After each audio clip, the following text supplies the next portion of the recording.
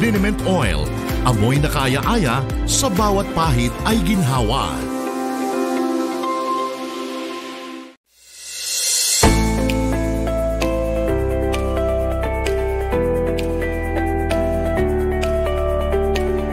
Sa wakas, malapit na ang season na may mas magaan na gabi, mainit na panahon at tambak ng sariwang hangin. Gayunpaman, dapat nating kaharapin ang mga issue sa balat upang labanan ang mga epekto ng araw. Kailangan itong bigyang pansin sa lalong madaling panahon. Kaya naman narito ang mga tips and tricks upang gamutin ang dry and flaky skin pag-ahit ng walang pangangati at kung paano panatilihin ang sun-kissed glowing skin. Ang tag-araw ay panahon para muling tumuon sa iyong skincare routine at dagdagan ang exfoliation para maalis ang anumang dead skin cells na maaaring naipon sa mga mas malalamig na buwan. Ang pag-exfoliate ay mahalaga para sa pagkamit ng malusog na balat at pagtaas ng produksyon ng collagen. Hindi lang ang init mula sa iyong mga hair curler ang maaaring magdulot ng pinsala sa iyong buhok. Ngunit, ang chlorine mula sa pool, ang sea salt mula sa beach days at UV rays mula sa summer sun ay maaari din magdulot ng maraming damages. Kaya iparamdam sa iyong buhok ang tender loving care sa pamamagitan ng pagdagdag ng ilang hydration at strengthening. Ang pag-inom ng sapat ng dami ng tubig araw-araw ay maaaring makatulong upang mapabuti ang iyong skin elasticity at makatulong din ito sa pag-flash out ng mga toxins at impurities na mag-promote na mas malinaw at mas maningning na kutis. Bago matulog, gumamit ng magandang hydrating vitamin C serum pagkatapos hugasan ng iyong mukha gamit ng mild cleanser. Bilang karagdagan sa lahat ng mga tip na ito, ang golden rule para sa mas malusog at malambot na balat ay dapat palaging panatilihing malinis ang iyong kutis. Huwag matulog ng naka-makeup at gumamit ng organic scrub minsan o dalawang beses sa isang linggo.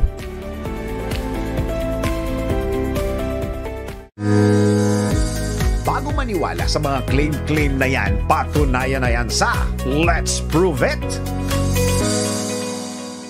Marami sa atin ang paborito ang apple o mansanas, pero merong nagsasabi na nakakalason daw ang pagkain ng buto ng mansanas, gaya ni Snow White na nalason matapos kumain ito. Marami itong benepisyo sa ating katawan at kalusugan dahil nagtataglay ito ng antioxidants, dietary fiber at vitamins. Pero totoo nga bang nakakalason ng pagkain ng buto ng mansanas? Tara, let's prove it! Ayon sa pagsusuri ni Miho Hatanaka, isang registered dietitian nutritionist galing sa isang Healthline Media na Medical News Today, hindi nire-rekomenda kanino man ang pagkain ng buto ng mansanas dahil ito ay naglalaman ng tinatawag na amygdalin, isang plant compound na nagdudulot ng toxic effect kapag ito ay nanguya. Ang amygdalin ay hindi nagdudulot ng toxic effects kung ito ay mananatiling nakasara at buo. Ngunit kung ito raw ay masira o manguya ng ating mga ngipin, ito ay magiging hydrogen cyanide, isang chemical compound na nakakalason at nakakasama sa kalusugan ng tao. Ang mga masamang epekto ng hydrogen cyanide kung ikaw ay na-expose ng kaunti ay pananakit ng ulo, pagkahilo, panghihina ng katawan at pagsusuka. Ngunit kung ikaw naman ay nakakain o nakalunok ng maraming buto ng mansanas, maaari kang hingalin kumbulsunin, maging irregular ang pagtibok ng puso at cardiac arrest. Ang hydrogen cyanide ay matatagpuan rin sa ibang mga buto ng prutas gaya ng almonds, apricots, peaches, and cherries. Kaya naman mainam na suriing mabuti ang ating mga kakainin bago pa man mapasama ang ating kalusugan. Bago maniwala sa mga claim-claim na yan, patunayan na yan sa Let's Prove It!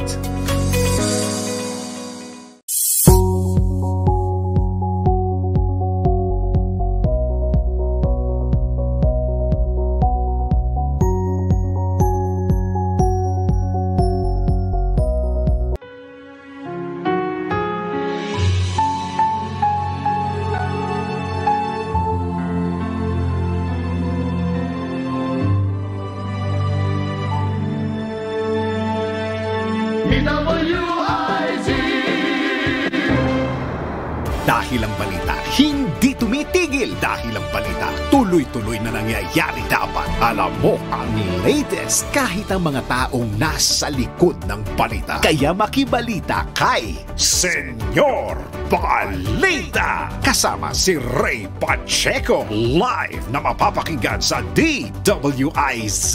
Panoorin ang live sa Aliw 23 at naka-live din sa DWIZ Facebook, YouTube at DWIZ News website. Kaya mga senyorito at mga senyorita, mga senyor, mga senyora, makibalita na kay Senyor Balita. Bahagi pa rin ng DWIZ News Hapon Highlights. Nagbabalita ng tama, naglilingkod ng tama. Senyor Balita! 6 minutos na po. Makalipas ang alas 3 ng merienda time, si Senyor Pacheco na po ang inyong kaboka-boka kabeso-beso hanggang alas 4 tayo ng hapon. Merienda time dito pa rin sa Senyor Balita. At syempre kayo po ay napapanood nyo kami sa Digital Free TV, Aliw 23, Signal uh, Channel 24, TV Plus Channel 27, at GMA back screen kami sa digital TV devices, TV receivers. Mangyari po lamang, uh, scan lamang ang uh, uh, ang inyong digital TV receivers at digital boxes at mapapanood nyo po kami at mapapanood nyo ang Aliw 23. At doon nyo napapanood ang Senyor Balita. At siyempre, tuloy-tuloy na tayo mga amigos at mga amigas sa ating mga umaalagwa, umaaribang mga balita.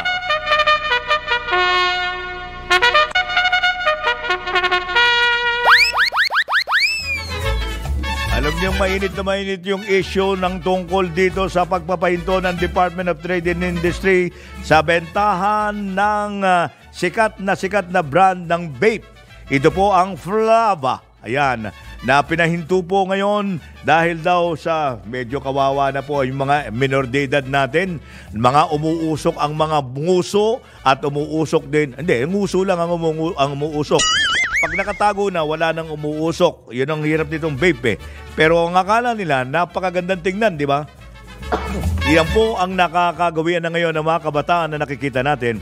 Ah, kaya medyo may problema tayo dito sa sa uh, Flava na ngayon po ay pinahinto ng Department of Trade.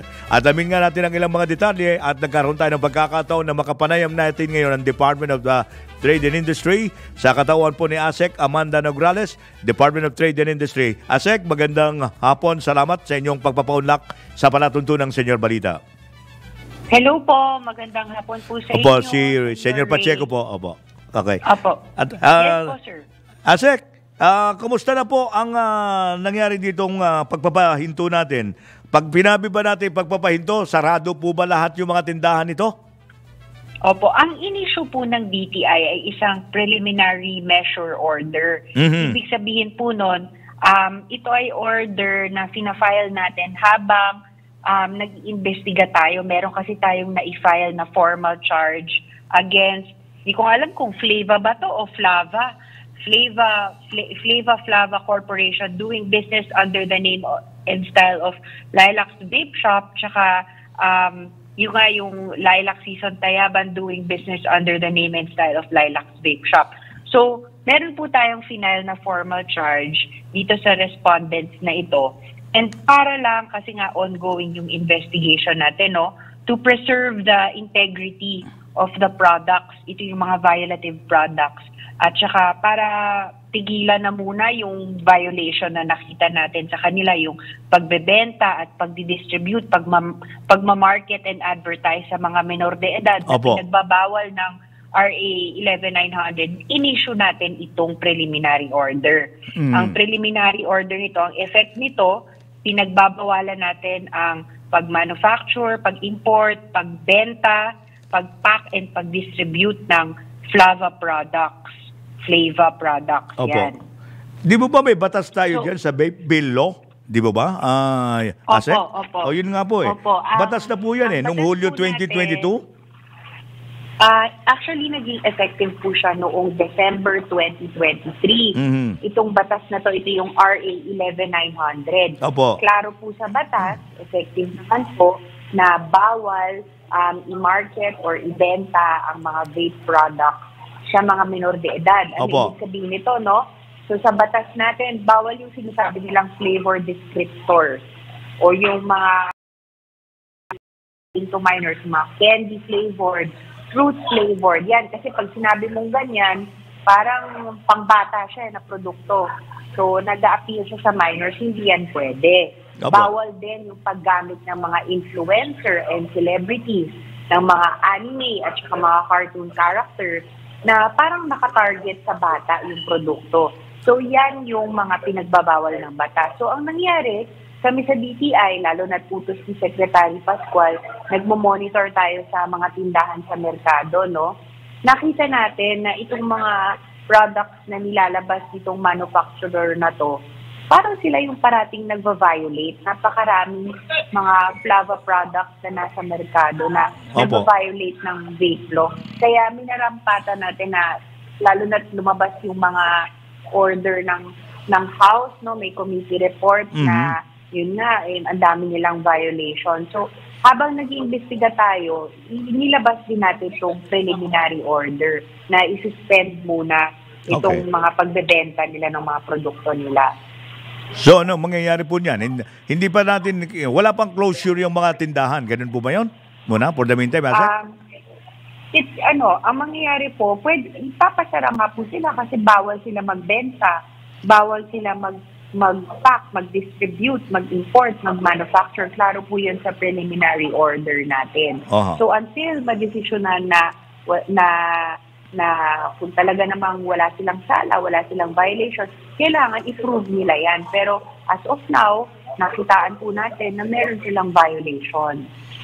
So, at this point, ah, hindi pa ho masasabi nating nakasarado po yung mga nagtitinda ng mga vape o ng mga flava Ba- vape. ba- bawal na po eh. Ah, bawal po. na. Ibig sabihin, Hindi sila ah, pwede magbenta. Di mo ba pinapadlock na natin sila. yon na Asek?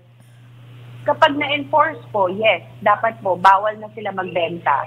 Bawal na sila mag-manufacture, mag-distribute ng kahit anong flava, flava product. Mhm.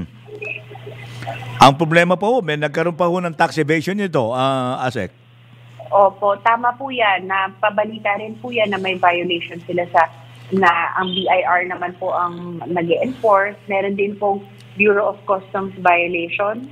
I understand. Meron din po silang mga non-payment, yung mga um, smuggled goods siguro. Hindi lang po kami aware kasi si Bureau of Customs po ang nagpapatupad. Opo. Meron po ba kayong, uh, alam natin ha, kailangan natin police dito, di ba para, kasi alam natin, wala naman po atang police power ang ah, DTI. Ganun po ba yun, uh, Asek? Kailangan natin Pwede ng... po tayo, opo, kami po, uh, syempre i-enforce natin yan. Humihingi po tayo ng tulong sa PNP. Opo. So sila po ay, ano, humingi po tayo ng request for assistance sa pag-enforce po niyan. Okay. Meron na po bang uh, coordination tayo sa Philippine National Police tungkol dito, ah, Asek? Opo, opo. Actually, um, yung team po natin nakikipag-usap na po sa PNP kasi nga Opo. eh, nagsimula na po yung mga online na pagbebenta nito, pinapatake down na rin po natin kasi we need to enforce the order. Effective po yan as of March 15. March 15, so, okay. Friday pa po, opo. Okay. Yun nga, coincidental, yan din po ang World Consumer Rights Day. So, sakto po ang pag-celebrate natin ng World Consumer Rights Day.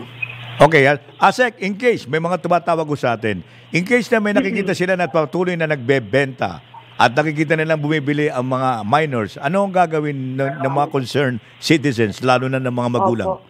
at teachers? maigi po i-report po sa amin sa DTI para ma-confiscate po yung products at saka mabigyan po ng notice of violation kasi klaro naman po paglabag po yan ng batas natin.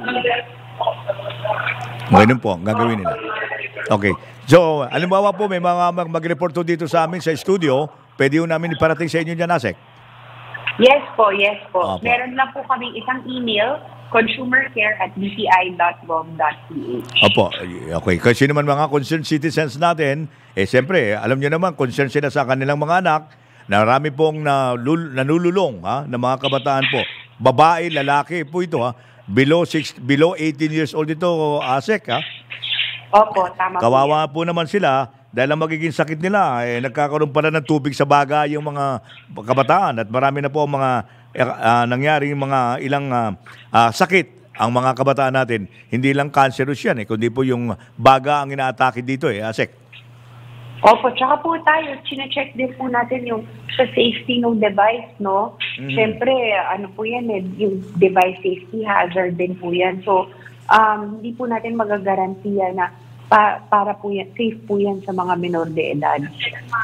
Opo. Okay. Anyway, Asek, ah, maraming salamat sa pagbibigay daw niyo sa amin. Ano? From time to time, ah, we will do that na kung saan po yung ating mga nakikinig ngayon sa atin na concern ay makaka, makakaroon ng access sa inyo sa pagmagitan ng pagtawag sa telepono para po ma-report. Ito pa rin ah, patuloy sa kabila na may order kayo, eh, may mga ilan pa rin daw na nagsasagawa ng pagbebenta nito sa mga menor de edad. Ah, Asek. Yes po. Opo, thank you so much po, sir. Yun lang po yung sa amin talaga sa DTI. Bawal talaga po siyang i-market, i-distribute, ibenta sa mga kabataan. Yan po talagang pinapatupad natin ngayon. Si Secretary Pascual, heightened operations po talaga tayo pagdating sa ganyan. Okay.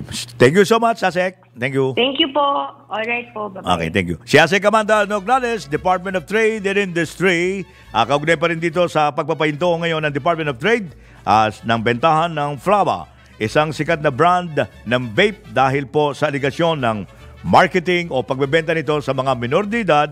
Ganon din ang nako tax evasion. Wow, yung mabigat doon ano eh. Double whammy ha, senyora.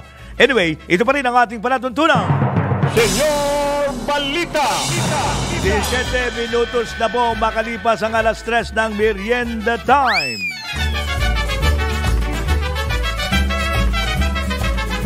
Kinumpirma na po ng White House ang opisyal na pag-host ni US President Joe Biden sa kauna-unahang pagkakataon nito ha, na US, Philippines, Japan, magkakaroon sila ng trilateral Leaders Summit. Ba, damo yung Pilip- ibang klase yung Pilipinas ha. Maliit, small but terrible ha. Ah, dadalawan din ito ni na Pangulong Ferdinand Marcos Jr. at Japanese Prime Minister Fumio Kishida. Hi! Sa Abril ah, 11. Ayan. Ayon po kay White House Press Secretary Karine Jean-Pierre, eh, isa sa pinal na ng tatlong leader ang kanilang trilateral partnership upang mapatatag ang kanilang alyansa. Kaunaw na nito pagkakataon, senyora, ha? mga amigos at mga amigas. Meron na tayong ah, 18 minutos makalipas ang alas 3 ng merienda time. Senyor Balita!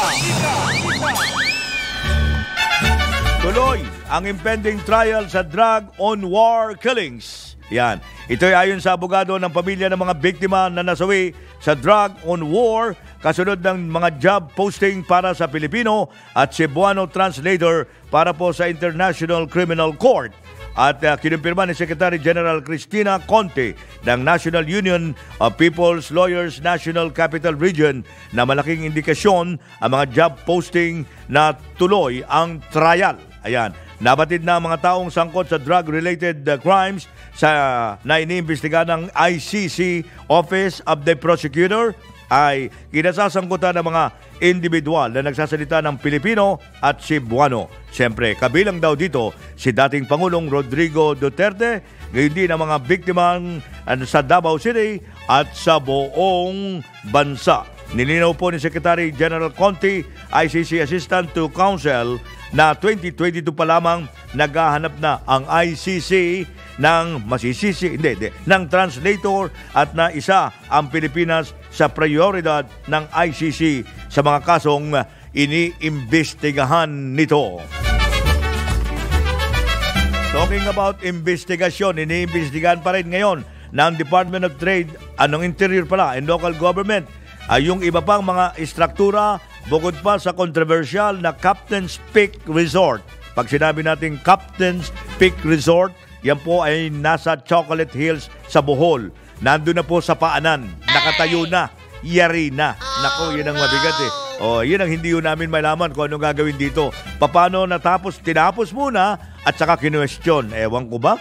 Ha? Ayon po kay Interior and Local Government Chief Ben Harabalos, ah, bumuo na sila ng task force na kibinabibilangan ng mga abogado, environmentalist na magsisiyasat kung paano nakalusot ang resort at naipatayo sa UNESCO Heritage Site. Wow! Baka bukas makalawa, meron na rin ang banawin yan, ha? Oo nga, tingnan niyo nga maigi. Maglibot-libot, maglibot-libot nga kayo mga amigos at mga amigas, ha? Baka tayo nasisingitan, meron na rin ang banawi. Nakaw, Ang dagdag pa ni Abalos, sinisikap nilang ipatawag si Mayor Suarez III para makakalap ng mga kaukulang dokumento mula sa lokal na pamahalaan upang maresolba ang insidente. Siyempre, magsisimula yan sa local uh, government units. Eh, siyempre, dyan hihingi ng mga permits, di ba? O, eh, paano yan? Eh, kung binigyan, eh, di may tatayo yan. Eh, nung may tayo, tsaka lang nakita ng ating national government, ano ba naman yan? Medyo dapat, eh, hindi ba dadaan yan sa national government bago itayo yan? Yan ang wala kong alam. Hindi ko rin alam yan. Pero andyan na yan. Hindi natin alam. Magiging investigasyon na yan. Investigasyon dito, investigasyon doon. Baka magala ay investigasyon dyan eh. Baka, baka mangyari dyan. Parang kamukha ng investigasyon natin na nangyari dito po sa mga pagkakapatay kay, per, kay, kay Percy Lapid. Ano ba naman yan? Ayan, di ba? Yung pagka, pagkawala nung uh, Miss Philippines, ay yung Miss Philippines sa Batang, yung naging Miss Philippines dyan sa Batangas, di ba? O, na kung saan pulis ang involved, ayan. At ngayon, eh, yung kay Percy Lapid, eh, nakita nyo naman ang nangyari. Uh, mukhang, uh, mukhang ano eh, mukhang, eh, may, ewan ko ha, eh, namatay na po yung ano eh, napa, namatay na yung assistant eh. Ha? Patay na po si Jail Senior Superintendent Ricardo Sulweta. Hinahanap yan ha. Hinahanap kasama si Bagtad, yung chief ng Bucor. At ito po yung assistant chief niya. Si, ito yung assistant niya ni, ni Bagdad. Hinahanap silang dalawa. Hindi yung makita-kita. Ah, taon na ang bumilang dito po sa kaso ng uh, um, Percival Mabasa na kilalang Percy Lapid sa pagpatay sa kanya. Isang mamamayag po ito. At uh, eto po, eh, patay na pero ang nangyari, sabi ho, inanunsyo ng PNP uh, na inulat na nato na namatay daw, hindi dahil sa pinatay, ito ay inatake sa puso. Ayun. Oh, Mabuti pala no? kung inatake sa puso, makikita, no? Pero nung hindi inatake sa puso, hindi makita-kita. O isa na pupunta yan. Paano nakita na itata, inatake sa puso yan? Ayan. Yun po, eh, walang, uh, wala ho tayo nakukuhang impormasyon. Basta ang nangyari lang, nakatanggap sila ng impormasyon noong biyernes, sinugod daw ito sa Bataan Peninsula Medical Center uh, ang dating Deputy Security Officer ng Bureau of Correction dahil sa inindang chest pain. O, pero nyo, walang nakakakita, walang, eh, nag, nag, hinahanap ito. Di ba? Hinahanap po yan. Kasama niya si ano. Kasama po niya ang si Bagdad. Ah, yung pong hepe niya, yung boss niya. Eh ano nangyari? Ewan ko ba? Eh tuloy, nananawagan po ngayon yung mamamahayag na kapatid ni ni na, ni ano ni Lapid, ni, ni Percy Lapid na si Roy Mabasa doon sa Philippine National Police. Alamin niyo naman, alamin niyo naman ang tunay na dahilan ng pagkamatay niyan ha? ni, ni Sulweta, dating Deputy Security Officer ng Bucor nakasama ni Bagdad na isa sa mga pinaghihinalaan sa pagpatay kay Percy Lapid. Eh ayon ho kay Babasa, kinakailangan magkaroon ng independent autopsy kay Jail Senior Superintendent Sulweta. Kamukha din ang ginawa niya kay Lapid. O, di ba? Uh, ah, doon sa mga nagkamatayan sa loob ng uh, eh, nagkamatayan doon sa loob ng bilangguan. O, then, o nung uh, ma-check doon sa autopsy, o di ba, pinatay. Hindi pala nagpakamatay. Sabi nila, na inatake din. Ganyan din eh. Puro inatake. Inatake din sa loob ng bilangguan yung mga pumatay kay Lapid eh. Sabi nila. Oh, pero anong limitaw sa autopsy? Pinatay. Oh, okay? Sinasangkot ang dating Deputy Security Officer ng Bukor sa pagpatay siyempre sa kapatid ni Babasa at kapwa mamamahayag na si Percy Lapid. Ang daming aturgayin talaga ng ating Philippine National Police na kung saan po eh, hanggang ngayon wala pa tayong kapalit ha. Dito po eh inaantabayanan pa natin kung sino ang papalit dito kay uh, dito po kay General um, uh, ano pa nga ng ating PNP chief? nakakalimutan mo na, senyor. Oo, nakakalimutan ko na eh. Nakakalimutan ko na sa dami ng problema eh, ng mga pulis ngayon. Okay, um, tingnan muna natin ang Senado. Sandali lang. Nandun po si Celia Ortega Bueno, Senador Rontiveros, nagpapasalamat kay Senate President Severi sa paglagda, ayan na po, sa arrest order laban po kay Pastor Kibuloy. Detalye niya ihatid ni Celia Ortega Bueno. Celi? Go ahead.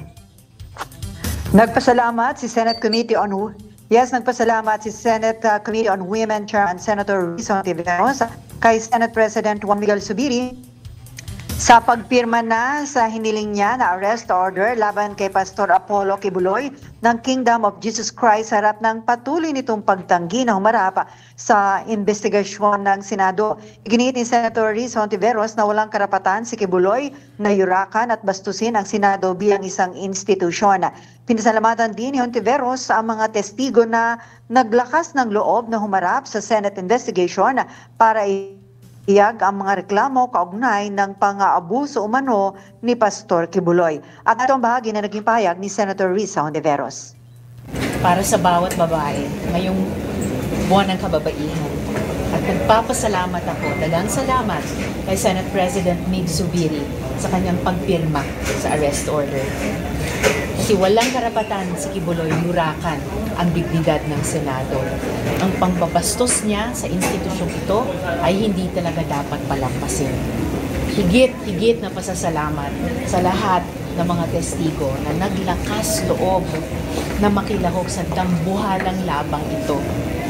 Kayo ang puso ng investigasyong ito at kasama niyo kami sa Senado hanggang dulo pa. Okay? Sherry? Samantala, sinabi ni Yes, sinabi ni Hontiveros Yes, sinabi ni Hontiveros na oras na madakip si Kibuloy ay agad siya magpapatawag ng pagdinig para sa pagharap nito kahit pa magbabakasyon na ang Senado para nga dito sa Holy Week. Ay kay Hontiveros, wala siyang schedule ng biyahe abroad at sana daw ay huwag tumakas si Kibuloy.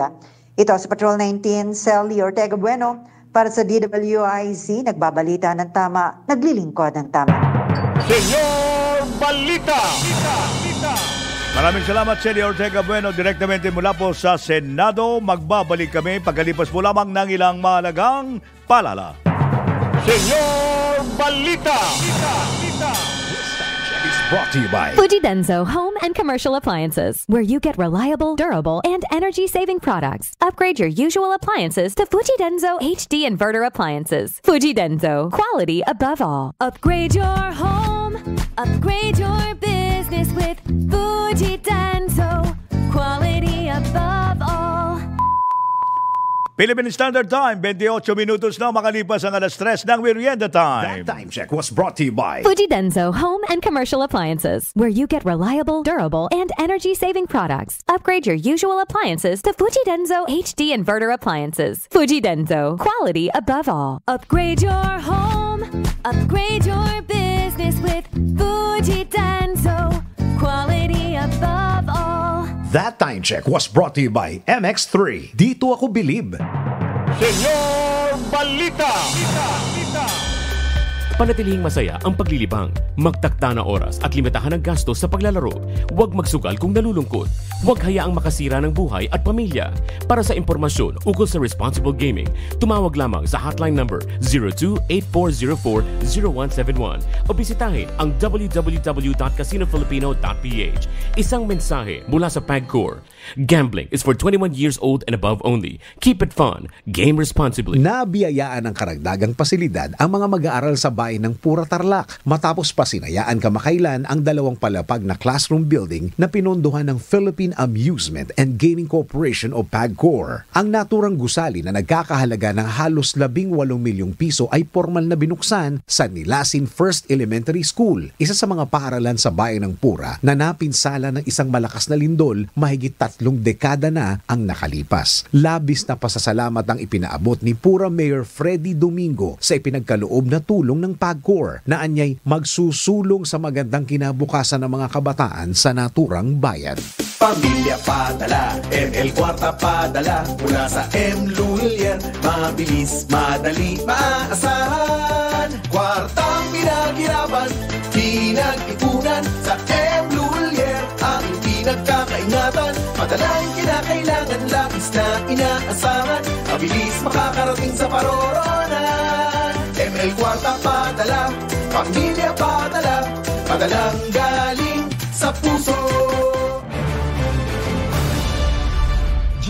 po. Bilang isang broadcast journalist, nakasanayan ko maging mapanuri. Kahit na sa food supplement ko, bilib ako sa MX3 dahil ito ay tested and proven na may alpha, beta at gamma mangosteen. Bukod dyan, cholesterol and fat-free. That goes well with my healthy diet and workout. May seal of quality excellence at gawa sa ISO at GMP certified na planta. MX3, dito ako bilib. Mahalagang paalala, ang MX3 capsule ay hindi gamot at hindi dapat gamiting panggamot sa anumang uri ng sakit. Mag MX3 araw-araw para M Extraordinary. Come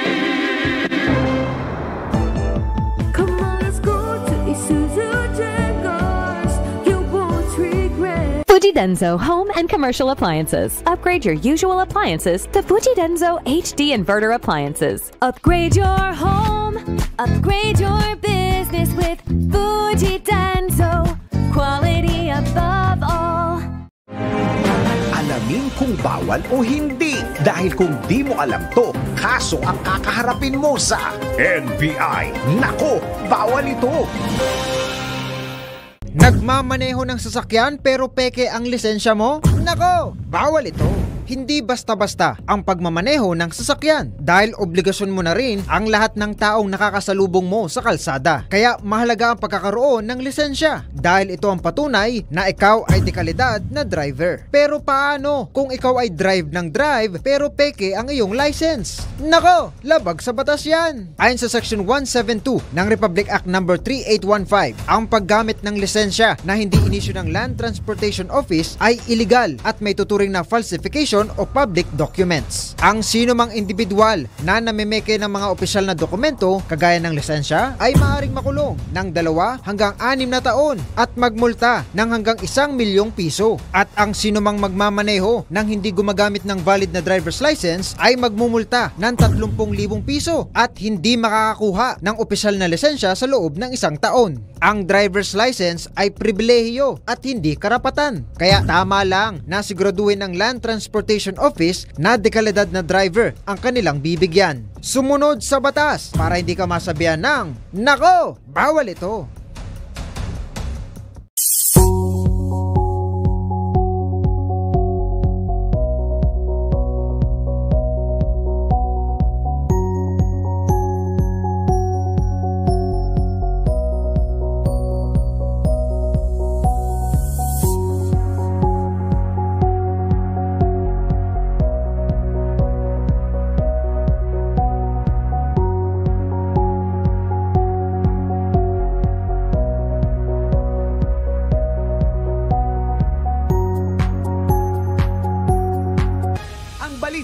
Ay hatid sa inyo ng Whirlpool Home Appliances that make everyday living so much easier. From washers, dryers, refrigerators, microwave ovens, cooking products, to air cons, air purifiers, and dishwashers. Whirlpool, sensing what matters today. Making your world a little easier. Whirlpool. DWIZ Balita ngayon! Magandang hapon Pilipinas, narito na ang balita mas malalim na hugot ng viral teacher na nagalit sa kanyang mga estudyante. Pinatutukoy sa Department of Education. Ang detalye ng balitang yan ay hati ni Patrol 11 na Tina Nolasco. Nanawagan si Iloilo 1st District Representative Janet Garin sa Department of Education o DepEd na tingnan sa mas malawak na aspeto ang dahilan ng pagkagalit at panenermo ng isang public high school teacher sa kanyang mga estudyante habang naka-TikTok live na kumalat sa social media. Sa pulong balitaan sa Kamara, sinabi ng kongresista na posibleng may mabigat na pinagdaraanan ng kuro pero hindi siya makalapit sa principal, regional director o baka nakalapit na ngunit hindi maipalabas sa central office. Posible rin anyang hindi isolated case ang insidente. Nagkataon lang na nalaman ng lahat dahil sinadyang ilive ito sa TikTok na maaaring layuning makakuhaan niya ng atensyon para mapansin o mapakinggan. Pakinggan natin ang mismong pahayag ni Congresswoman Garin. And that is why this problem should be looked deeply by the Department of Education. Ano ba ang problema? Meron bang feedback mechanism? And mind you, we have also teachers na talagang may problema. I had an experience before na medyo nagkaroon ng problema, personal problem yung teacher.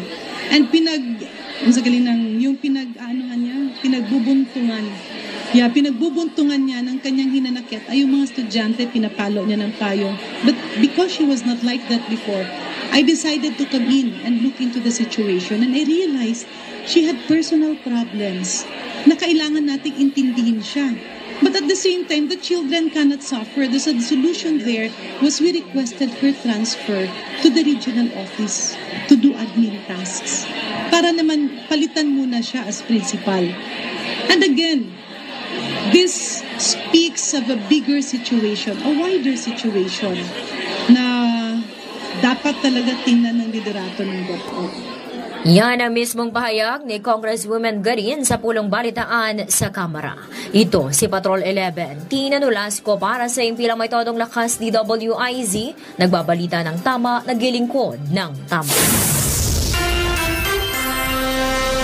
Sa iba pang balita, pamana projects ng UPAPRO suportado ng mga LGU ang detalye ng balitang yan. Iyahati ni Patrol 17 na Jopel Pelenyo. Ganap ng lumagda ang Office of the Presidential Advisor for Peace, Reconciliation and Unity o OPAPRO kasama ang mga pinuno ng anim na lalawigan, tatlong lungsod at tatlong putsyam na munisipalidad ng isang kasunduan na may hangaring isulong ang payapa at masaganang pamayanan o pamana projects sa kanilang mga lugar. Nakapaloob sa pinirmahang kasunduan ni Presidential Peace Advisor Secretary Carlito Galvez Jr. kasama ang 43 gobernador at alkalde na 70 pamana projects sa buong bansa ang isasagawa sa loob ng taong ito.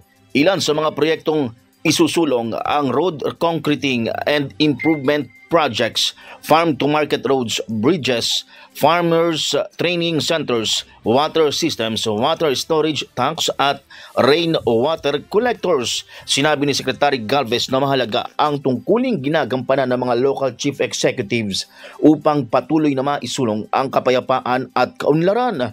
Kaya naman hinikayat ng kalihim ang mga lokal na pinuno na tutukan ang implementasyon ng pamana projects upang tuluyan ng mawakasan ang insurhensya sa bansa. Ito si Patrol 17 Chopel Pelenyo. Para sa impilang may tadong lakas, DWIZ nagbabalita ng tama, naglilingkod ng tama. At para sa karagdagang impormasyon at mas marami pang mga balita, bistahin kami sa aming website na www.twiz882am.com at sundan ang aming X account at Facebook page DWIZ. Ako po si Jen Patrolya. DWIZ Balita ngayon! Ang balitang ito ay inihatid sa inyo ng Whirlpool Home Appliances that make everyday living so much easier. From washers, dryers, refrigerators, microwave ovens, cooking products, to air cons, air purifiers, and dishwashers. Whirlpool, sensing what matters today. Making your world a little easier. Whirlpool. DWIZ Senyor Balita! Balita! Senyor Balita! Balita! Balita!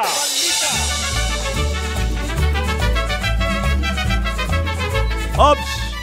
38 minutos na makalipas ang uh, alas 3 ng merienda time. Magandang hapon po sa lahat ng ating mga amigos at mga amigas dyan sa iba't ibang panig ng Pilipinas mula sa Northern Luzon, Southern, hindi, Central Luzon at Southern Tagalog. Ayan, Southern Luzon, ayan. At sa mga lugar natin sa Kabisayan, mayong, uh, mayong hapon at mayong buntag. Ayan, mayong hapon, mayong buntag. Yan po sa lugar ng Kabisayan natin at ganoon din sa loob ng, sa kabuuan ng Kamindanawan.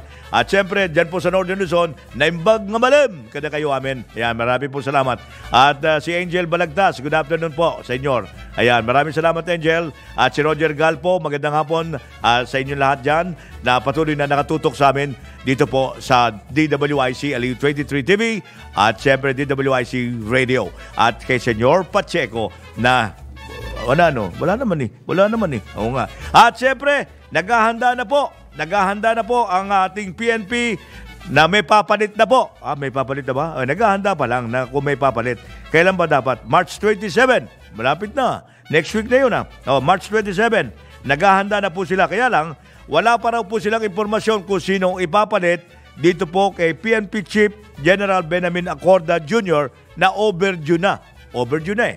Uh, extended na yan eh. In-extend na yan At ah, may nangyari ba? Hindi ko rin alam. Eh, marami nga tinatanong eh, kung may nangyari ba ah, sa pag-extend sa kanya. Hindi ko alam. Eh, basta tayo, ito, namatay ito si Silueta, ah, at ah, itong si, sino ba to? Tinitina ko yung mga kaso na katengge. Ah, itong, ah, itong ah, ayaw sumipot na si Cam, hindi, hindi. Ayaw ko sumipot ito si Major Alan De Castro, doon po sa Senado, hinggil doon sa namatay. Ah, nakita na, namatay ba o wala? Hindi pa nga manaman eh, kung patay eh. Kung patay ba yung Miss Batangas na naging kandidato sa pagka Miss Philippines? Yan, hindi alam. Pero may nakita dugo dahil mahusay yung bodyguard niya na si Magpantay. Wala hong kapantay kung magbantay itong bodyguard niya. Ha? Kaya mabigat eh. Eh, di ho natin alam. Ah, marami yung aaturga, ah, aturgahin itong susunod na chief na papalit kay General Benjamin Acorda. In case, ha? Ah, eh, ngayon po, eh, wala pa raw. Inirang na po ang sa posisyon ng hepe ng PNP noong Abril, eh, pero natapos po yun noong De- December 3 ah, kapag naabot na po yung mandatory retirement age na 56. Ayan. Ah, ngayon po, pinalawig nga ni Pangulong Marcos ang kanyang posisyon. At eh, sa ngayon, ah, pipili po ang Pangulo ng bagong PNP chief mula po sa mga police personnel na may ranggong Police Brigadier General pataas. Sino kaya siya na lulutas sa mga nakatengang mga problemang ito na taon na, senyora, taon na ang binibilang halos. Okay, meron na tayo 41 minutos makalipas ang alas 3 ng merienda time. Senyor Balita! Oh, mula po sa Bohol. Ayan, ini binunyag na ni Senador Rapi Tulpo na may mga itinayuring business establishment. Wow, nagkagaya-gaya po tumaya. Kung paano sa Bohol, eh, meron daw dito sa Mount Apo, sa Davao City. Ano ba yan? Gaya-gaya kayo, putumaya. Ayan, itinayo din mga business establishment. Naku, natuklasan ni Senador Rapi Tulpo ah, na inamin ng Department of Environment and Resources na binigyan lamang nila ng dalawang taon ang mga establishmento para po mag-operate. Nako, at binigyan din pa ng mambabatas na hindi na dapat pa pinayagan ang pagpapatayo. Eh bakit yung pinayagan eh, hindi nga po pwede? Eh protected area eh. Pera-pera lang yan. Oh, eh ba't pa natin sinabi protected area katapos magbibigay din pala kayo ng pagkakataon? Eh dalawang taon lang naman. Eh di ganun din ang konsumo total. Pera-pera lang yan. Nilabag nyo rin yung protected area. Di ba? Ah, Department of Environment and Resources. Hindi ba? Eh hindi ko maintindihan eh. Kaya nababahala po ngayon ang mga si Senator Tulpo doon po sa mga istrukturang naglipa na sa nasabing protected area. Wow! Eh, saan, eh, kung saan binanggit po ng direktiba ni Pangulong Ferdinand Marcos na pangalagaan ang Mount Apo. Kaya, kaya kawawa tayo dun sa Philippine Eagle eh. Ano, kawawa yung Philippine Eagle eh. Hindi na natin manaman kung makaka kung dadami pa yung Philippine Eagle natin kung ganyan na nangyayari sa kalikasan natin. Anyway, 43 minutos na makalipas ang alas 3 ng merienda time. Senyor Balita! Report tayo, report muna tayo sa Senado. Hindi, sa Malacanang na tayo. Malacanang na tayo muna. Yung salt importation, nabawasan daw ayon sa pamahalaan. Alamin nga natin ang detalye ng balitang yan mula kay Patrol 13, Gilbert Verdes. Nabawasan na ang ini-import na asin ng Pilipinas kasabay ng paglakas ng lokal na produksyon. Ito'y kasunod na rin ng utos ni Pangulong Ferdinand Marcos Jr. na tutukan ang pag-develop sa salt industry kakibat ng paglalaan ng pondo para rito. Sa bagong Pilipinas ngayon, public briefing inihag naman ni BIFAR spokesperson Nazario Breguera na mula sa 90% bumaba na raw sa 84% ang inaangkat na asin ng bansa. Ito'y kasabay na rin ng 16% na pagtaas sa local production. Ayon kay Breguera, ito ang patunay na kayang palakasin ng salt industry kung ito ay tututukan ng pamahalaan. Patron 13, Gilbert Perdes, nagbabalita ng tama, naglilingkod ng tama. Senyor Balita! Maraming salamat Gilbert Perdes, nagatid sa ating orasan. 44 minutos makalipas ang alas 3 na merienda time. Mula po kay Gilbert, dumako tayo dyan sa lugar naman ng Campo Aguinaldo. Ano lang ating kasamang si Patrol 17 Jopel Pelenio. General Browner nagtungo sa burol ng apat na nasabing sundalo matapos tambangan ng Daula Islamia sa Maguindanao. Sa, sa pagtugis po sa mga suspect, ipinag-utos na po niya na alamin ang, ang sitwasyon na yan. Alamin nga natin, wala kay Jopel Pelenio. Jopel? Bumisita si AFP Chief of Staff General Romeo Bronner Jr. sa burol ng apat na sundalong nasawi sa panarambang ng Daula Islamia Hasan Group sa Dato Hofer Ampatuan, Maguindanao del Sur. Personal na nagpaabot ng taos-pusong pakikiramay si General Bronner sa naiwang pamilya ni na Private Marvin Dumaging, Private Jesse James Corpus, Private First Class Carl Aranya at Corporal Cresalde Espartero. Nasawi ang apat na sundalo makaraang tambangan itong nakalipas na March 17, 2024 habang pauwi sa kampo matapos mamili ng mga pagkain para sa mga nag-aayuno ng mga kapatid na Muslim na bahagi ng Ramadan. Una nang nagpahayag ang AFP ng mariing pagkundina sa naganap na panarambang. Kaugnay nito ipinag-utos ng AFP chief ang pagtugis sa mga nasa likod ng karumal-dumal na krimen at paigtingin din ang mga hakbangin upang tuluyang mawakasan ang paghasik ng kaguluhan at takot sa rehiyon. Siniguro pa ni General Bronner ang pagbibigay ng tulong ng AFP para sa mga naulilang pamilya ng apat na nasawing sundalo. Ito si Patrol 17 Chopel Pelenyo para sa impilang may todong lakas, DWIZ nagbabalita ng tama, naglilingkod ng tama. Senyor Balita!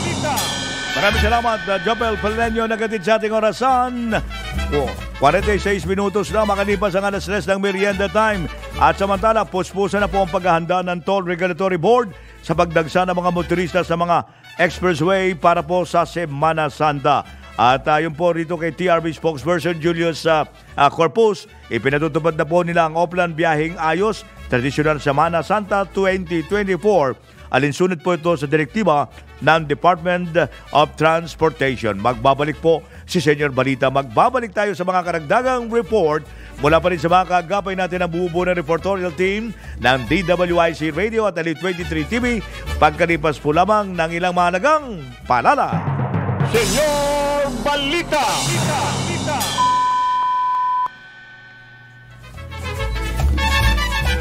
Oras natin, 47 minutos na makalipas ang alas 3 ng merienda time. That time check was brought to you by Bingo Plus. Bingo sa saya, plus sa panalo. Download Bingo Plus app now on Google Play or Apple App Store. You can watch our live draw via Bingo Plus website www.bingoplus.com. Sa Bingo Plus, bingo sa saya, plus sa panalo. Ito po si Chef Jojo Javier, a baker. Marami ang nagugutom at marami ring sagana ang buhay. Pero alam nyo, may nakatagong kagutuman sa puso ng marami. Sinabi ni Jesus, Ako ang tinapay ng buhay, ang lumapit sa akin ay hindi na magugutom kailanman. Ang sumasampalataya sa akin ay hindi na mauuhaw kailanman. John 6 verse 35. Ako po si Chef Jojo Javier. Every day, there's a slice of cake for me to enjoy from the Lord. Buhay na buhay ang ating Panginoon. Accept and celebrate Jesus. Gumugunita kay Jesus sa araw-araw kasama ang MX3. Mag MX3 araw-araw para M Extraordinary. Bitin sa cash? Sa M. Luwilier Quick Cash Loan, it's as easy as 1, 2, 3. 1. I-present ang item for appraisal. 2. Mag-submit ng valid ID o ML Diamond Card. 3. Kunin ang cash at transaction slip. Ang laking tulong, ba? ML Quick Cash Loan. Maaasahan lagi. M. Lulier, tulay ng pamilyang Pilipino. Panatilihing masaya ang paglilibang. Magtakta na oras at limitahan ang gastos sa paglalaro. Huwag magsugal kung nalulungkot. Huwag hayaang makasira ng buhay at pamilya. Para sa impormasyon ukol sa responsible gaming, tumawag lamang sa hotline number 02-8404-0171 o bisitahin ang www.casinofilipino.ph. Isang mensahe mula sa PAGCOR. Gambling is for 21 years old and above only. Keep it fun. Game responsibly. Nabiyayaan ng karagdagang pasilidad ang mga mag-aaral sa bayan ng Pura Tarlac matapos pasinayaan kamakailan ang dalawang palapag na classroom building na pinondohan ng Philippine Amusement and Gaming Corporation o PAGCOR. Ang naturang gusali na nagkakahalaga ng halos 18 milyong piso ay formal na binuksan sa Nilasin First Elementary School, isa sa mga paaralan sa bayan ng Pura na napinsala ng isang malakas na lindol mahigit tatlong dekada na ang nakalipas. Labis na pasasalamat ang ipinaabot ni Pura Mayor Freddy Domingo sa ipinagkaloob na tulong ng PAGCOR na anyay magsusulong sa magandang kinabukasan ng mga kabataan sa naturang bayan. Ang buhay dito sa abroad ay laging malungkot na masaya. Kailangan maging matatag ka. Wala ka sa sarili nating bayan. breadwinner na ako ng family. Sila talaga yung aking inspirasyon kung bakit nandito ako. Life is beautiful. Hola a todos! I'm looking forward to exploring the world. I moved here by myself without knowing anyone, without knowing the language. Hola! Kritsi, yung cost of living, uh, nandyan na tayo, no? Sobrang mahal. You lose your dreams, your hope, sometimes even faith. Laging ang Panginoon ang kakapitan natin. Dahil doon tayo may pag-asa. Ciao a tutti! Buongiorno! Benvenuta a Milano. I'm very proud because my roots are from Philippines. Kailangan hindi ka makalimot kung saan ka nanggaling. Hola a todos! Guten Tag! Hola from Barcelona. We need to really focus on being healthy to improve our life. I learned how to value my health so that I can live longer. Impressed nga ako kasi the way you live your life, you're productive at your age. Huwag na natin pag-usapan yung age. I'll show you the world. Ah, Asan ka? MX3. MX3. MX3. MX3. MX3. MX3. MX3. MX3. MX3. MX3. Dito ko believe. And here is my MX3 story.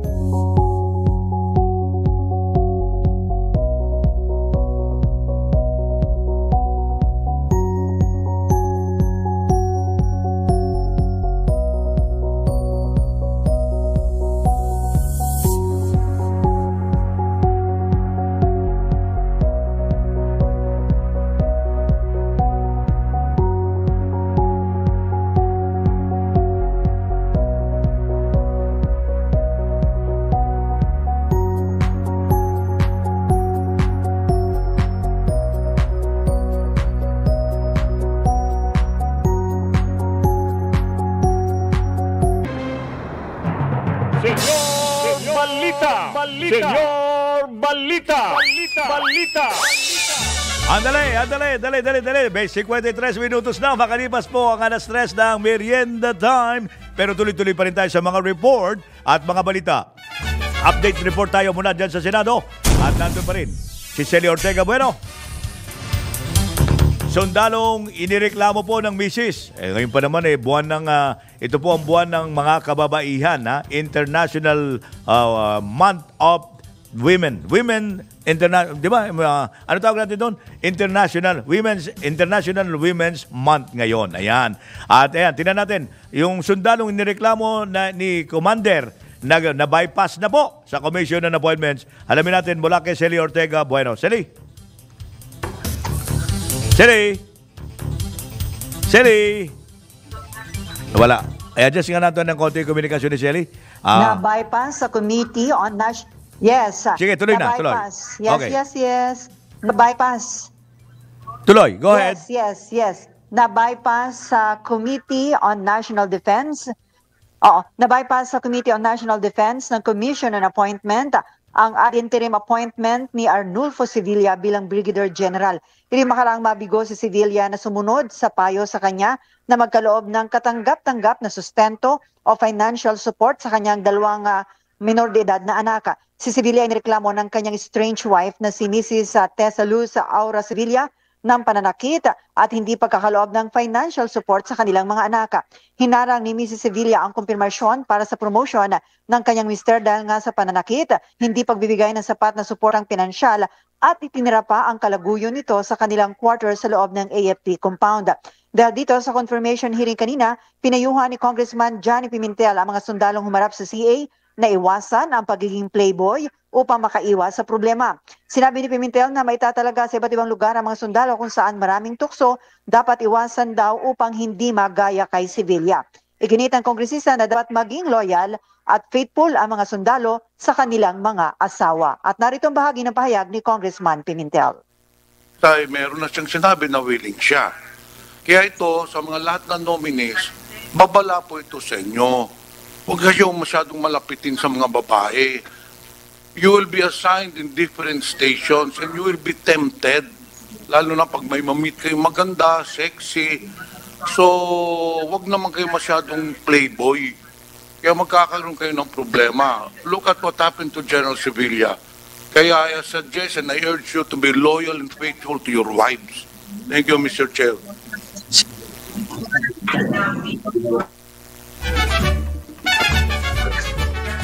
Una na ipinagpaliban ang kumpirmasyon sa promotion nga nito nga si Sevilla at ngayon dahil nga mag-adjourn na yung session kung kayata bypass itong si ah, ah, Sevilla. At sinabi naman ni Mrs. Sevilla na sana daw ay magsilbing aral sa mga sundalo at sa mga nanunungkulan sa gobyerno ang kaso ng kanyang mister na kung saan daw ay dapat daw ay mahalin ng mga ito ang kanilang ah, pamilya at kanilang mga anak. Narito ang bahagi ng ah, pahayag ni Mrs. Sevilla na nagpasalamat kay Senator Risa Ontiveros at maging sa Committee on National Defense dahil nga sa pag-bypass sa confirmation ng kanyang mister. sa Commission on Appointments, po, uh, kay uh, Senator Risa Tiveros for taking up my cause, for taking up my case. Maraming maraming salamat po sa mga miyembro ng Commission on Appointments dahil naniwala sila sa aking mga hinaing sa aking asawa. So sana po uh, maging aral po ito sa ating mga kinauukulan, hindi lang po sa AFP, kundi po sa lahat ng mga ahensya ng gobyerno.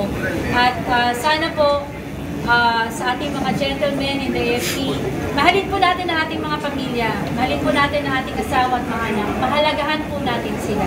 So yun lang po, maraming salamat. Ma'am, umaasa kayo, matatanggap niyo pa rin yung sustento kahit hindi. Ah, tungkol po sa sustento, ah, inaasahan ko po na, na pag-usapan, no? Ah, inaasahan ko po na kahit na hindi po siya na-promote, siguro po ah, dapat nang ibigay ang dapat ibigay. Siguro ito po yung challenge natin sa AFP. Ah, having already come from the CA, coming from the CA na uh, i-take upon ng AFP to ensure that he will actually give the support that he promised publicly during the plenary. So sana po ay ah, maibigay na po ang dapat para sa amin. Shelly. Yan ang bahagi ng pahayag ni Mrs. Tessa Luz. Yan ang bahagi ng pahayag ni Mrs. Tessa Luz Aura Sevilla. Ito sa Patrol 19, Sally Ortega Bueno para sa DWIC. Nagbabalita ng tama, naglilingkod ng tama. Senyor Balita! Nakatapat ng matindi si General ah. Mahirap din talaga, no? Pag na-champion mo talaga, eh, eh, yung asawa mo, di ba kung tawagin nga natin eh, ah, yan ang commander mo. Mas mataas yan sa general eh. Eh, nakalimutan mo General Sevilla. Commander yan eh. Commander, nakita mo ng forma, no? Ha? Dinihan muna natin ang report ni Danny Cruz. Metro Patrol Report! Danny, go ahead. Patuloy na selebrasyon ng Women's Month o Araw ng Kababaihan nagsagawa ng medical mission ng Northern Police District sa Barangay Katmon sa lungsod ng Malabon. Ito'y inisyatibo ni NPD Director Police Brigadier General Rizalito Gapas, naging katuwang ng General ng District Medical and Dental Unit, Religious Leader, Armed Forces of the Philippines, si Police Colonel J. Baybayan si Barangay Chairman Brian Manapat.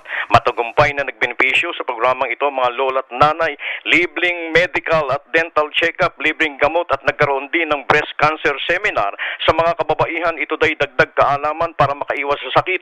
Ayon kay General Gapas, malaki ang maitutulong ng programang ito sa ilaw ng tahanan sa mga nanay na laging abala sa pag-aasikaso ng kanilang pamilya. Sadyang ibinaba ang barangay ng ah, sa barangay ng Northern Police District ang serbisyo publiko para makatulong sa mga kababaihan sa lungsod ng Malabon. Ayon kay Captain Melvin Dukila ng Public Community Relation ng Barangay ng Malabon Police, wala daw dapat maiwang kababaihan anuman ang katayuan nila sa buhay.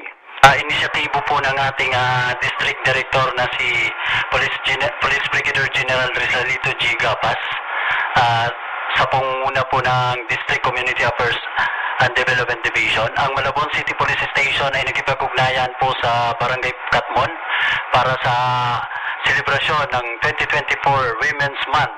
Yan ang tinig ni Police Captain Melvin Dukila. Yan ang balita. Ito si Danny Cruz para sa impilang may todong lakas. DWIC, nagbabalita ng tama, naglilingkod ng tama. Senyor Balita! Maraming salamat, Danny Cruz. At siyempre, patama quote tayo bago tuluyan tayo magpaalam. Kaya nga tayo nagsisipag kasi naranasan nating pagdamutan. At with that, si Senyor Pacheco, antabayan po yung susunod ninyong uh, palatutunan. Ang ating inihintay pa rin ang ating Mr. News with Mr. Dennis Antenor Jr. With that, nagpapasalamat tayo sa kabuang pwersa ng bumubuo ng ating News and Operation Center ng DWIC Radio at Aliw 23 TV. At minsan po si Senyor Pacheco nagsasabi, kami po ay nagbabalita ng tama, naglilingkod ng Tama. Adiós. Hasta mañana.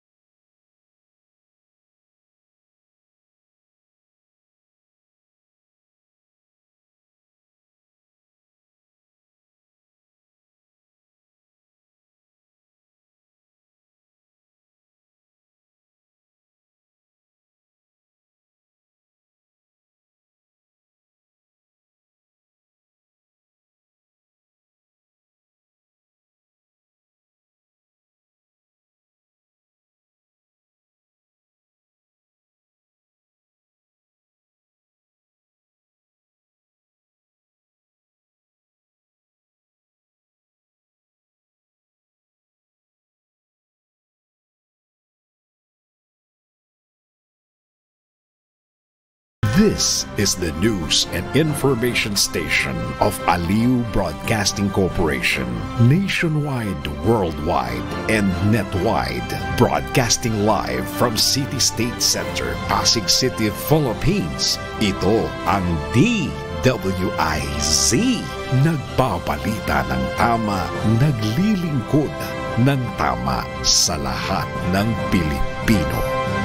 Ang balitang ito ay hatid sa inyo ng Fuji Denso Home and Commercial Appliances, where you get reliable, durable, and energy-saving products. Upgrade your usual appliances to Fuji Denso HD Inverter Appliances. Fuji Denso, quality above all. Narito na ang mga news scoop ngayon. Tricycle driver tinambangan ng riding in tandem sa Tondo. Kilalang rapper sa Cebu, arestado matapos barilin ng nakaalitang foreigner. Anim arestado dahil sa iligal na pasugalan. Tatlo patay, labing lima sugatan sa karambola namang sakyan sa Cavite. motorcycle rider at angkas dead on the spot matapos mabundol ng 10-wheeler truck. Heart Evangelista muling nakunan. At Kim Chu, aminadong empty ang kanyang puso ngayon.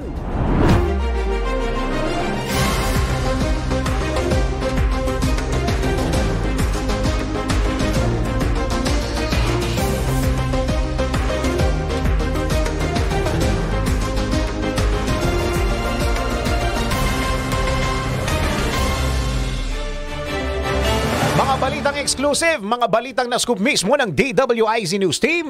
Ito ang DWIZ News Scoop. Ako si Dennis, Dennis Antenor Jr. At narito mga news scoop ngayon. It- Isang tricycle driver ang uh, malapitang pinagbabarel ng riding in tandem sa Tondo ang krimen sa pool sa CCTV. Narito ang news scoop. Patay ang isang tricycle driver matapos pagbabarilin ng mga hindi pa nakikilalang gunmen sa Tondo, Maynila. Nasa pool sa CCTV sa Yuseco Street ang pagdaan ng dalawang lalaki na lula ng isang motorsiklo. Ilang sandali lang, bumunot na ng baril ang angkas at ilang beses na pinaputukan ng malapitan ng isang tricycle driver. Isa-isa namang nagsitakbuhan ng mga nakasaksi malapit sa biktima na isugod pa sa ospital ang biktimang tricycle driver pero hindi na ito umabot ng buhay sa ospital. Ayon sa Manila Police District, patuloy ang investigasyon at backtracking para sa pagkakakilanlan ng mga sospek sa krimen. Pamamarel ng isang rapper sa Cebu sa nakaalitang foreigner sa pool sa CCTV. Narito ang news scoop. Sa pool sa CCTV ang pamamaril sa isang foreign national sa labas ng isang hotel sa Cebu City. Sa video, tila nagkukumprontahan ang mga lalaki nang dumating ang isang kotse nang biglang may sumipa sa isang lalaki na isa palang foreigner. Dahil sa nangyari, umatras ang Amerikano kasabay ng kotse. Ilang sandali lang, lumapit sa kotse ang foreigner pero bigla na lang bumulagta sa simento. Binaril na pala ito ng driver ng kotse na kinilala ng otoridad na si Andrew Salera, isang kilalang rapper sa lalawigan. Kuha pa ang hawak nitong baril habang tumatakas. Nilapatan naman ng lunas sa ospital ang biktimang si Michael George Richey, isang American national, matapos magtamo ng bala ng 45 na baril sa balikat. Agad naglunsad ang hot pursuit operation ng Mabolo Police at inaresto ang rapper sa bahay ng kanyang manager. Depensa ng sospek ng bastos umano ng babae ang biktima. Naharap ang sospek sa kasong frustrated murder at illegal possession of firearms. Philippine Navy at pribadong sektor na mahagi ng tulong donasyon sa isang orphan facility sa Western Mindanao. Narito ang news scoop ni Patrol 17, Jopel Peleño. Nagkaloob ng assorted essential goods sa Holy Trinity Open House Foundation Inc. ang Naval Forces Western Mindanao sa pamumuno ni Rear Admiral Don Anthony Miraflor naging katuwang ng NFWM sa pagbibigay ng donasyon ang pribadong kumpanya na J. Sayang Enterprises kabilang sa mga ibinigay na donasyon ang ilang sako ng bigas, assorted food items at hygiene kits. Layo nito na suportahan at tulungan ang mga batang naninirahan sa orphanage. Nagpasalamat naman ang Holy Trinity Open House Foundation Inc. sa kontribusyon ng Naval Forces Western Mindanao at ng pribadong sektor. Payag ng NFWM na inilalarawan ng collaborative effort na ito ang matatag na partnership sa pagitan ng kanilang hanay at ng mga stakeholders na magbibigay daan upang makamit ang positibong epekto sa buhay ng mga taga-Western Mindanao. Ito si Patrol 17 Chapel Peleño para sa Inpilang May Todong Lakas, DWIZ nagbabalita ng tama, naglilingkod ng tama. Anim arestado dahil sa illegal na pagsusugal. News scoop mula kay Ronald Domingo. Arestado ang anim na mga individual na nahuli sa aktong pagsusugal sa bayan ng Alakapan, Cagayan. Kinilalang mga sospek na sina alias Lino, 62 years old, uh, alias Ben, 49 years old, at uh, alias Tino, 53 years old, at uh, isa pang Marie, uh, na, uh, alias Marie, 64 years old, at uh, Uh, isa pang uh, nagngangalang Maridin na 78 years old at uh, isa pang uh, nagngangalang alias Eda 65 years old uh, par- parehong uh, residente sa sen na, ng Sentro Sur sa na, nasabing uh, bayan. Ayon sa ulat, nagsasagawa ng anti-illegal gambling operation ang uh, uh, pinagsamang tauhan ng Alcala Police Station kasama ang Provincial Intelligence Unit at 2nd uh, Mobile Force Platoon at 1st Cagayan Provincial Mobile Force Company ah, sa operasyon sa nasabing lugar. Nagresulta sa pagkaresto ng mga sospek matapos mauli ang dalawang grupo sa aktong naglalaro ng ah, baraha sa tinatawag na tungit sa ilalim ng puno ng mangga. Nakumpiska ng mga operatiba sa unang grupo ang tayang pera nagkakalaga ng ah, 595 pesos sa, sa iba't ibang ah, denominasyon o denominasyon. Isang set na kulay ah, pulang baraha, isang pirasong kahoy na mesa at tatlong pirasong plastic monoblock chairs habang sa pangalawang grupo ay ang ah, tayang ah, pera nagkakalaga ng 450 pesos, isang set ng ah, asulan na baraha, isang kahoy na mesa at tatlo ding upuan. Ipinalam sa mga naarestong sospek ang kanilang mga karapatan sa konstitusyon sa ilalim ng Miranda Doctrine at agad na dinala sa Alakapan na Police Station para sa kaukulang, kaukulang disposisyon. Inihanda na ngayon ang reklamo ng paglabag sa PD 1602 na inamyenda ng Republic Act 9287 para sa pagsasampa laban sa mga sospek sa Office of the Prosec- uh, Provincial Prosecutor's Office sa Tuguegarao City, Cagayan. Ito ang Ronda Patrol, Ronald Idol Domingo, nag-uulat para simpilang may tulong lakas, DWIC, nagbabalita ng tama, naglilingkod ng tama. Tatlo patay, labing lima sugatan sa karambola ng mga sakyan dyan sa Cavite. Naritong news scoop ni Laika Cuevas. Tatlo katao ang nasawi habang labing lima pa ang sugatan makaraang araruhi ng isang nag-overtake na jeep sa Ternate, Cavite. Sa investigasyon ng pulisya, binabagtas ng dalawang motorsiklo sa nasabing lugar ang direksyon patungo sa Puerto Azul ng araruhin ito ng jeep na patungo naman ng Maynila. Nabatid na galing sa outing ang mga pasahero ng nasabing jeep kung saan may mga sakay ring mga bata at pauwi na sana nang mag-overtake ito sa unahang kotse pero biglang nawalan umano ng kontrol at dere-deretsyong tumaob hanggang sa maararo ang dalawang motorsiklo na kasalubong sanhi upang sumemplang ang mga sakay nito. Agad na nasawi ang dalawa sa mga rider dahil sa matitinding pinsala habang mabilis na itinakbo sa pagamutan ng iba pang mga biktima kabilang ang driver ng jeep ngunit isa sa kanila ang binawian din ng buhay habang ginagamot. Para sa News Scoop, Laika Cuevas, nagbabalita ng tama, naglilingkod ng tama. Mag-ina, dead on the spot matapos mabundol ng 10-wheeler truck dyan po sa may Zamboanga City. Narito ang news scoop ni Ralph De La Cruz. Binawian ng buhay ang isang rider at angkas nito matapos masapul ng 10-wheeler truck ang kanilang sinasakyang motorsiklo sa Zamboanga City. Kinilala ng otoridad ang mga biktima na sina John Mar Ehan Santos at ang kanyang ina na si Inocencia Ehan Santos. Sa inisyal na investigasyon ng Zamboanga City Police Office, nagkaroon ng problema ang preno ng truck kaya nawalan dito ng kontrol si Raimundo Ledita. Nagawi siya sa gilid ng highway at nabundol ang mag-inang magkaangkas sa kanilang motorsiklo. Sumuko naman ang driver ng truck sa tropa ng Zamboanga City Police Force at isinuko sa kanila ang kanyang driver's license. Yan ang aking news scoop. Ako si Ralph De La Cruz. Nagbabalita ng tama, naglilingkod ng tama. Art Evangelista muling nakunan at Kim Chu aminadong empty ang kanyang puso ngayon. Alamin sa Eye Spotted Report ni Anton.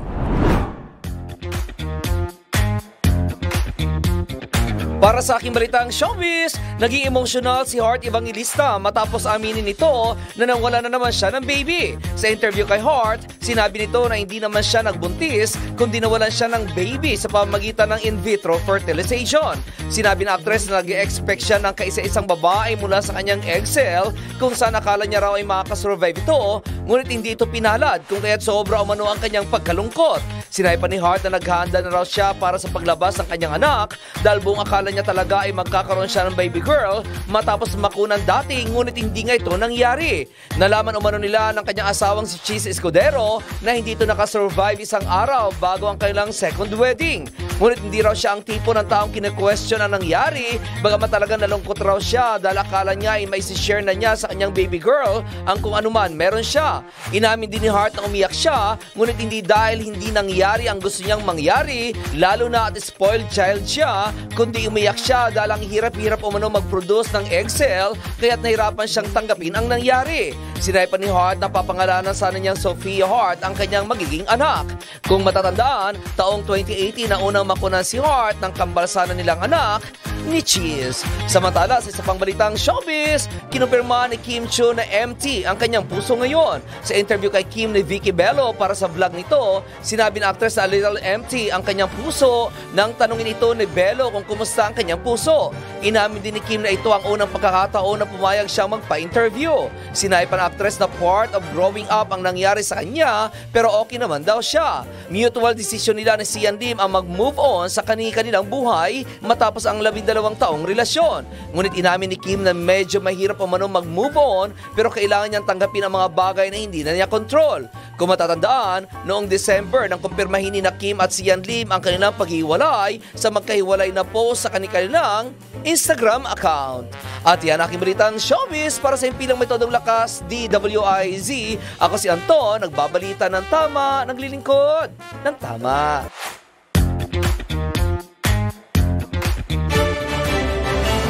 At ngayon alamin natin ang mga malaking balita na wala pa sa wall mo sa DWIZ News Feed.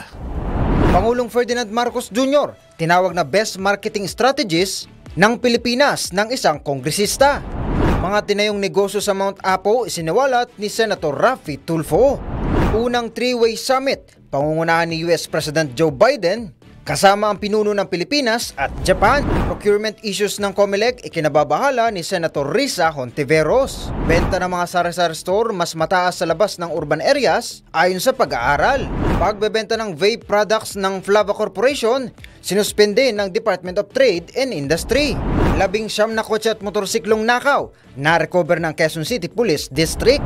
Crime rates at human rights violation, mas mababa ngayon kumpara sa nakaraang administrasyon, ayon kay PBBM. COVID incentive na tanggap na ng frontliners ng ilang government hospitals. Panukalang Academic Recovery Program approved na sa Kamara. Sa pagbabalik ng News Scoop, high-grade marijuana o kush sa balikbayan box nasabat ng BOC.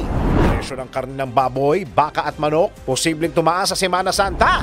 Kumita sa paglalaro online ang diskarte mamaya sa Rocket. Bulutong tubig, nakakahawa nga ba? Patunayan mamaya yan sa Let's Prove It.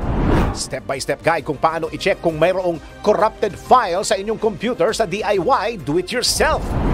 Pagbebenta ng kalawanging tangke ng LPG, pwedeng managot sa batas. Abangan ang kaparusahan sa NBI. Naku, bawal ito. Paolo Contes itinangging masama ang loob sa GMA7 sa pagkakatanggal ng tahanang pinakamasaya.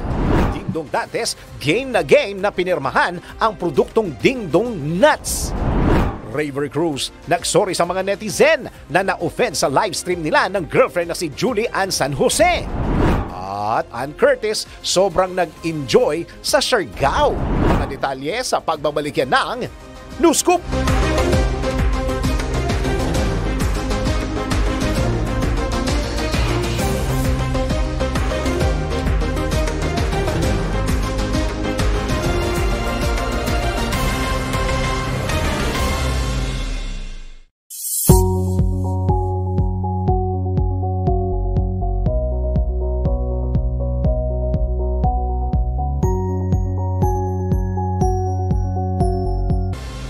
Balitang ito ay inihatid sa inyo ng Fujidenzo Home and Commercial Appliances, where you get reliable, durable, and energy-saving products. Upgrade your usual appliances to Fujidenzo HD Inverter Appliances. Fujidenzo, quality above all. Upgrade your home, upgrade your business with Fujidenzo, quality above all. Ang balitang ito ay inihatid sa inyo ng PhilHealth para sa bawat Filipino. This time check is brought to you by Whirlpool Home Appliances that make everyday living so much easier. From washers, dryers, refrigerators, microwave ovens, cooking products, to air cons, air purifiers, and dishwashers. Whirlpool, sensing what matters today. Making your world a little easier. Whirlpool. Oras sa Pilipinas, alas 4.18 ng magandang hapon. That time check was brought to you by Whirlpool Home Appliances that make everyday living so much easier. From washers, dryers, refrigerators, microwave ovens, cooking products, to air cons, air purifiers, and dishwashers. Whirlpool, sensing what matters today. Making your world a little easier. Whirlpool. May digmaan. Mga kalamidad. Magbantay. Sa mga palatandaan ng panahon, mag-ingat kayo. Sinasabi ko na sa inyo, ang lahat ng bagay bago pa man ito mangyari. Mark 13:23 Repent. Turn to Jesus today. He is the only way to heaven. Brought to you by MX3. Mag MX3 araw-araw para M Extraordinary. Pinalawak na dialysis package, outpatient mental health, higit dobling aumento sa high-risk pneumonia at stroke benefits. At ngayon, 30% increase sa health benefit packages. Ilan lang ito sa mga nasimulan na natin. Tuloy-tuloy na po ang pagbuti ng ating benepisyong PhilHealth. Ang layunin namin, pinalawak at mga bagong benepisyo para sa mamamayang Pilipino. Abot kamay na ng lahat. Tumawag sa 8662-2588 para sa detalye. PhilHealth para sa bawat Filipino. Pamilya padala, ML Kwarta padala Mula sa M. Lulier Mabilis, madali, maaasahan Kwartang pinaghirapan Pinag-ipunan Sa M. Lulier Ang pinagkakaingatan Padalang kinakailangan Labis na inaasahan Mabilis makakarating sa paroronan ML Kwarta padala Pamilya padala Padalang galing sa puso Now that I play for the Philippines, it's for every Filipino with grit, heart, and the determination to succeed. I carry the three stars and a sun with pride. Sa Arena Plus, Asti Casa Sports. Sa Arena Plus.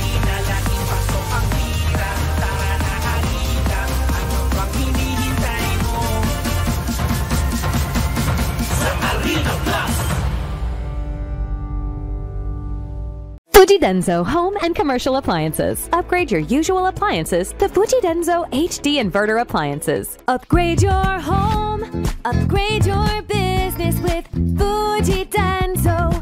Quality above all. Technogas Technique transforms your kitchen with safe and efficient appliances. With over 70 years of expertise, Technogas Technique embodies Italian kitchen excellence. Simplify your cooking with Technogas Technique, your cooking partner. That's the Technogas Technique.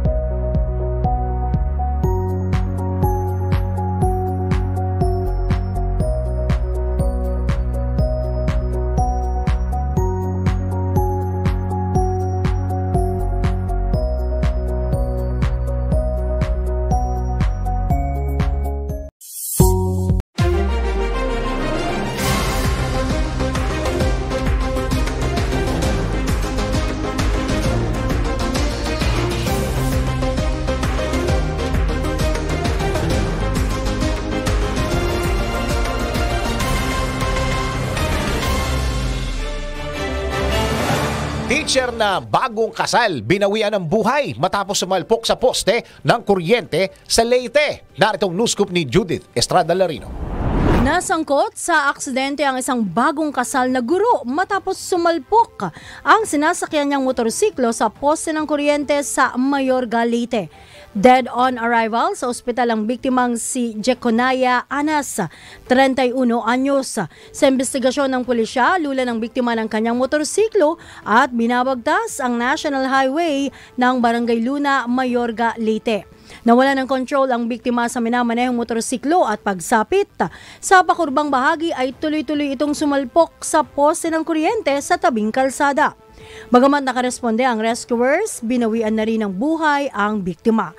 Napagalamang halos isang buwan pa lang kasal ang biktima sa kanyang misis nang maganap ang aksidente na ikinasawi nito.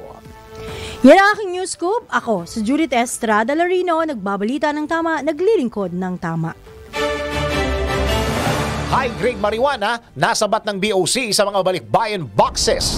Naharang ng Bureau of Customs Manila International Container Port sa pamamagitan ng Customs Intelligence and Investigation Service ang shipment ng balikbayan boxes mula Thailand na naglalaman ng 63.5 kilograms ng high-grade marijuana o kush at 700 pieces ng disposable vapes. Nasabat ng mga custom agents ang mga ilegal na droga sa tulong ng Philippine Drug Enforcement Agency matapos mag-issue ng alert order ang Office of the District laban sa kontrabando. Batay sa kanilang nakalap na intelligence reports, sumailalim ang shipment noong March 5 hanggang 8 sa 100% physical examination kung saan nakumpirmang illegal na droga ang nilalaman. Pinaporihan naman ni Customs Commissioner Bienvenido Rubio ang mga kawani ng adwana maging ng PDEA sa patuloy na pagtalima sa direktiba ni Pangulong Bongbong Marcos Jr. na paigtingin ang kampanya kontra illegal na droga sa pamamagitan ng paghihigpit sa mga pumapasok na shipment sa lahat ng border of entry ng bansa.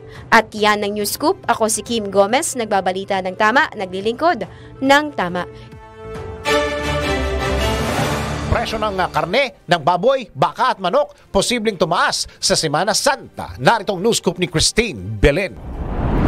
Nagbabadya na namang sumirit ang presyo ng karne ng baboy, baka at manok kapag tumaas muli ang demand pagkatapos ng Semana Santa. Ayon kay Agap Party List Representative Nicanor Briones, Vice Chairperson ng House Committee on Agriculture and Food, sa ngayon ay bahagyang bumaba ang presyo ng karne dahil sa papalapit na Holy Week. Samantala, apektado na rin aniya ang produksyon ng itlog dahil sa mga manok na sobrang naiinitan bunsod ng El Nino phenomenon. Pagtitiyak ni Briones, tambak ang supply ng imported na karne dahil sa dami ng inangkat nitong mga nagdaang buwan. At para sa News Scoop, ako, si Christine Belen, nagbabalita ng tama, naglilingkod ng tama. PCG naka-heightened alert sa pagdagsa ng mga pasahero ngayong Semana Santa. Naritong news scoop ni Kim Gomez. Handa na ang mga pantalan sa bansa para sa pagdagsa ng mga pasahero ngayong Semana Santa. Una nang inanunsyo ng PCG na naka-heightened alert na ang ahensya mula Marso hanggang Abril at 3 kung saan nag-deploy ng mahigit 30,000 tauhan ng PCG upang magpatupad ng security measures sa mga daungan sa bansa. Sa panayam ng DWIZ, sinabi ni PCG spokesperson Rear Admiral Arman Balilo na partikular nilang tinututukan ang mga maliliit na pantalan upang maiwasan ang mga aberya at masigurong magiging mapayapa at ligtas ang biyahe ng mga mananakay. Yung malalaking ports ay kung na-observe nyo, wala na tayo masyadong problema dyan kasi in place yung safety and security system nila. May mga security po from both the Philippine Ports Authority, ng Coast Guard, at maging po ng PNP. Ang nagiging problema po talaga natin, Senator, yung pong maliliit. Kaya po yun po ang pinagtutuunan natin ng pansin at kinakatulong po natin dito yung mga local government units para po uh, mapagtulungan yung uh, preparation hanggang makaalis at makapunta doon sa paroroonan yung mga kababayan natin. Sinabi pa ni Rear Admiral Balilo na maghihigpit ang PCG sa mga kolorom na bangka na siyang pinagmumula ng mga aksidente. At sa katunayan anya, malaki na ang naging pagbabago hinggil dito.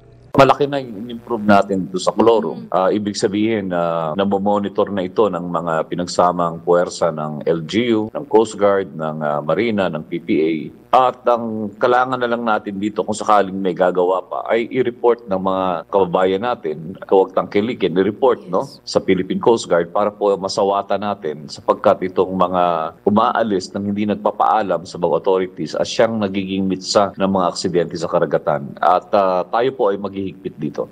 Yan ang tinig ni PCG spokesperson Rear Admiral Arman Balilo sa panayam sa programang Usapang Tol na mapapanood at mapapakinggan sa Liu Channel 23 at DWIZ tuwing alas 6 hanggang alas 7 ng umaga mula lunes hanggang biyernes. At yan ang News Scoop. Kim Gomez nagbabalita ng tama, naglilingkod ng tama. Operasyon ng tatlong rail services sa NCR pansamantalang ititigil sa Koresma. Narito ang news scoop ni Judith Estrada Larino. Pansamantalang isasara ang tatlong rail services sa National Capital Region sa Semana Santa. Ito ay para sa taunang preventive maintenance ng mga rail services. Ayon sa Light Rail Manila Corporation, sususpindihin nila ang operasyon ng Light Rail Transit Line 1 mula Marso 27 hanggang Marso 31. Inanunsyo rin ng Light Rail uh, Transit Authority na pansamantala ring isasara ang LRD2 at Metro Rail Transit Line 3 sa Marso 28 hanggang Marso 31. Yan ang aking news scoop. Ako, si Judith Estrada Larino, nagbabalita ng tama, naglilingkod ng tama. Surot, daga at ipis inaasang mawawala na sa NAIA. Narito ang news scoop ni Laika Cuevas. Asahan na ang maayos na operasyon at pasilidad sa Ninoy Aquino International Airport. Ito'y matapos lagdaan ang kasunduan para sa rehabilitasyon ng NAIA sa Malacanang na sinaksihan ni Pangulong Ferdinand Marcos Jr. Pinirmahan ang concession agreement ni na Transportation Secretary Jaime Bautista, Manila International Airport Authority General Manager Eric Ines at San Miguel Corporation President at Chief Executive Officer Ramon Ang sa Kalayaan Hall. Nasa 170.6 billion pesos ang halaga ng proyekto at saklaw ng NAIA Public-Private Partnership Program ang lahat ng pasilidad ng paliparan kabilang ang mga runway at terminal. Kaugnay nito, layo ng programa na mapabuti ang serbisyo sa NAIA at karanasan ng mga biyahero. Para sa News Scoop, Laika Cuevas, nagbabalita ng tama, naglilingkod ng tama. Paolo Contis itinangging masama ang loob sa GMA7 sa pagkakatanggal ng tahanang pinakamasaya. At Dingdong Dantes, game na game na pinirmahan ang produktong Dingdong Nuts. Alamin sa Ice Spotted Report niyan, Ton. Para sa aking balitang showbiz, tinapos na ni Paolo Contis ang mga naglalabasang issue na masama ang loob niya sa management ng GMA7 Network dahil sa pagkakatanggal ng kanilang noon time show na tahanang pinakamasaya. Ayon sa aktor, walang katotohanan ang nasabing issue. Pero patawang sinabi rin ito na pagbigyan na raw ang nagkakalat na nasabing issue na may sama ng loob siya sa GMA7 basta't siya umano ay nagpapasalamat sa GMA dahil sa patuloy na suportang ibinibigay nito sa kanya at sa show kung saan naroon siya. Sinabi pa ni Paolo na mahal niya ang GMA at very thankful siya dito dahil lagi ito nakasuporta sa kanya noong mga panahong hindi siya kasupo-suporta kaya't walang dahilan para magtampo siya dito.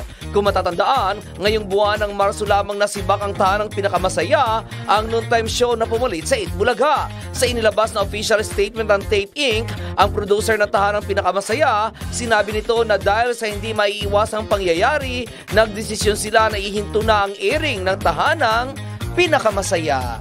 Samantala, sa isa pang balitang showbiz, patok na patok ngayon sa social media ang pagpirma ni Dingdong Dantes sa isa niyang fan na nagpa-autograph sa kanya sa kanyang kapangalang chichirya, ang Dingdong Mix Nuts. Nagsimula ito sa Pinoy meme page na Kabulastugan kung saan makikita ang picture ni Dingdong na nagsasign ng autograph sa Dingdong Mix Nuts. Sa caption, nakalagay dito ang mga salitang merch ni Dong. Sumagot naman dito ang aktor ng hinihingi ko, ayaw ibigay ni Kuya. Ilang netizens naman ang nagkomento sa nasabing post kung saan ang isa ay nagsabing signature over printed name. Ang isa naman ay nagkomento ng papirmahan ko din yung doorbell namin habang isa ay nagsabi ng unofficial merch. Samantala, napansin naman ibang netizen ang itsura ni Dingdong habang pinipirma na nasabing produkto na umano'y priceless ang naging reaction nito. At yan aking balitang showbiz para sa impilang metodong lakas DWIZ. Ako si Anton, nagbabalita ng tama, naglilingkod ng tama.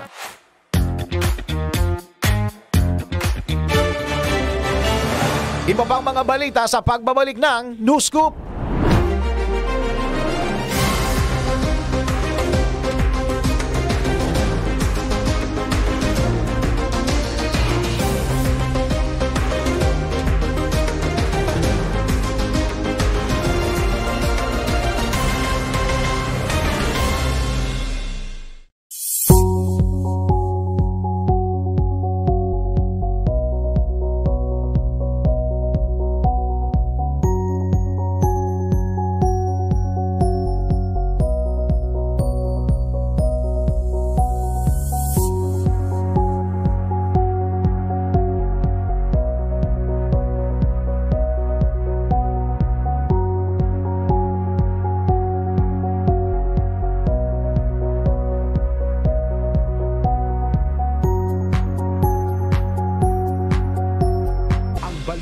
Ay inihatid sa inyo ng Whirlpool Home Appliances that make everyday living so much easier. From washers, dryers, refrigerators, microwave ovens, cooking products, to air cons, air purifiers, and dishwashers. Whirlpool, sensing what matters today, making your world a little easier. Whirlpool. Ang balitang ito ay inihatid sa inyo ng Technogas Technique Kitchen Appliances. Technogas Technique is available in appliance stores nationwide. Furnish your kitchen with Technogas Technique appliances. Technogas Technique, your cooking partner.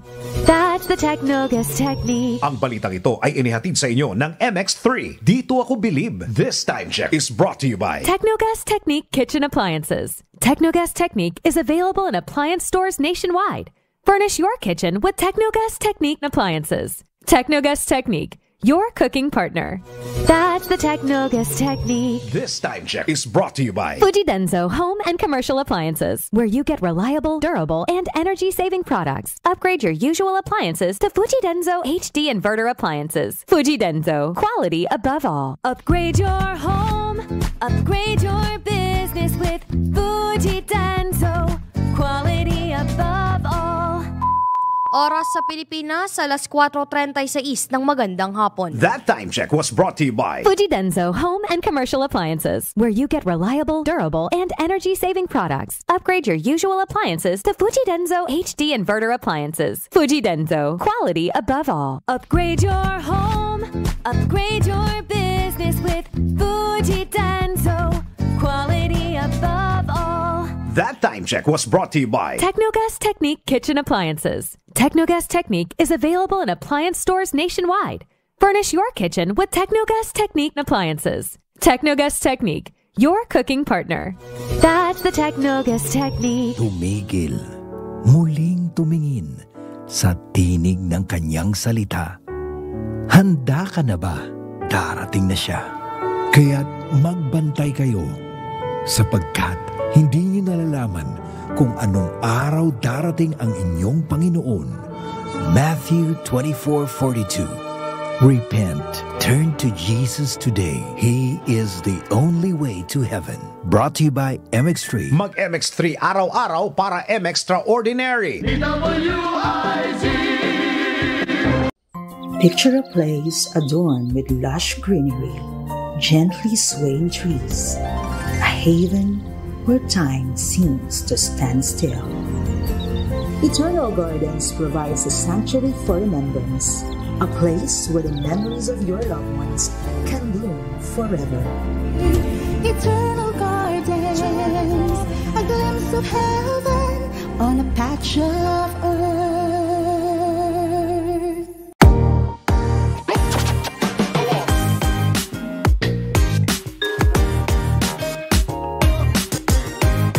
Walang masaya sa paghihiwalay. Lahat naman ay mag-a-agree dahil lahat din naman dumaan sa ganyang sitwasyon. Pero hindi lahat ng tao na dumaranas ng breakup ay sinusunod ang 3-month rule.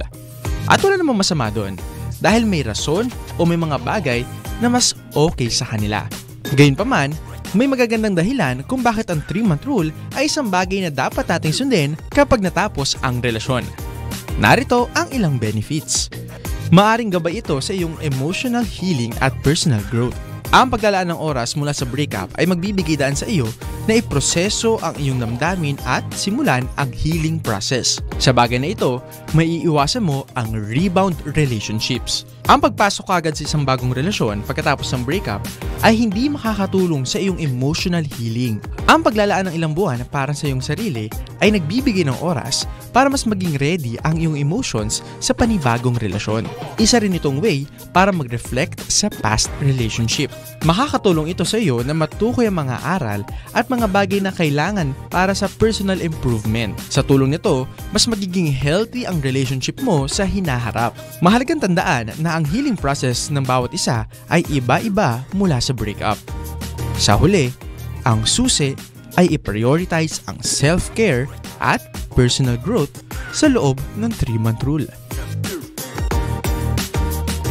Pagsapit ng alas 12 bago ka mag-lunch O kaya nagla-lunch ka. Dagdagan pa ang mga alam mo Para hindi ka naman huli sa balita.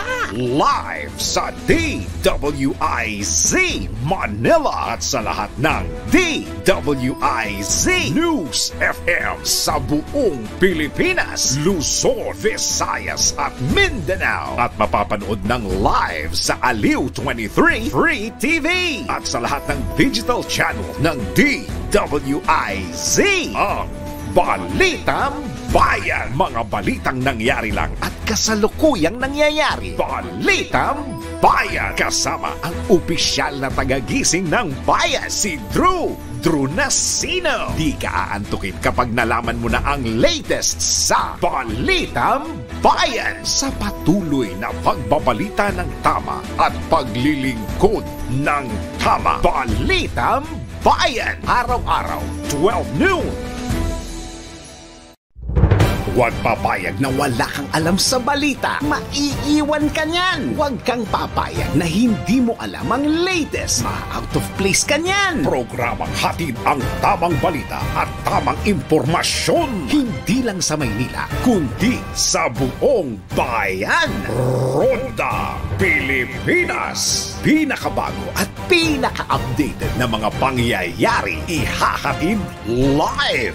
Ronda Pilipinas. Kasama ang gigising sa inaantok mong dugo, si Dennis Dennis Antenor Jr. Ronda Pilipinas. Makinig sa buong Pilipinas sa DWIZ Manila hanggang saan mang sulong nationwide sa lahat ng DWIZ local stations sa buong bayan. Watch din ng live sa Aliw 23 at sa Facebook at YouTube ng DWIZ Ronda Pilipinas Monday to Friday 10 a.m.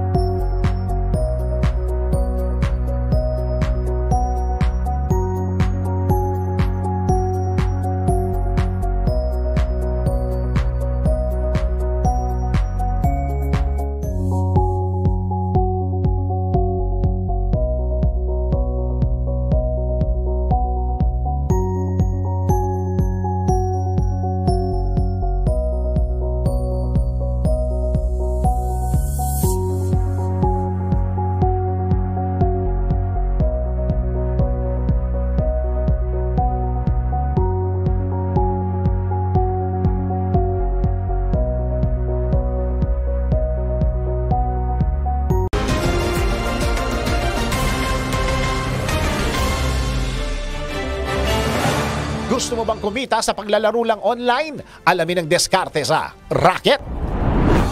Alamin ang mga bagong paraan kung paano kumita sa panahon ngayon. Nang legal ha, eto na ang Rocket!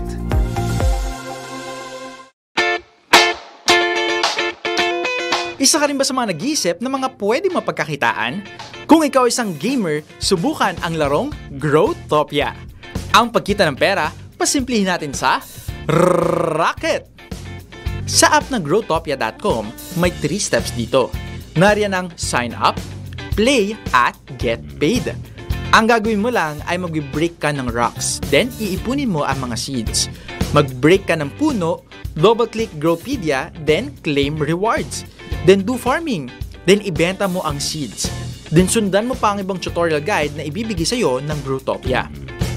Ganyan lang ang laro. Kaya kung may free time ka, itry mo na. Sabi nga, di ba, hindi na pupulot ang pera.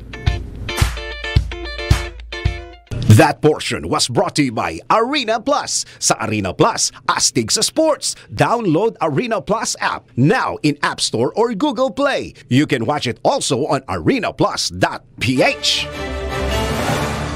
Totoo nga bang nakakahawa ang bulutong tubig o chicken pox? Tara, let's prove it! Bago maniwala sa mga claim-claim na yan, patunayan na yan sa Let's Prove It! Maraming iba't ibang sanhi ng rashes sa ating katawan. Isa na dito ang bulutong tubig. Pero totoo nga bang nakakahawa ito? Tara, let's prove it! Ayon sa hellodoctor.com na ang bulutong ay isang pangkaraniwang childhood infection na isang varicella zoster virus o mas kilala sa pangalang chickenpox. Gayunpaman, mari itong maging malubha para sa mga matatanda kung hindi magagamot. Ito rin ay tumatagal ng humigit kulang 10 hanggang 21 araw mula sa exposure hanggang sa paglabas ng mga sintomas. Ito ay unang lumalabas na rashes na nagiging mga paltos na puno ng likido. Sa panahong ito, ang taong may bulutong tubig ay nakakahawa at dapat maging maingat sa pakikipagsalamuha sa ibang tao. Ito rin naman ay sinang-ayunan ni Dr. Willie Ong dahil ayon sa kanya, nagsisimulang makahawa ito mula dalawang araw bago lumabas sa mga pantal hanggang sa maglangib na ang lahat ng pantal. Kaya naman paay ng mga eksperto, iwasan ng pagkamot sa pantal sa balat o bulutong tubig dahil maaring maipasa ito sa ibang tao sa pamamagitan ng pagdikit ng likido mula sa chickenpox at magpakonsulta sa doktor para sa bakuna at sa tamang treatment sa chickenpox. Naritong step-by-step guide kung paano i-check kung merong corrupted files ang computer mo sa DIY. Do it yourself.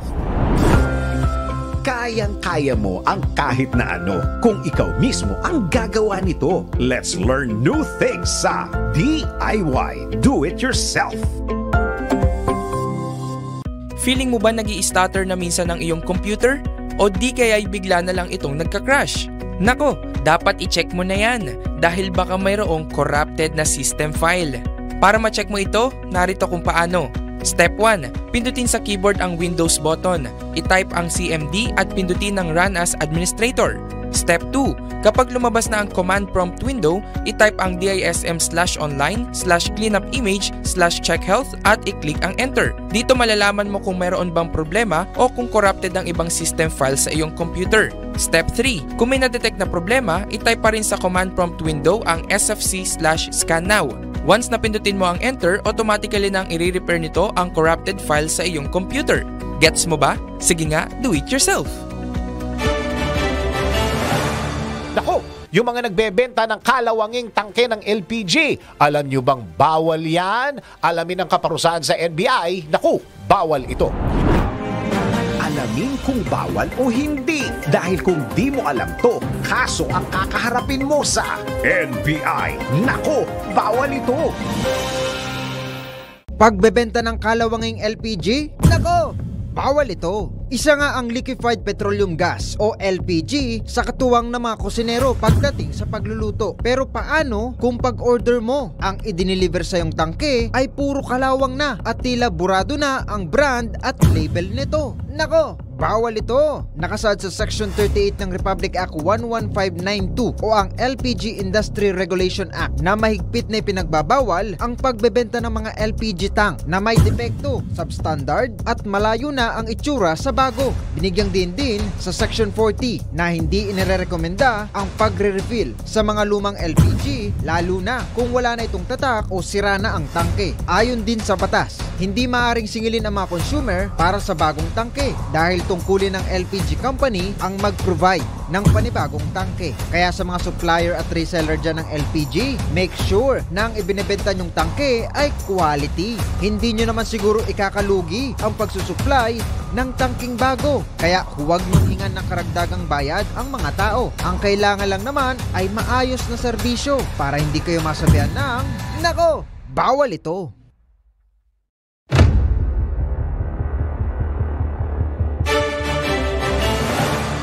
San Beda Red Lions at Emilio Aguinaldo College uh, Titans nagkainitan sa kanilang do or die game. Narito ang sports news ni Kim Gomez. Sa mundo ng palakasan, ang latest malalaman sa DWIZ Sports News. Mainit ang naging laban sa pagitan ng San Beda Red Lions at Emilio Aguinaldo College Titans sa kanilang knockout match sa quarterfinals ng Pinoy Liga Next Man Cup. Ito ay dahil kung sakali, bukod sa spot for semis, ito ang magiging kauna-unahang pagkakataon na mananalo ang isang EAC squad kontra sa SBU magmula pa noong 2010. Low-scoring ball game ang naganap kung saan sa first quarter tila nangangapa pa ang parehong kupunan. Sa second quarter, nagkaroon ng run ng Red Lions at nakagawa pa sila ng two-digit lead. Ngunit na ibaba ito ng Titans sa apat sa halftime. Pagsapit ng third quarter, nakapag-reset ang dalawang kupunan at ang kanilang depensa ay lalong hinigpitan. Lumamang ang Titans under the two-digit mark ng third quarter matapos maka 3 points si Axel Doroman. Pagkatapos, nagkapisikala ng dalawang manlalaro sa inbound kung saan tumumba ang isang player ng EYAC dahil sa tama ng Siko. Sumugod ang isa pang player ng EYAC at nagbitaw ng suntok sa player na naniko at doon na nagsimula ang gulo kung saan umulan ng mga suntok mula sa parehong kupunan. Sa ngayon, wala pang anunsyo ang Pinoy Liga ukol sa aksyon na kanilang gagawin sa insidente. That portion was brought to you by Arena Plus. Sa Arena Plus, astig sa sports. Download Arena Plus app now in App Store or Google Play. You can watch it also on arenaplus.ph. Ano nga ba ang 3-month rule para sa mga couple? At dapat nga ba itong sundin? Alamin sa ating Summer Love and Special Report.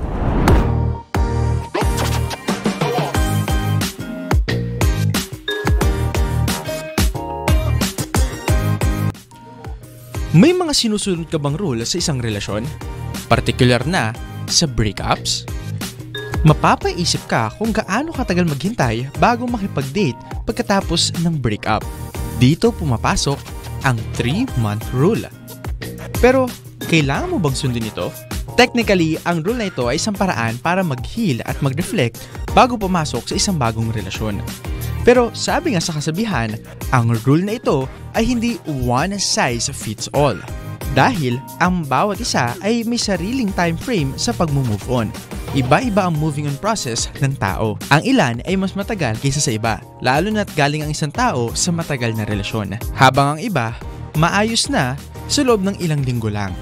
Wala rin namang masama dyan ah, dahil hindi naman lahat ng proseso ay pasok sa panlasa ng tao. Ang 3-month rule ay guide lang at hindi kailangan mahigpit na sundin. Ang paglalagay ng time frame ay maaaring magdulot ng pressure imbis na ma-address ang emosyon na nararamdaman. Napahalagang unahin ang mga personal needs kaysa sa mga pagsunod sa mga rules. At panghuli, maging open sa sarili at sa future partner mo. Sa halip na sumunod sa time frame, maging open sa possibility, gaya ng personal na nararamdaman, bagong relasyon at future partner. Ang pagkakaroon ng self-awareness at self-care ay mahalagang elemento sa pag-navigate pagkatapos ng breakup. Ang guide na ito ay hindi isang mabilisang gamot sa breakup. Sa halip, ito ay isang gabay para sa emotional recovery at self-discovery.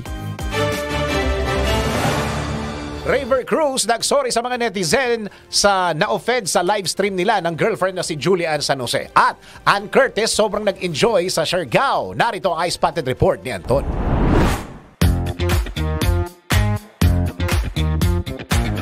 Para sa aking balitang showbiz, nag-issue ng public apology si Raver Cruz matapos mag-viral ang kanyang live stream kasama ang girlfriend na si Julian San Jose.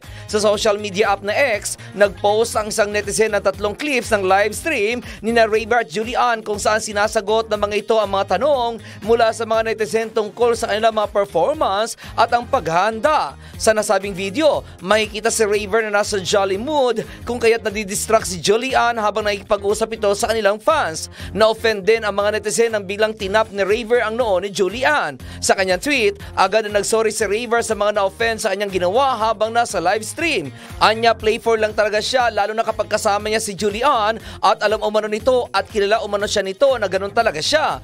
Sinaypa ni Raver na hindi siya pala react sa mga basher pero ibang istorya na raw kung may nag-aakusa na dahil unang-una raw hindi hindi niya kayang saktan si Julian. Hinawakan lamang daw niya ang buhok ng kanyang girlfriend na lagi niya raw ginagawa sa iba pa nilang mga video kapag magkasama sila pero kung iba raw ang dating sa publiko ay wala raw siyang magagawa. Sinaypa nito na may respeto siya sa kanyang trabaho at sa kanyang mga katrabaho at hindi hindi raw siya gagawa ng mga kasira sa kanyang career. Samantala, sa isa pang showbiz, enjoy na enjoy si Ann Curtis sa kanyang pagbabakasyon sa Siargao. Ito ang gustong iparating ni Ann sa pamamagitan ng kanyang mga in-upload na picture sa kanyang Instagram account. Isa sa mga picture ay makikita ang It's Showtime host na nakaupo sa puno ng niyog na bagyang nakayuko sa dagat.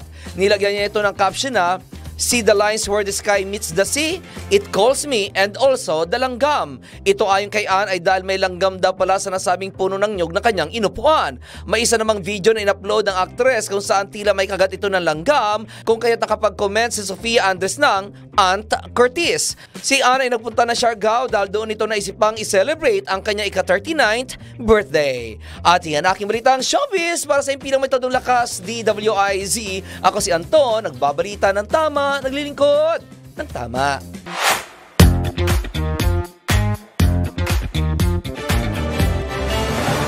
At bago tayo magpaalam, tayo ay mayroong patama for today. Huwag kang magtaka kung bakit hanggang ngayon single ka. Malamang pihikan ka o choosy ka. Ayan. Nakita nyo ba yung uh, nag-viral sa video na, na sobrang choosy nila eh? Senior citizen na silang dalawa ngayon. Bato-bato sa langit, ang tamaan, awit!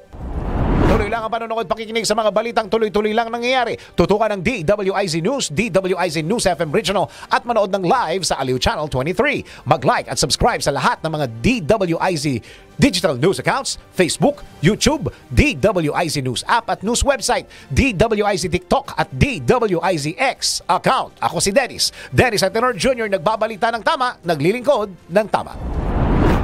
Mga balitang scoop exclusive! Mga balitang nangyayari pa at gusto mo malaman kung ano na ang latest scoop. Mga balitang hindi mo dapat bitawan at kailangan ng tutok. Mababalitaan lahat, hagip lahat sa DWIZ News Scoop! Naka-live sa Aliw 23 Free TV. Naka-live din sa DWIZ News. Naka-live din online. DWIZ Facebook, YouTube at DWIZ News website. Samahan ang buong puwersa ng DWIZ News and Research Team sa paggalugad sa buong bansa at buong mundo ng balita at impormasyon. DWIZ News Scoop! Maki-scoop 4pm Monday to Friday kasama si Dennis Dennis Antenor Jr. DWIZ News Scoop! Bahagi pa rin ng inaabangan tuwing hapon sa DWIZ News Hapon Highlights. Nagbabalita ng tama, naglilingkod ng tama.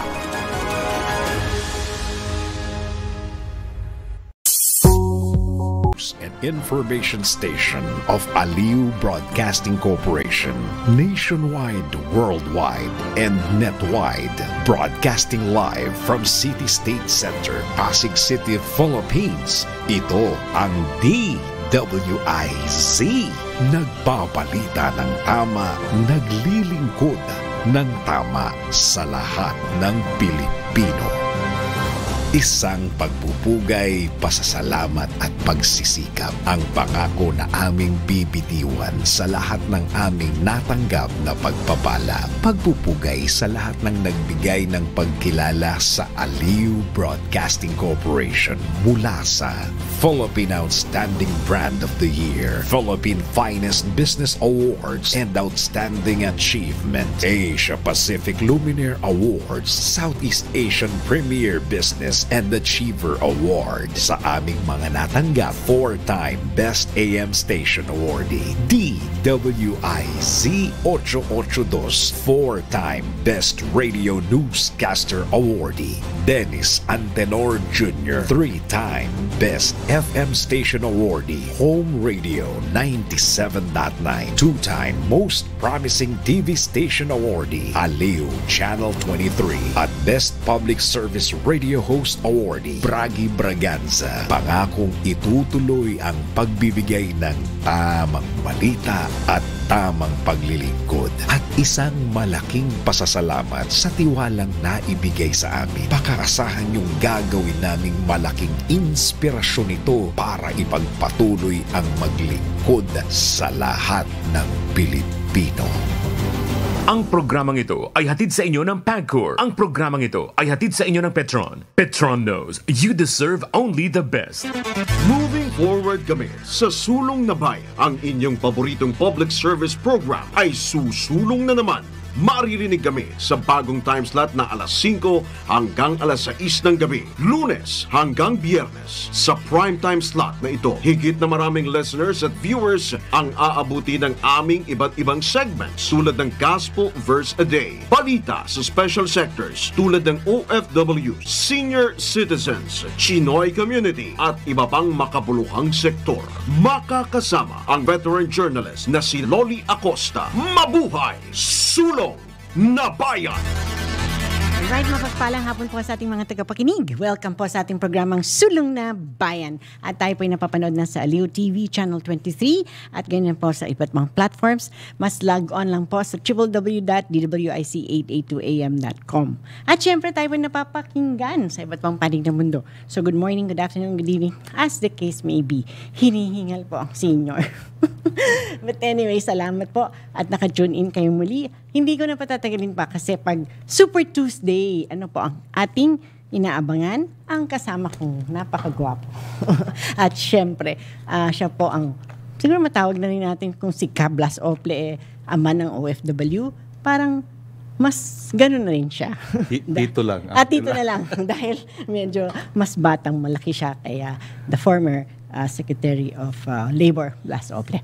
Let's welcome again at mag-greet mo na siya sa inyo no less than attorney Wilhelm Bibong Soriano. Yes, good afternoon to all of you and magandang hapon po sa iyo, Ma'am Loli. At it's Super Tuesday again and ang pag-uusapan na naman natin ay para sa mga bagong bayani at ang kanilang pamilya. So magandang hapon po sa inyong muli. Huwag po kayong alis. Panoorin niyo po kami at pakinggan po ang, ang aming kaming tatalakayin ngayon ay tungkol po no, sa pagbabalik ng mga overseas Filipino workers. Yeah, what's in it for them? Ano? Kasi ang ating mga napaulat lately, Attorney Bibong, napakarami nang nagsibalikan at ah, ito ay napakatatalino. We don't we want to make use of what they really Yes. learned at saka yung mga experiences nila do parang hindi na tayo matatawag na brain drain. Dito naman nila ah, ipag ah, ibahagi kung ano yung mga kanilang natutunan. So, let's welcome to our program Attorney Bibong. Tatlo sila. Pare-pareho silang taga Alliance ah, Business ah, Consulting. So, business pa lang maririnig nyo na. Ito na yung bibigay nyo. Bibigay nilang ah, mga opportunities for you to do business. And if I may add, Ma'am Loli, they are all successful former overseas Filipino workers. Ayan, that's where we At will saka grow. professional ito mga ito. Opo, CPA. Certified Public Accountant. I see, yes. Ayan, so without further ado, let's welcome Pastor Guillermo S. Bantugan, CPA po siya, Managing Partner. And ang kanya isa pang partner ay si Sir Valentin C. Dioferio at ganyan na rin si ah, Sir Virgilio M. Altares, another partner po ng Alliance Business Consulting. Good Yes, afternoon, afternoon. gentlemen, sir. Pastor, ah, siguro mauna na po kayo, Pastor Hill. Hill. Not Hill. Yes, yes. Eh, isang mapagpalang hapon po sa ating lahat, lahat po ng tagapakinig, saan pong panig ng mundo tayo naroon ngayon.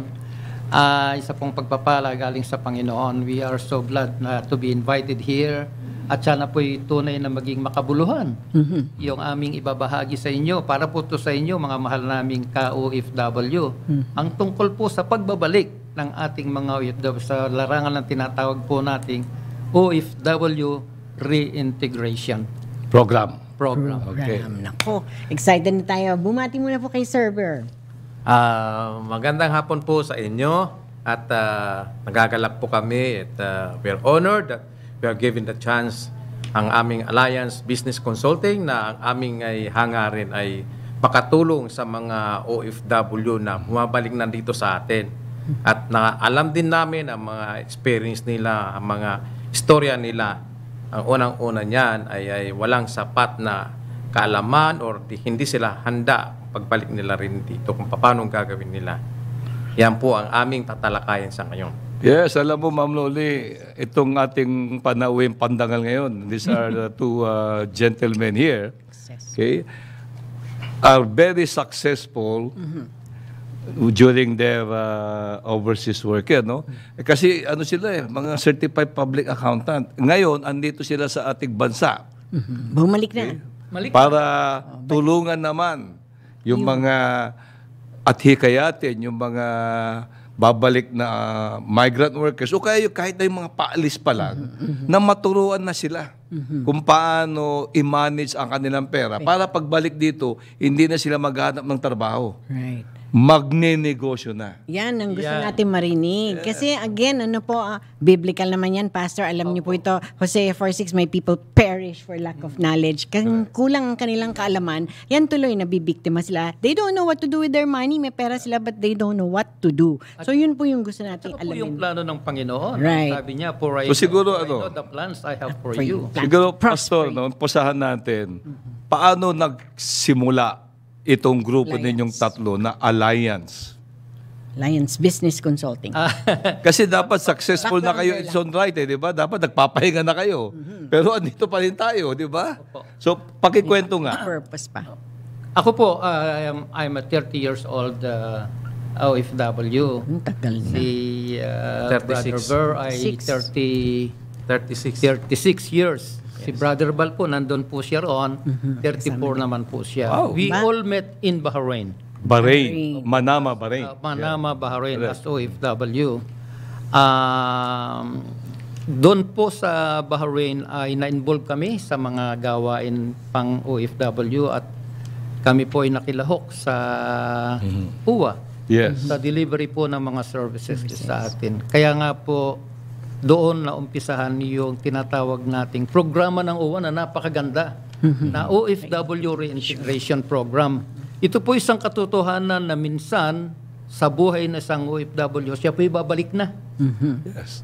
So ang tanong, ano po kaya ang kanyang babalikan? Siya po ba'y nakahanda nang bumalik dito sa... Siya po ba'y nakahandang magretiro kung magre-retire man siya sa uri at antas ng buhay na gusto niya as a retiree?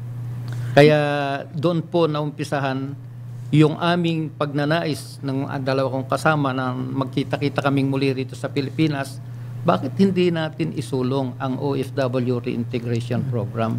Na siya naman namin ginagawa nung nandun po kami sa ibang bansa. Even when I was in Kuwait, ako po ang lecturer ng Polo OWA Mm. sa bansa ng Kuwait. Dito po sa tinatawag nating OFW At may dagdag ko lang, awardee ho kayo. Wow. Ah, ay yun po ay bunga na lamang po. Hindi po natin hinangad yun. Bilang anak ng Diyos, kaya ako nga po ay isang Parangal. ma- lingkod ng Panginoon. Ang ating pong ng pagnanais na makatulong ay laging naroon sa abot ng ating makakaya. Pero nung nandun po kayo, ano po yung kayo mismo, personally, pag uwi ko dyan, etong pwede kong gawin. Ano yung nasa sa isip nyo na plano? Ah, Pagbalik Ako po, nung ako po ay ah, bumalik na rito, I dreamed of a peaceful retirement life. Peaceful. Kaya ang na-invest ko po, Attorney Bibong, ay isang farm. Ay, ganda. Ako po ay nagfa-farm Very sa serene. Pagakbataan. Wow. Ma maliit lang po naman, dalawat kalahating ektarya. Hmm, laki din. Na ang sabi ko nga po ay dugo at pawis ko bilang Blood, sweat, and tears. Opo. Ah, doon na rin po ako nakatira. And I am now as what I would say a full-time farmer. Farmer. Kahapon nga po, galing ako sa isang seminar paggamit po ng mga makibagong Makinarya. ma- makinarya. Opo, makabagong training. makinarya Opo. upang mapagaang. Ano pong tanim nyo? Ngayon po ay nagtatanim ako ng Mingkok. sa, sa pinakamasarap na melon sa Ayan. buong mundo. Oh, matamis yung pong melon. Japanese Hami melon. Wow. Opo. At ah, dadalan ko po kayo Ayan. pag may buwan. So, from CPA, now a farmer, at saka helper ng OFW to have their own business here. ha? Chairman din po ako ng isang farmers uh, cooperative, Mm-hmm. Agrarian Reform Cooperative. Palibas ay anak ako ng isang magsasaka. Ayun. Parang up. sa akin ang bumalik Mhm. doon sa buhay Mhm. na iyon. Mhm. Na all the time, hindi ko po naman kinakalimutan ito, itong mga gawain na ito ng pagtulong. Marami po tayong Natulungan. natutulungan, nabibigyan po ng ah, advice, nabibigyan po ng training, lalong-lalo na po sa larangan ng pag-iipon. So, thir- 34 years kayo, no? Si ano naman, Mr. 30 years Artaris. po. no? 36 mas 30, 36 years. Sir So, pakikwento nga rin ang buhay nyo. Nung nandun At bakit ngayon ay tumutulong kayo sa mga overseas workers? Ah, katulad din po ako kay ah, Pastor Hill nung nasa Bahrain ako. Um, na-involved din po ako sa OWA on this ah, entrepreneurial development.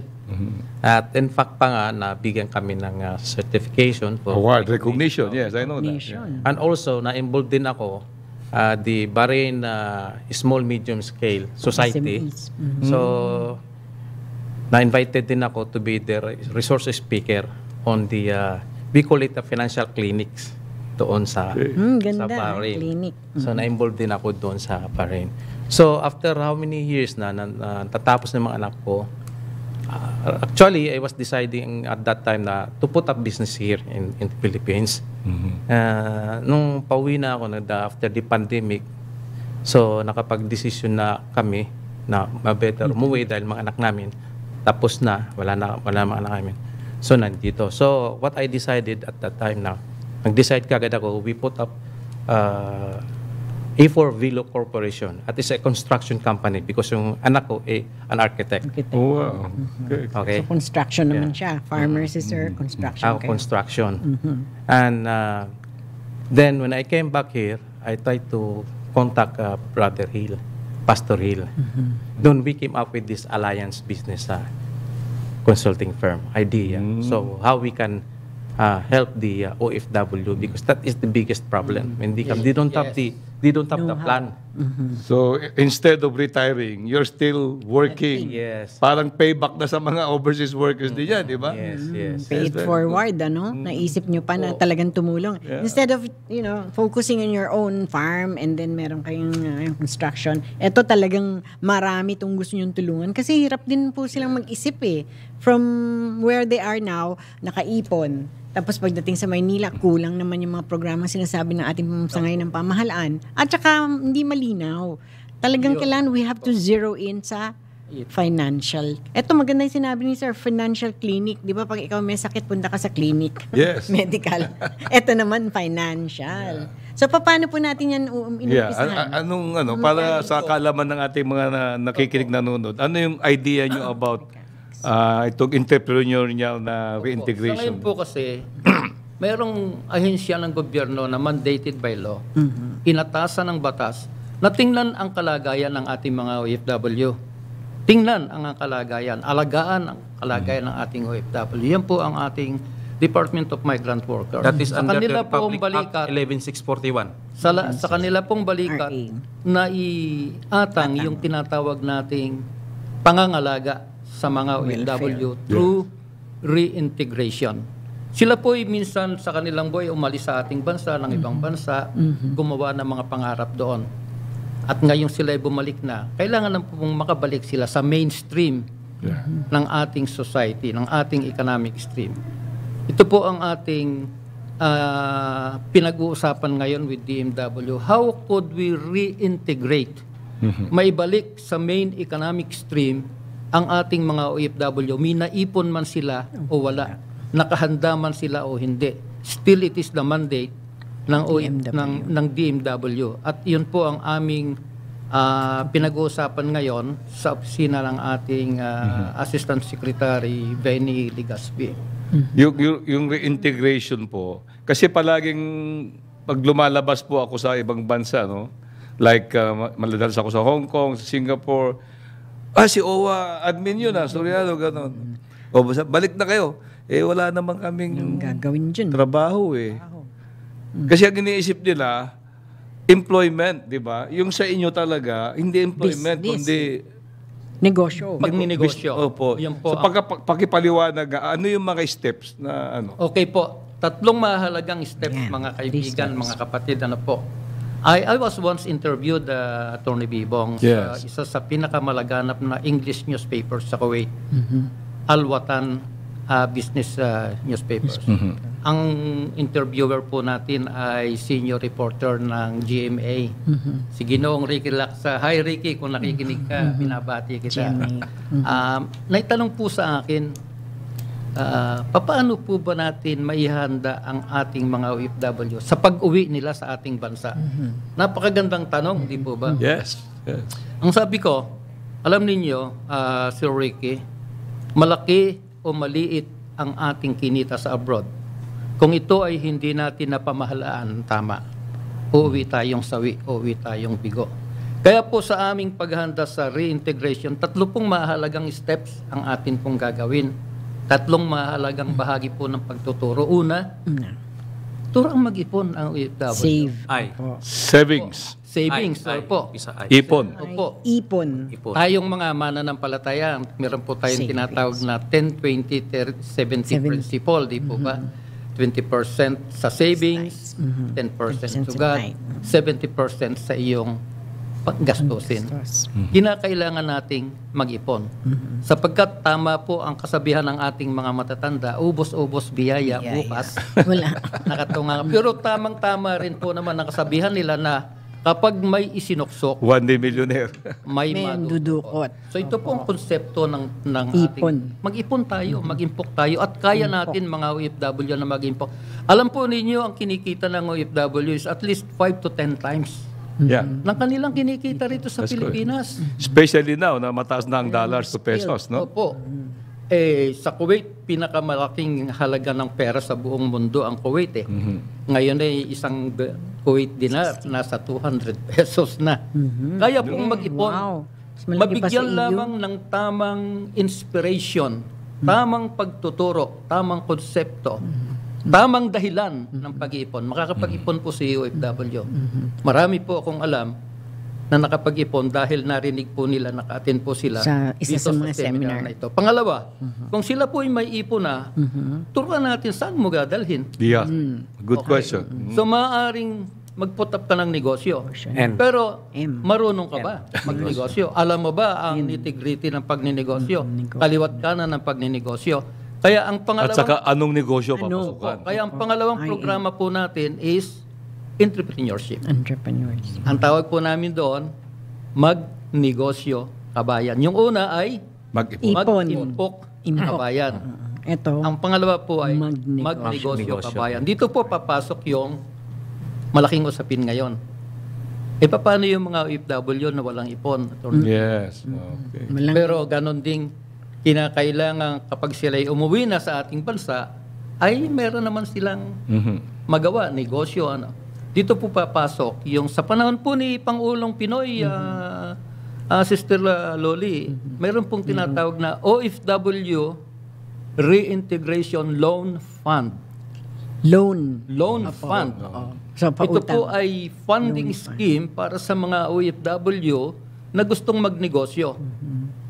Pero tuturuan po silang magnegosyo. Sa, saan po galing ano? Saan po galing yung pera niya? Ito po ay ah, ah, funded ng Land Bank at saka po ng DBP. DBP. Oh, GOCC. Mhm. Maganda po ang programa. Oh, I-review ko pong mabuti ito. Sa pag, in fact, meron na po akong na-advise. Naging consultant po ako ng ilan sa kanila. Mhm. Ah, maganda po. Doon ay pinakikita kung ano-anong mga negosyo ang pwedeng punda, punduhan. Pagkatapos po, pag ah, tuturuan silang, ah, kailangan nilang gumawa ng business plan. Eh kayo po ba ang bangko, magpapakatang ba kayo sa Kung isang wala taong walang may, alam may alam naman ba yung OFW Kaya nga ng po, business plan? tuturuan natin sila ngayon ng entrepreneurship. Pangalawa po. Ang ating pong ginagamit na pamantayan ng pagtuturo ay isa pong librong galing sa DTI. Ah, Maganda po yun. Department of Ah, Trade and Industry. Department of Trade and Industry. Yun po ang ginamit ko with due permission. No... ah, Pumayag. Opo. Copyright. Ah, tuturan po. Pag nakapagnegosyo na po si OFW, halimbawa po, nakapagtayo ng isang restaurant. Mhm. Dahil sa Bahrain, sa Kuwait, napakasasarap po ng shawarma. Mhm. Napakasasarap po ng mga pagkain dyan. Nakikita niya, marami namang pumapasok sa resto niya. Customer. Ay bakit nung usisain niya ang kanyang bangko, ay walang laman ang kanyang bank account? Nalulugi. Maaari, maaari Hindi siya mag-manage. nalugi o Mismanage. Maaaring nami-mismanage ng kanyang accountant. Kaya, pang tatlo po, tuturo naman natin yung tinatawag na accounting for mabigat non-accountants. yan. Oo. Mag-accounting kabayan. So tatlo po. Mag Impok kabayan, Magnegosyo. magnegosyo kabayan, Mag-accounting. Mag-accounting kabayan. Kailangan po alam naman ni negosyante kung ano ang pumapasok na pera, Pera. at kung ano ang lumalabas. Right. So, yun po ang ating uh, iminumungkahi sa DMW na kami po sa Alliance Business, Consulting, kami po ang magiging tagapagturo ng ating mga OFW. You mentioned ito pong loan, uh, Pastor Ver. Ito po bang loan na to sa DBP and Land Bank? Existing pa rin? Hindi ko po alam yan. Actually, Yan ang isa po pwede yan nating pag po kami ay nagkaroon na ng pagkakasundo, isa po yan sa aming uusisaing mabuti. Kung sakali po na ito hindi na nakapagpapatuloy, magkakaroon po kami ng mga rekomendasyon on how to put up a similar one. Alam po ninyo, Reactivate. ngayong ako'y nasa agrikultura, ang ating po mga magsasaka napakapalad.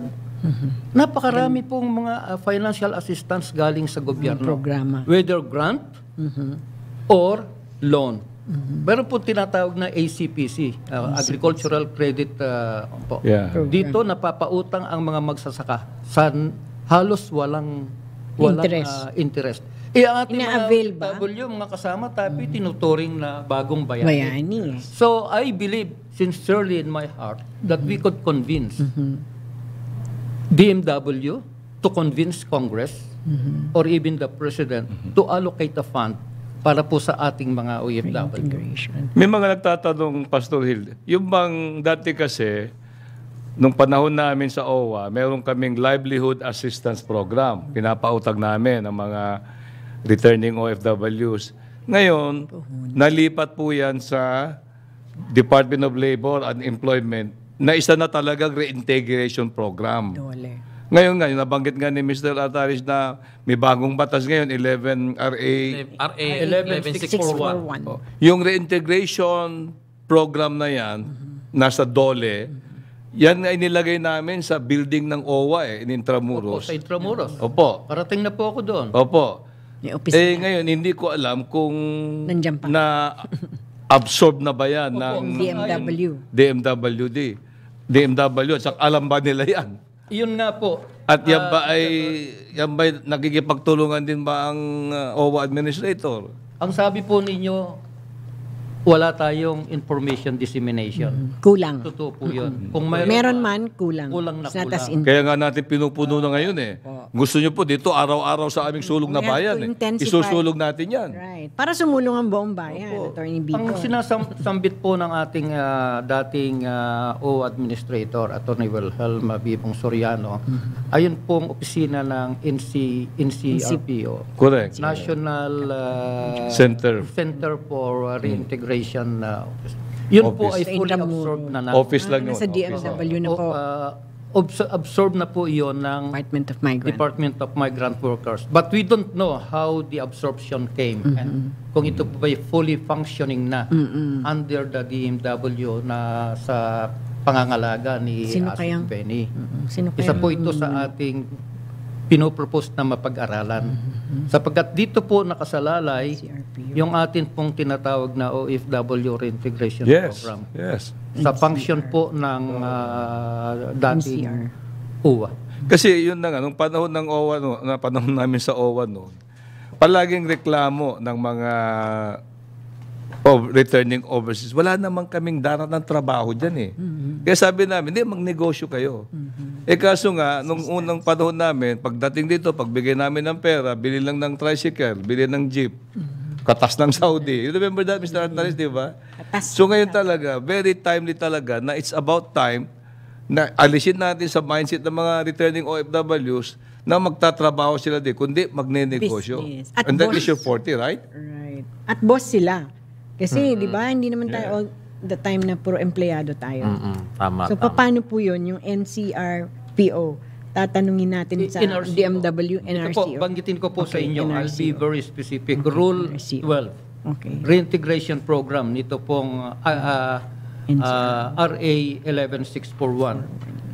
Ang salitang ginamit po ng batas, the department shall Mandatory yan. Opo, develop and implement a full cycle and comprehensive national reintegration program. Full. Opo, shall ang sinabi po roon. And then sabi po rito, ah, the undersecretary having responsibility for the absorbed functions of NRCO.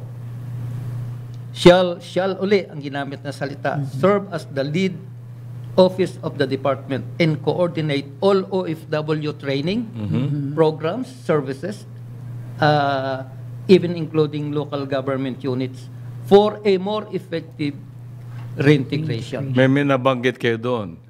The focal person of this integration program under the Department of Migrant Work is an undersecretary. Eh bakit ang nilagay nila si secretary? Ah, hindi ko po masagot 'yon. Ah, anyway, Nabanggit nyo ba ito sa... Opo. Opo, hindi pa po. Wala pa po I-verify kami natin lahat yan. Ang importante, mayroong nangangalaga within DMW. Alam So, ko, functioning. Bago pa lamang po naman. Opo, ang DMW. With your respect po naman. Siguro hindi nabasa ng ano yan, ng kalihim ng DMW yan, na undersecretary Kasama para sa pala. batas. Tapos ilalagay mo assistant secretary. Asik lang. Eh yung assistant secretary, may amo pa yan, eh, yung undersecretary. May layer pa. Yun po, At yung- least yung undersecretary, diretso sa secretary.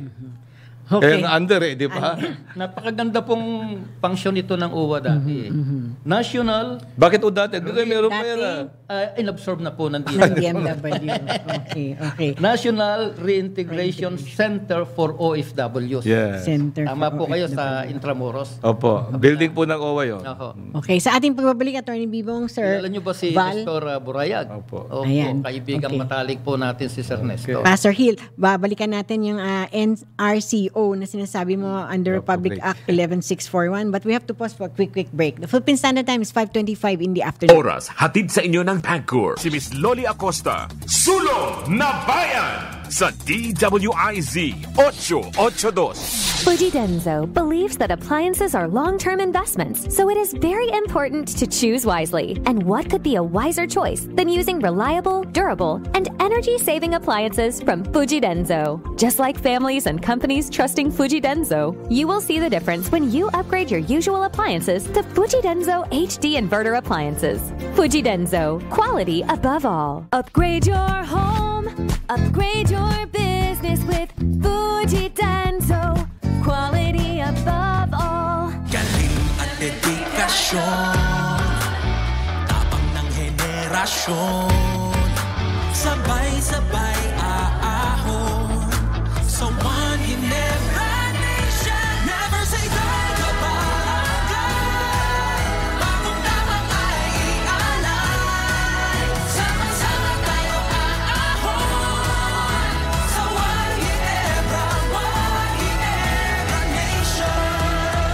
Drink responsibly. Si Luis Manzano to sa Ikaw ang Star Game Show with a star for all seasons, Vilma Santos.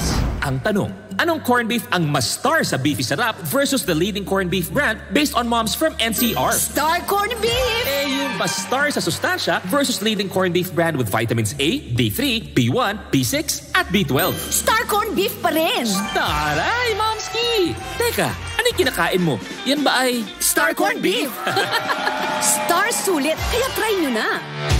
Mahilig ka ba sa sports betting habang nanonood ng laro? Narito ang Arena Plus. Manalo at manood ng live kahit saan. May libreng 50 pesos bonus pa sa unang pag-register. Arena Plus, ang official sportsbook partner ng FIBA World Cup 2023. Kasama pa ang astig sa court na si Jordan Clarkson as official endorser ng Arena Plus. Arena Plus, Asticasta Sports. Sa Arena Plus, astig sa sports. Keep it fun. Game responsibly.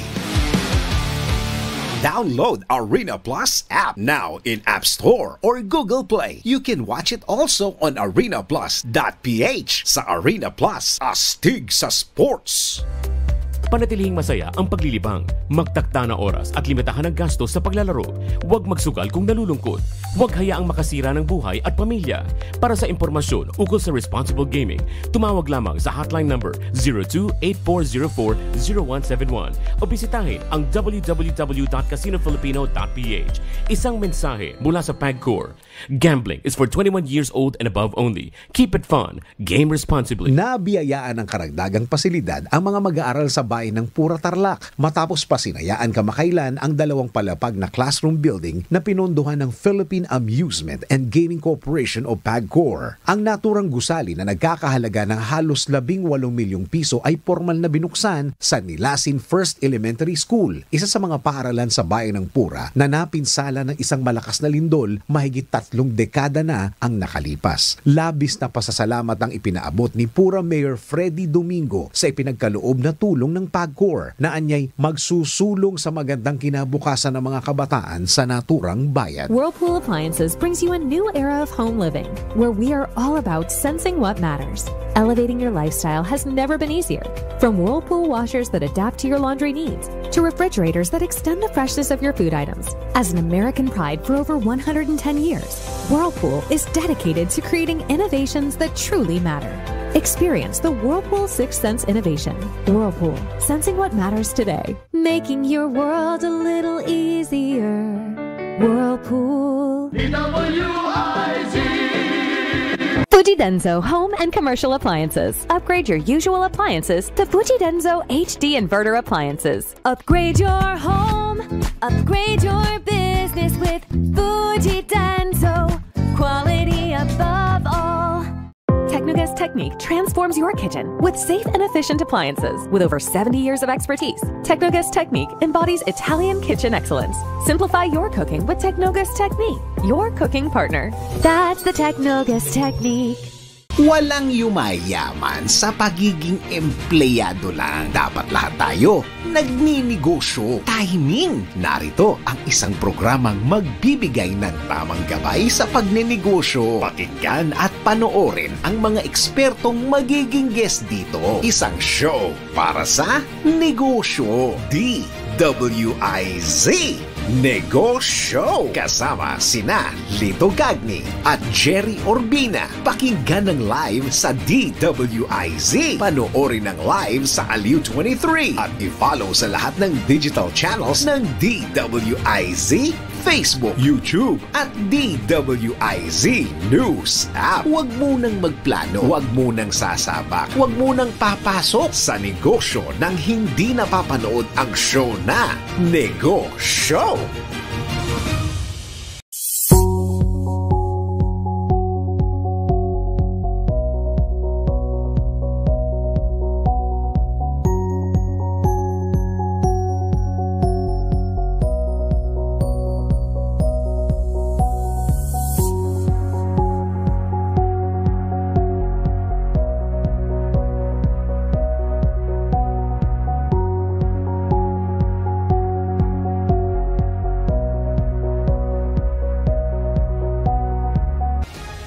balitang ito ay hatid sa inyo ng Petron. Petron knows you deserve only the best.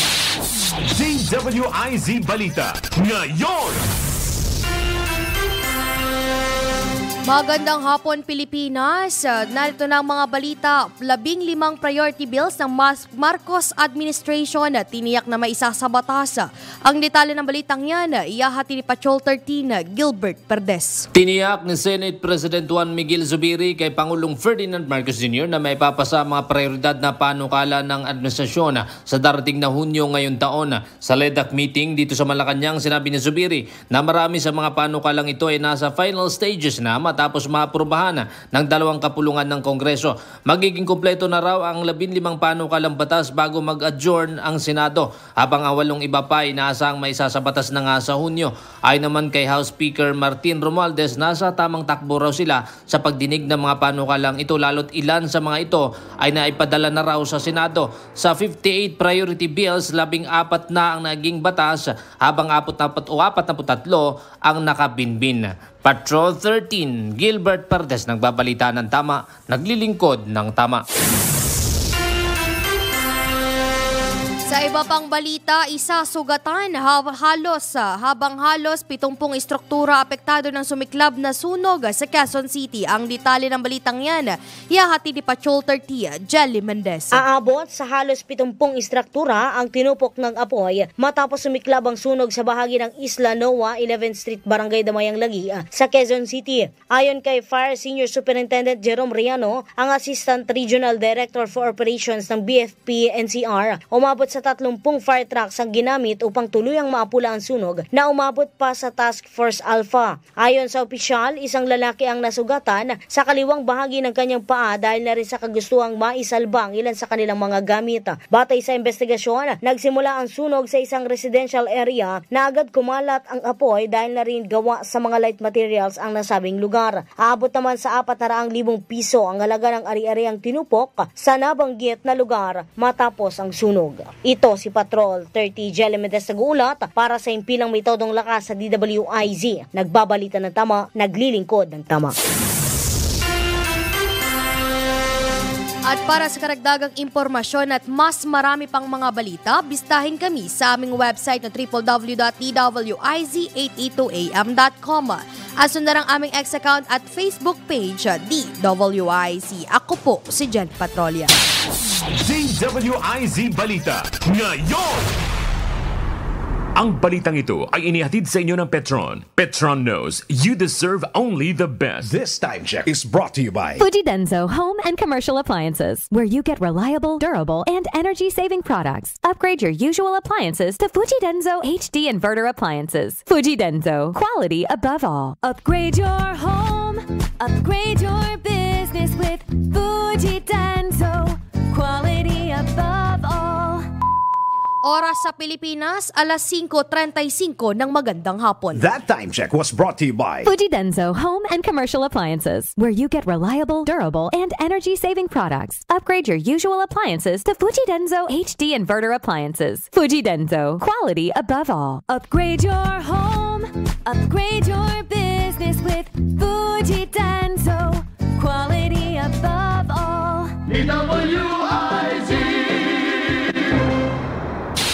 Si Miss Loli Acosta, Sulo na Bayan sa DWIZ 882. Alright, nagbabalik po muli ang ating programang Sulong na Bayan. Nako, ramdam na ramdam na po namin dito sa ating himpilan.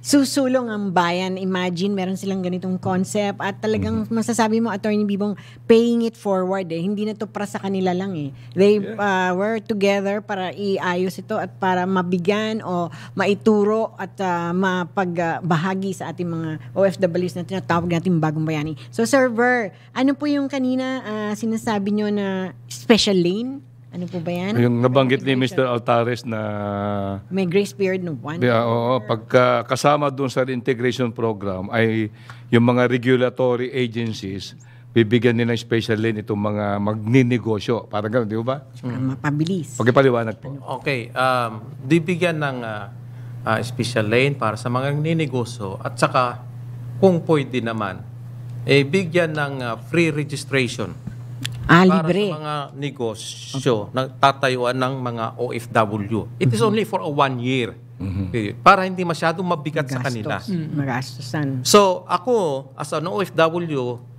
when I put up a corporation, wala pang takbo, wala pang income, pero tumatakbo na ang mga registration expenses. Sabi ko, paano na lang kung wala ka ng pundo para ma, to be, to, in order for my business to be legalized, kailangan ko i-register. Eh may ba, malaking mga bayaran yan. From the Security Exchange Commission, okay, down to the DTI, DTI, BIR, Mayor's Permit, Mayor's Permit, Barangay permits. barangay clearance, etc. etc. So, at least sabi ko, pag sinabi nag ano, register na, for one year only. Thereafter, then, Babayad ka na. magbabayad na. Meron ka na sigurong income kahit papano. Kasi maski pa paano, mayroon ka ng income. Pero sa ngayon wala pa. Ngayon, wala Libre pa. muna natin. Wala, ilibre mo muna. In fact, we are we are we are uh, encouraging Filipinos to do business in the Philippines. Yes. In fact, we sent our very own uh, beloved president going outside huh, To to, get invite. Invest investment. Manligaw ng mga investors. Manliligaw ng mga investors. So kami mga OFW, bigyan mo kami that time. Free registration only. Only for, even for first, first year. Yun ang Mas malaking impact niyan kasi maramihan sila kung kikilos, And Attorney it will Bibong. encourage for all the Filipinos Also, huh, to do legal they are. Oh, legit lahat. Legit lahat Kasi, kasi napakaganda nga niya dahil pa, to entice ano kasi ato magkakaroon ng paradigm shift eh. Yeah. 'Di ba? Yung mga mindset ng mga returning OFWs, paano kayo babalik sa Pilipinas? Wala na kayong trabaho. Kaya nga balik kayo dahil magnegosyo. At bibigyan kayo ng Puhunan. ah, puhunan, turuan kayo, magti-training kayo sa Alliance Business Consulting professionals, no less. Group, ba? At ah, tutulungan din kayo maghanda ng business plan. Tutulungan din kayo maghanap ng ah, financing, di ba? At saka po, business incubation, yung pag-aalaga sa kanila habang Nurturing. sila ay hindi pa matatag na humakbang bilang ma- Para mga baby steps. Tawag po natin doon incubation. Ano? Incubation. Ito po yung nakuha naming konsepto sa Bahrain. Mm. Incubation. ah. Business incubation. Na una, akala ko lang eh. ito ba'y uh, pisaan ng itlog? Yun po pala ay isang termino na ginagamit upang alagaan, akayin, alalayan ang mga bagong tatag na negosyo hanggang sila ay, matuto ng lumakad sa kanilang sariling mga paa at maging successful na po. Kami nga, Brother Bear, tayo, no? Nung nirehistro po namin itong ah, Alliance Business Consulting. we even have to hire a consultant. Kasi Pero para ngayon- i-guide kayo. Ngayon, hindi na sila maghahan ng consultant kasi Kayo na. Po. kayo na. Pero yung karanasan lang po namin dahil yun po yung sinasabi ni Mga, Brother mga Bel, bagito rin. na somebody who will apply sa SEC, mag-a-apply sa BIR, BIR, barangay, ah, meron din yan. sa PhilHealth, DTI. magre-register sa SSS, napakarami po. Na dadaanan. And every step of the way, Bayad. Pulos. May expenses. Sabi po, Mhm. money. Arabic Pera pulos. po. Mm-mm.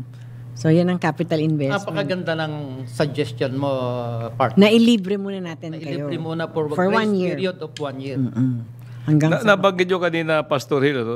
Republic Act 11641, Yes. na parang merong provisions niyan na tinatawagan ang Department of Migrant Workers. Workers ngayon. Yung tatlong aspeto, yung ah, startup capital, enterprise incubation, at saka credit line Yes. facility, di ba? Po.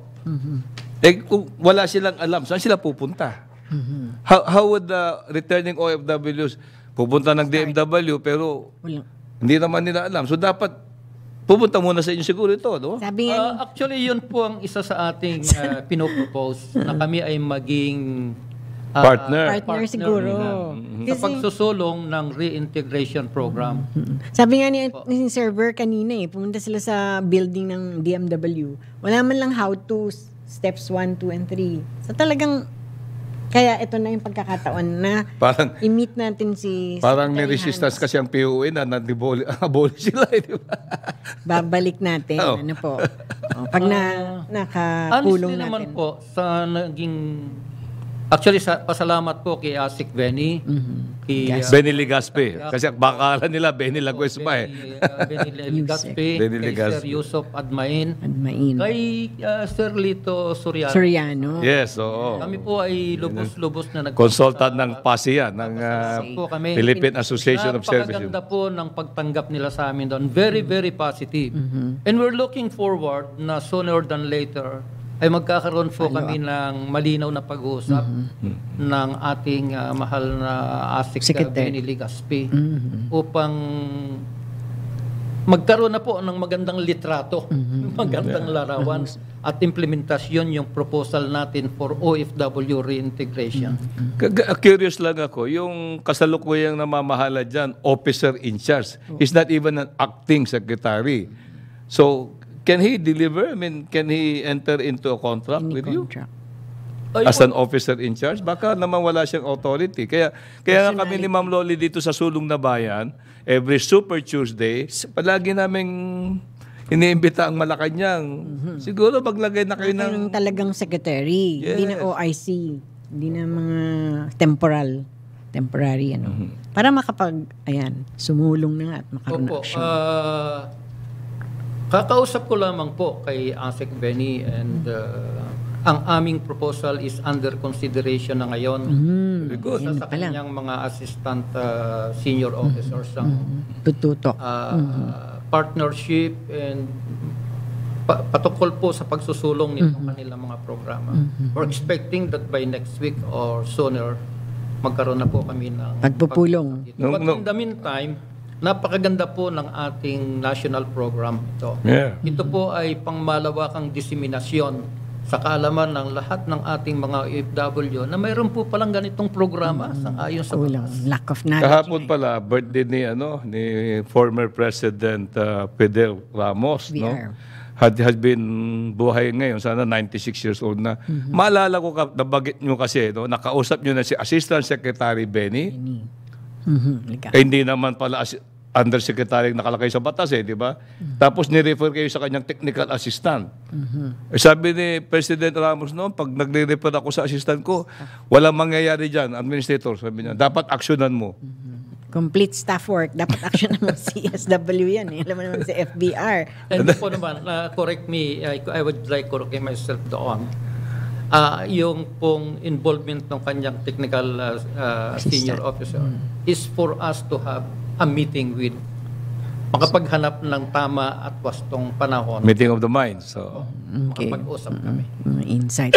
Sana nga po sa lalong madaling panahon dahil we believe na daan libo, um, kung hindi milyon, ang tinutukoy nating mga OFW rito. Dating from your time, uh, Right, Sir tagal Attorney na.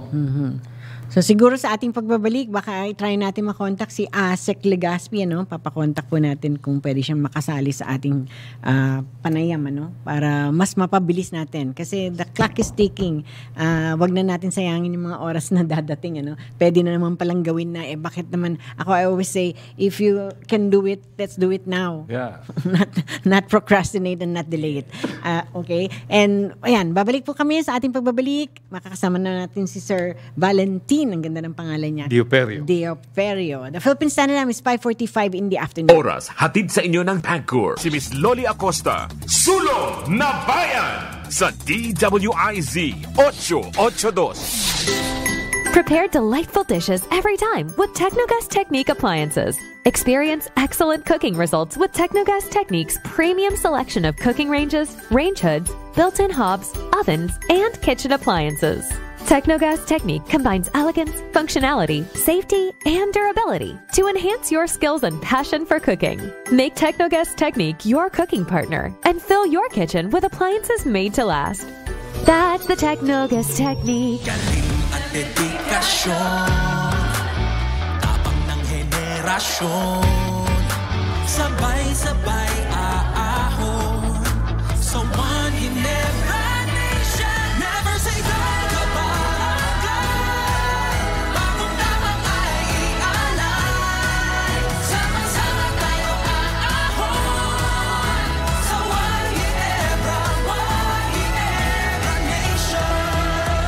Drink responsibly. Si Luis Manzano to sa Ikaw ang Star Game Show with the star for all seasons, Vilma Santos.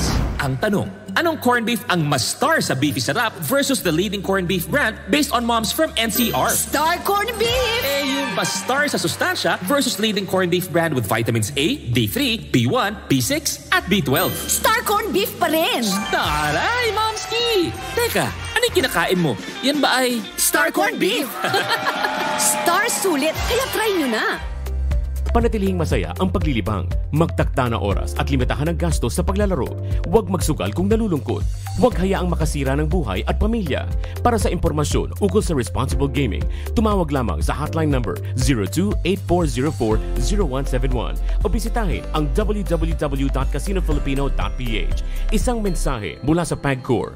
Gambling is for 21 years old and above only. Keep it fun. Game responsibly. Nabiyayaan ng karagdagang pasilidad ang mga mag-aaral sa bayan ng Pura Tarlac matapos pasinayaan kamakailan ang dalawang palapag na classroom building na pinondohan ng Philippine Amusement and Gaming Corporation o PAGCOR. Ang naturang gusali na nagkakahalaga ng halos 18 milyong piso ay formal na binuksan sa Nilasin First Elementary School, isa sa mga paaralan sa bayan ng Pura na napinsala ng isang malakas na lindol mahigit tatlong dekada na ang nakalipas. Labis na pasasalamat ang ipinaabot ni Pura Mayor Freddy Domingo sa ipinagkaloob na tulong ng PAGCOR na anyay magsusulong sa magandang kinabukasan ng mga kabataan sa naturang bayan. Sa panahong ito, lumalala ang pag-usbong ng mga mapanlin lang na nagdadala ng maling gabay sa buhay.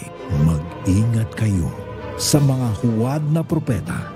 Lumalapit sila sa inyo na parang tupa, ngunit ang totoo'y mababangis na asong gubad. Matthew 7:15 Repent, turn to Jesus today. He is the only way to heaven. Brought to you by MX3. Mag MX3 araw-araw para M Extraordinary.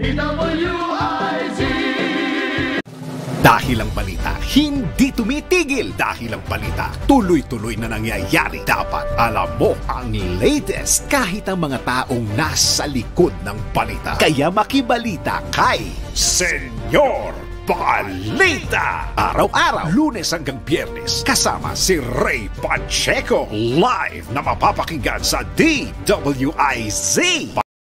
Live sa Aliw 23 at naka-live din sa DWIZ Facebook, YouTube at DWIZ News website. Kaya mga senyorito at mga senyorita, mga senyor, mga senyora, makibalita na kay Senyor Balita. Monday to Friday, alas 3 ng hapon. Bahagi pa rin ng DWIZ News Hapon Highlights. Nagbabalita ng tama, naglilingkod ng tama. Sulong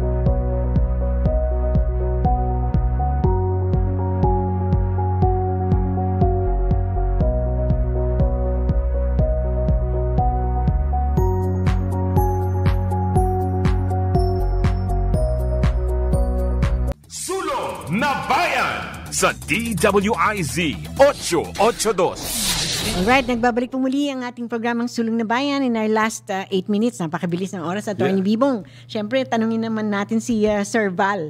Ano po yung uh, inyong insight?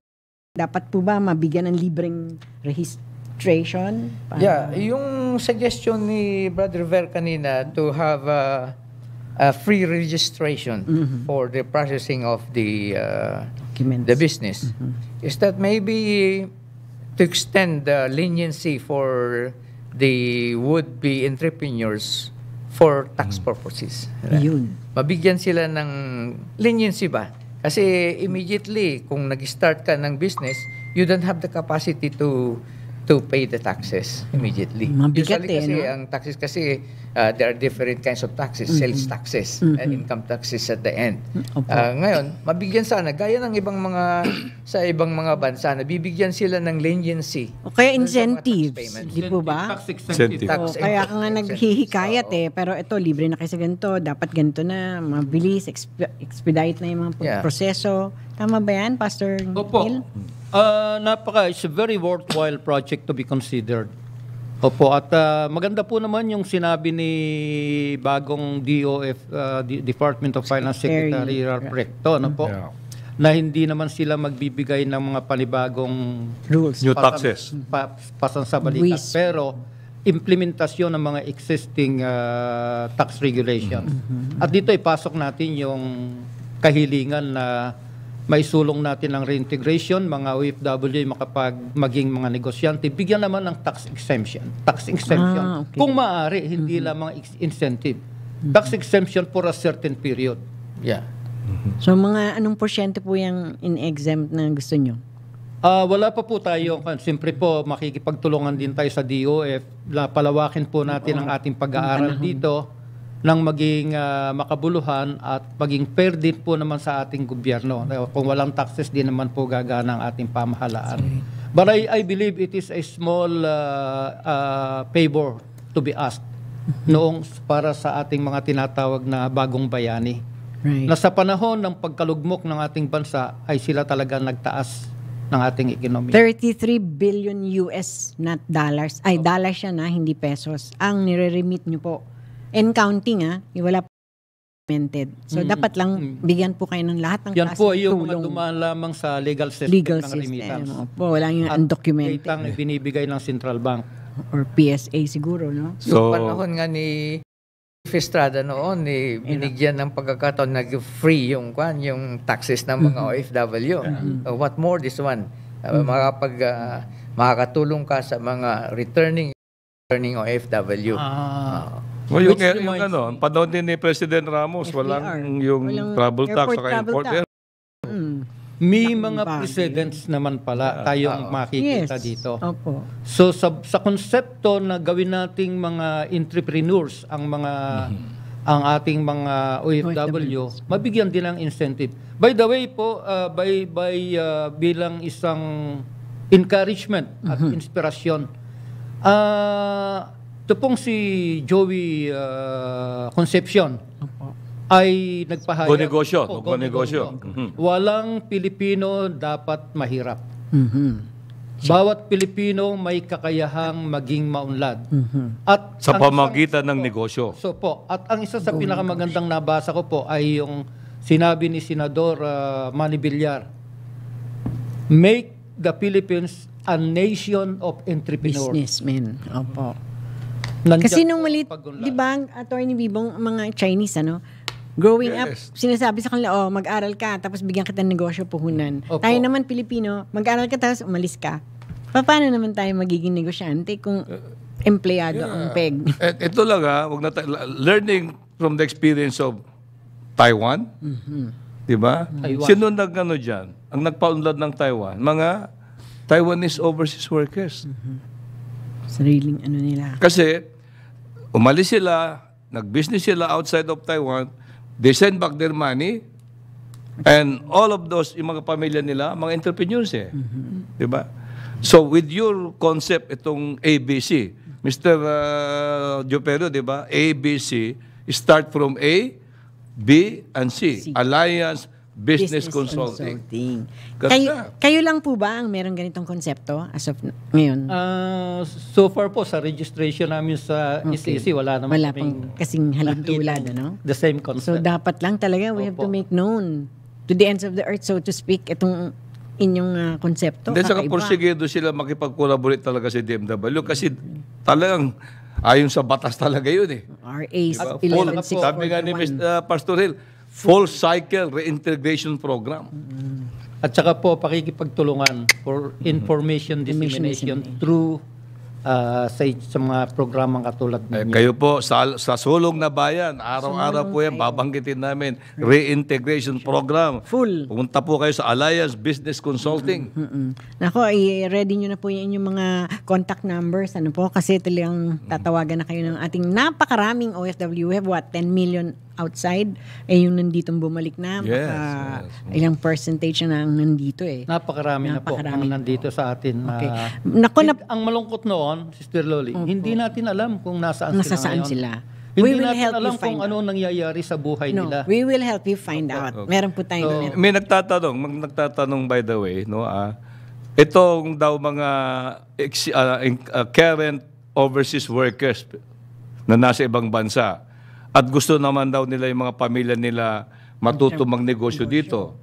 Maaari po bang Kasali silang din ba? sumali Opo, dyan? kasama po sa batas. Yan. Ang pamilya ng ating mga OFW. So habang hindi pa nag-return yung OFW, pwede nang sumali. Umpisa na. At boss na sila. Attorney Bibo. Actually, yun yung nangyayari sa akin. Nando, nandun pa rin ako sa Indonesia noon. Mhm. Oo. My wife is still here. Uh, Pinadala mo start kami ng business namin. Hmm. Dahil tinuruan mo misis mo business. Not necessarily, but uh, the idea was there. Yeah, correct. Kaya nga. So, ayan. So pwede pala yun, no? Halimbawa, may mga na- may nanonood sa atin kasi sa lahat ng panig ng mundo nanonood, nanonood sa atin. Na napanood tayo ngayon. Ayaw pa nilang umuwi, may kontrata, di ba? Bibigyan na lang sa Oo, mga pwede ba nilang next of kin, i-refer yung kanilang mga pamilya? Pwede makasali sa, Alliance Business Mhm. Consulting, ano? Pastor Hill. Ang sinasakop po ng batas, 11641, is the OFW in his family. And his family. Maliwanag po yun, nasa batas po yun. Ayan, we will expound on that sa ating susunod na mga episodes. Yes. Kasi kulang na oras, Attorney Bibong, mag-extra ka.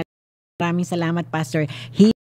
At syempre, si Sir Ver, si Sir Val, at ah, ikaw na muna mag-extra 6 o'clock. Yes. At uh, maraming sa ating uh, on-duty na technical engineers, Fred Balamala, Gildion Reyes at Kik Constantino, ang ating pong writer, si Jen Patrola, ang ating pong communication assistant, Eliza Quivido. Susunod po, ang programang Butika ni Tita with Miss Maru Pahati Sarne. Your message of hope. Kayo na, sir. Ako na. Kasi sa susunod po, Sulong na Bayan.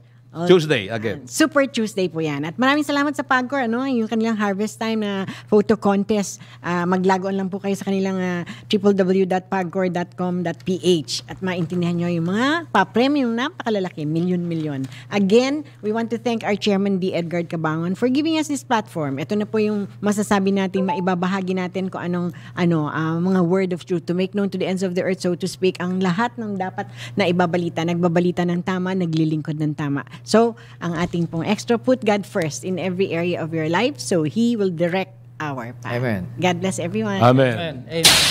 Si Miss Loli Acosta, Sulo na Bayan sa DWIZ 882. Ang programang ito ay inihatid sa inyo ng PAGCOR. Ang programang ito ay hatid sa inyo ng Petron. Petron knows you deserve only the best.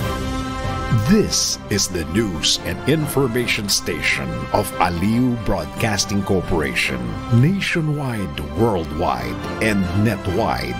Broadcasting live from City State Center, Pasig City, Philippines. Ito ang DWIZ. Nagbabalita ng tama, naglilingkod ng tama sa lahat ng Pilipinas. Pananakit ng ulo at katawan dahil sa sobrang trabaho at stress sa buhay. Mag-Herbalaya break ka muna. Imasahe ang ulo at katawan gamit ang Herbalaya Liniment Oil. Sa sakit ng ulo at katawan, dito na tayo sa siguradong ligtas. Herbalaya Liniment Oil. Amoy na kaaya-aya sa bawat pahit ay ginhawa.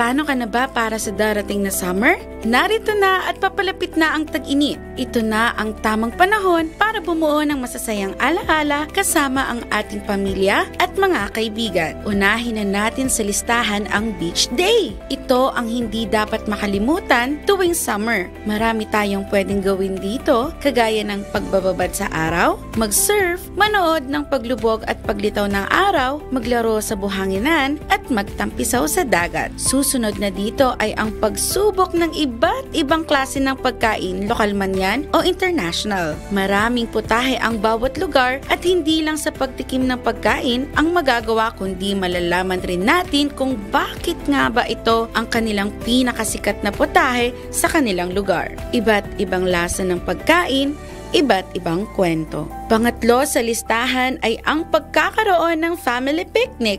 Ito ay isang pagkakataon para sa isang pamilya na kumuha ng magagandang larawan ng magkakasama at maaari ring maglaro at kumain at isa itong hindi makakalimutang pangyayari. Ito ang magsisilbing alaala na tatatak sa puso at isipan.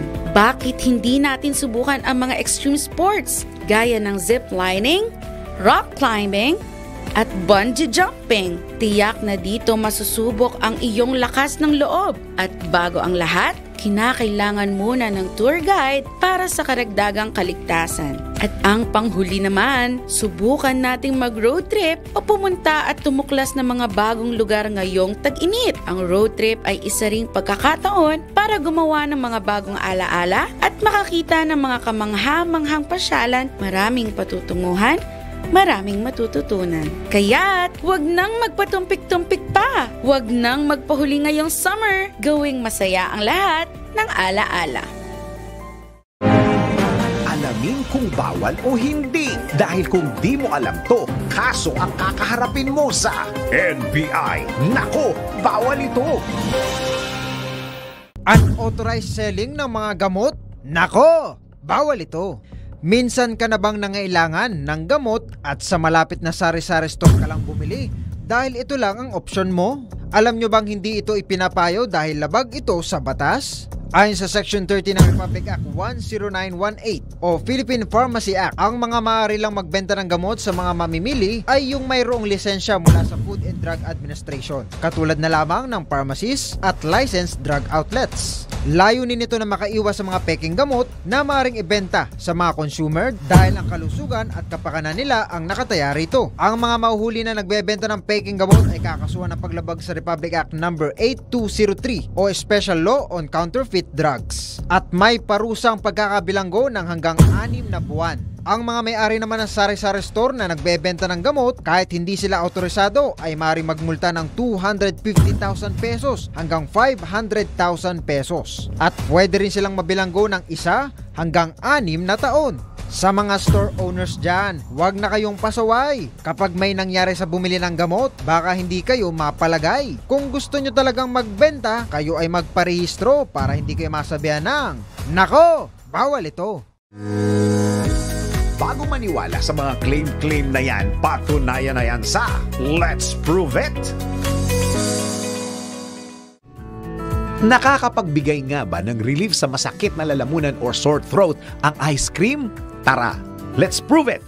Ayon sa healthline.com na ang pagkain ng ice cream ay maaring makapagbigay ng panandaliang relief sapagkat mataas ang sugar content nito. Dahilan para tumaas ang inflammation at mapahina ang immunity ng katawan.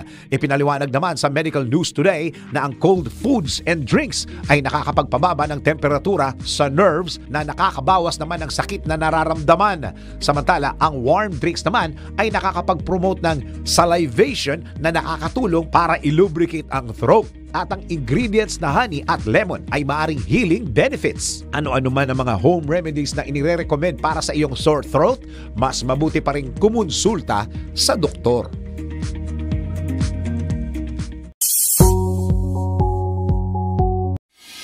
Sino ba ang hindi pumunta ng butika sa atin? Lahat naman yata tayo nakarating na o kaya natulungan na ng butika para sa mga hinahanap nating gamot o kaya mga bagay na pwedeng makuha sa butika. Narito na ang programang tutulong sa'yo sa atin para magabayan tayo para tama ang serbisyo at produktong makukuha mo. Ang Botika ni Tita. Kasama si Tita Maru Pahati Sarne. Kaagapay ang mga ekspertong magbibigay gabay sa mga gamot, supplement o kaya kahit na anong produktong pwedeng mabili sa loob ng butika. Kinig na sa DWIZ Manila, DWIZ News FM Nationwide at panoorin sa Aliw 23, DWIZ Facebook at YouTube. Magpagaling at magpa-healthy kasama ang Botika ni Tita. Kung ang pharmacist kayang bumasa ng sulat kamay ng doktor, ang inyong tita kayang magtanong sa doktor. Yung mga iniisip nyo pa lang, aba, tinatanong ko na yan. Welcome po mga kaibigan dito sa Botika ni Tita. I am your Tita Maru Pahati Sarne. Ngayong araw na ito ang pag-usapan po natin ay tungkol sa ating uterus. Ang uterus na nandyan po sa ating ah, pagkababae, ito yung reproductive ah, ah, health ah, part po natin, no? Parte ng ating reproductive system. So ngayon, ah, ano ang problema sa uterus? Yan ang tatalakayin ni Dr. Annbel D. Herrera, isa pong napakagaling na OB gynecologist at i-explain niya sa atin bakit nga ba merong sobrang pagdurugo, meron namang minsan ang tagal, hindi nagdudugo. At syempre, Marami pa tayong mga tatalakayin tungkol sa kalusugan nating mga kababaihan. Kaya huwag kayong aalis dyan. Dito muna po tayo sa ating health capsule. Ang pagkain ng protina, lalo na mula sa mga halaman kapag nasa middle age ka na, ay makakatulong para sa mas malusog na pagtanda at sa positibong mental at pisikal na kalusugan. Ito ang lumabas sa pinakahuling data ng Nurses Health Study. Ang pag-aaral ang ah, kauna-unahan na nag-examine sa pangmatagalang epekto ng midlife protein consumption sa magiging kalusugan sa pagtanda. Sa artikulong lumabas sa American Journal of Clinical Nutrition na isinulat ng team ni Andres V. Ardison Corat, DSC, isang nutritional epidemiology sa USDA Human Nutrition Research Center on Aging sa Tufts University sa Boston, Massachusetts, kapag pinalitan ng animal o dairy protein ng plant protein, mas tumaas ang odds to ratio para sa mas malusog na pagtanda. At ngayon mga kaibigan, eh syempre papakilala ko na po sa inyo ang ating very special guest. Siya po ay eksperto pagdating po sa kalusugan nating mga kababaihan, isa pong obstetrician gynecologist ng Calamba Medical Center at gayon din ng Makati Medical Center. Wala po iba kundi si Dr. Anbel D. Aherrera, Dr. A.D. Aherrera. Hi Doc, magandang magandang araw. Hello ulit sa iyo, Ma- Maru. Salamat po sa pag-imbita ulit dito. Excited na talaga ulit ako kasi may bago na naman tayong tatalakayin. Yes, Maraming oo. salamat ulit. Oo, yan. Pag-usapan natin yung ating uterus. May mga kababaihan na maagang tinatanggal yan dahil sa ilang mga problema. Pero unang-una, Dok, ano ba yung uterus? Nasaan yan at anong silbi niyan para sa ating katawan? Okay. Balik tayo sa model. Mm-mm. Okay. Tandaan natin, okay, so, I, ito na naman, side view to, Mhm. okay? So, itong side ng katawan natin, ang matres, fallopian tube, ovaries, nakikita yan sa loob ng katawan natin. Okay. Ito ang kwelyo ng matres na nasa laba, sa loob, sa may puerta. Okay. Yung matres nasa likod ng tinatawag na pantog at nasa gitna siya ng pantog at saka yung um, bituka, large intestines. Okay. Now, importante na merong um, syn- synchronization ang at saka ang uterus. Tandaan natin, ang matres ay bahay bata. Nagdadala lang yan ng bata. Walang um, Gamit. Gamit. Oo. Kahit sa sexual function, wala. Okay, none. Hindi umaabot dyan. ang hormonal status natin, yung um, female hormones, nanggagaling sa ovaryo. Mhm. Hindi ho yan nanggagaling sa matres. Mhm. Okay? So, tandaan nyo yon.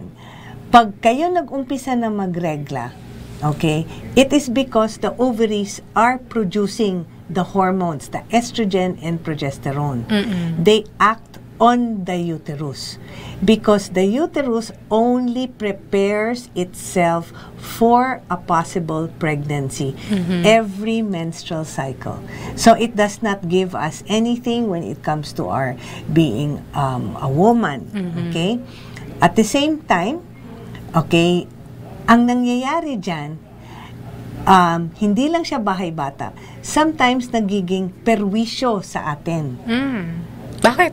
Kasi, it's supposed to um, regulate okay, your menses. Mm-mm. Dapat yung sinabi mo sa iyong D, um, DYI or Ah, yung the health capsule, The health ah. capsule, yes.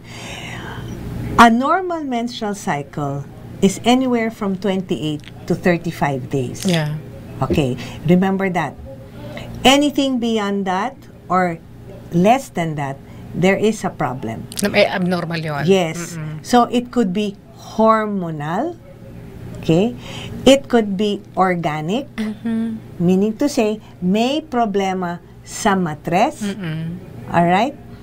Or it could also, those are just two things. Or um, apart from the organic issue, okay, pwedeng um, it's more than an, a hormonal but an endocrine problem. Mhm. Okay.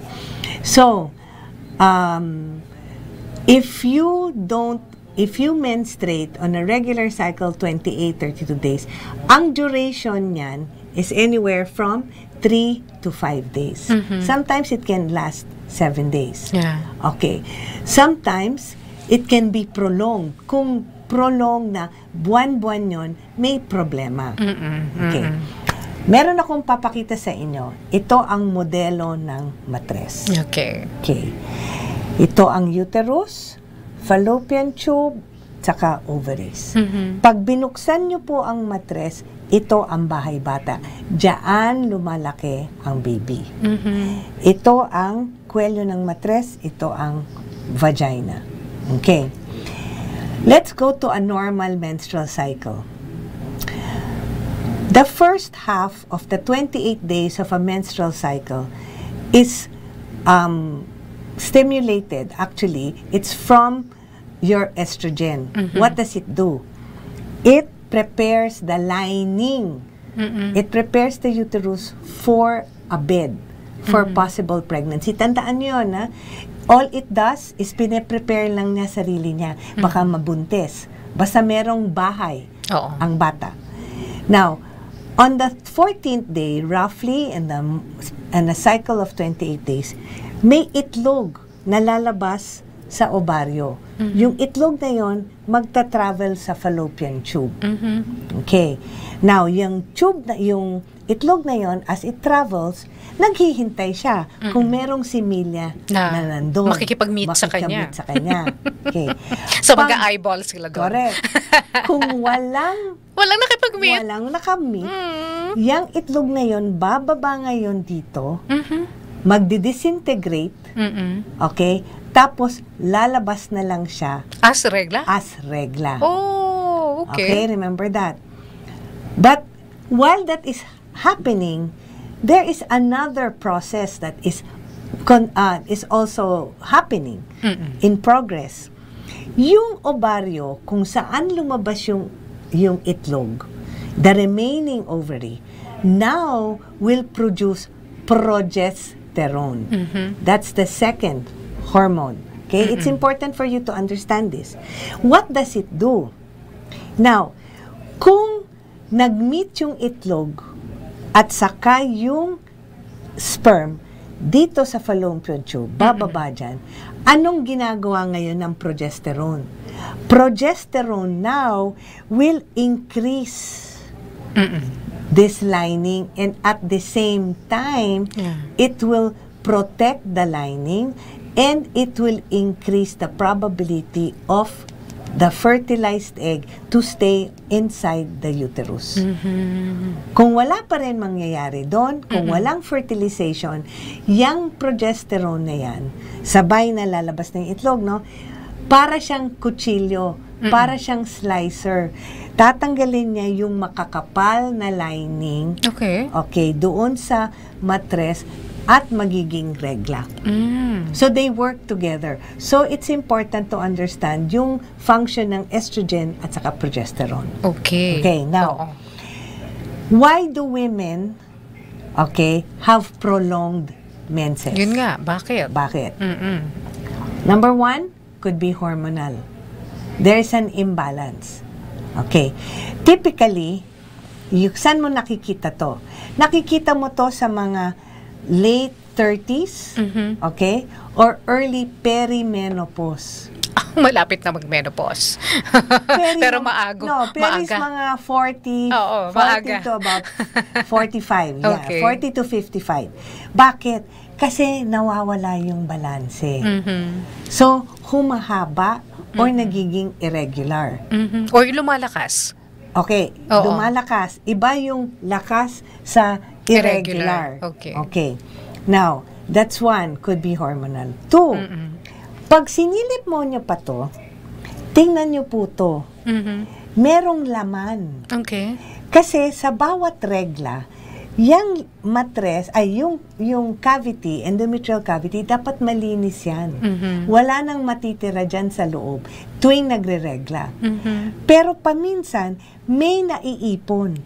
Katulad niyang mga nakalawit na yan. Mm-mm. Okay. Those are possible polyps. Mm-mm. Okay. It can prolong the the menstruation Mm-mm. or distinctly, kunwari nagregla ka na, natapos ka na ng 5 days, bigla ka na naman nagregla Mhm. after 10 days. Mm-mm.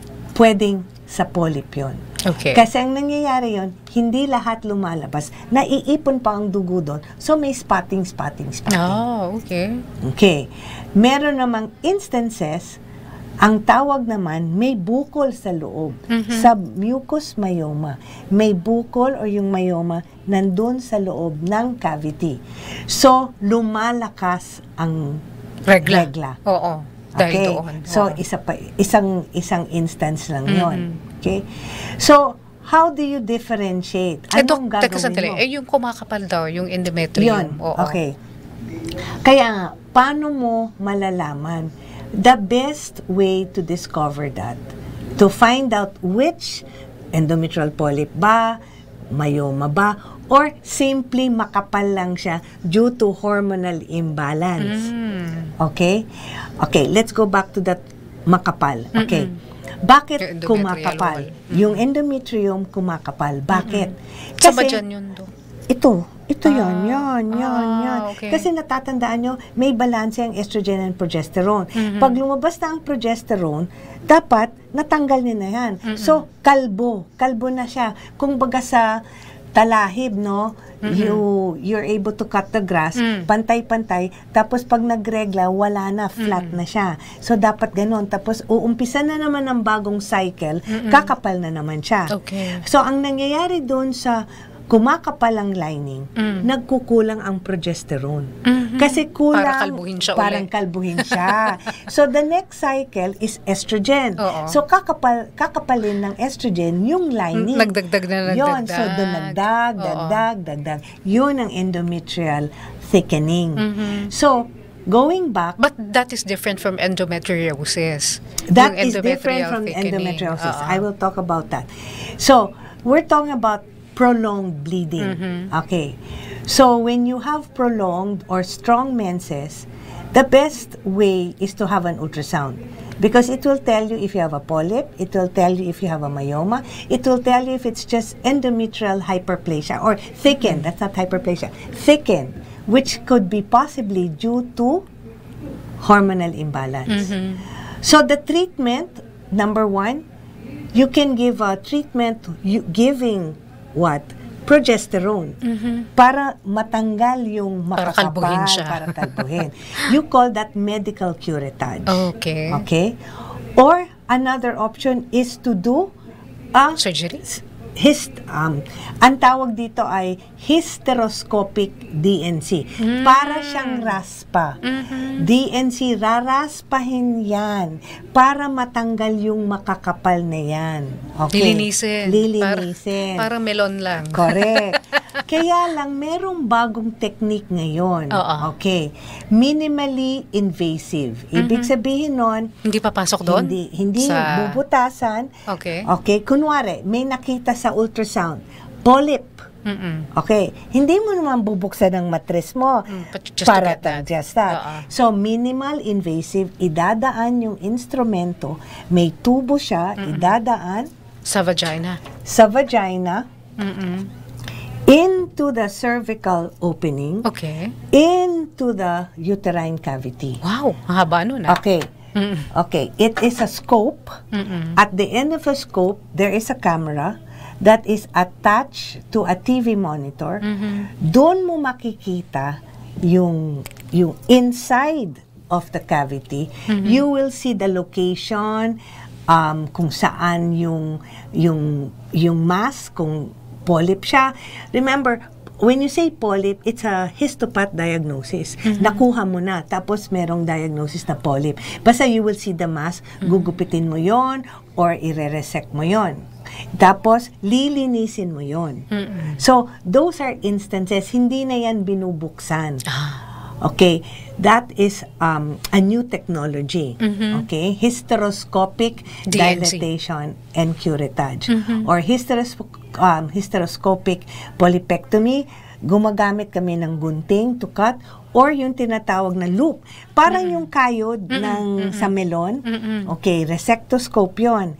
Uh, resecting, we resect the myoma. Oh, okay. So, pag natanggal na, yung mga kumapal na yan, o kaya kung mayroon mga mga ah, bukol or whatever na nandun sa loob, ah, matatapos na ba yung problema niya doon sa mahabang ah, pagreregla or parang never-ending problem lang yan? Very, very good um, Mm-mm. follow-up yan. That's why it is very important to know the biopsy. Mm-mm. If it's a polyp, okay, you can observe. But you have to explain to the patient na ang polyps can recur. Babalik din siya. Number two, if it's a myoma, then you just need to observe the next time yung mga menses niya, Mhm. kung lalakas, hindi.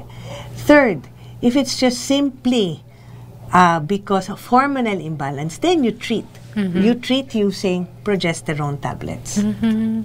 Okay? Mhm. So, um, there's a way of, um, that's why hindi porket dinugo, dinudugo ka ng malakas, okay, ano na yan, ah, natatakot ka na, na cancer na yan or Mhm. kailangan tanggalin ng matres, may mga conservative ways of of keeping the uterus. Lalo na kung hindi ka pa nagkakaanak. Correct. Oo. Lalo na kung hindi ka pa nagkakaanak. Mhm. Okay. So, ibig sabihin yan, Doc, ah, lalakas yung chance niya na magka-baby basta matigil yung abnormalidad ng kanyang pagreregla. Correct. Yes. Mhm. Yes. Okay.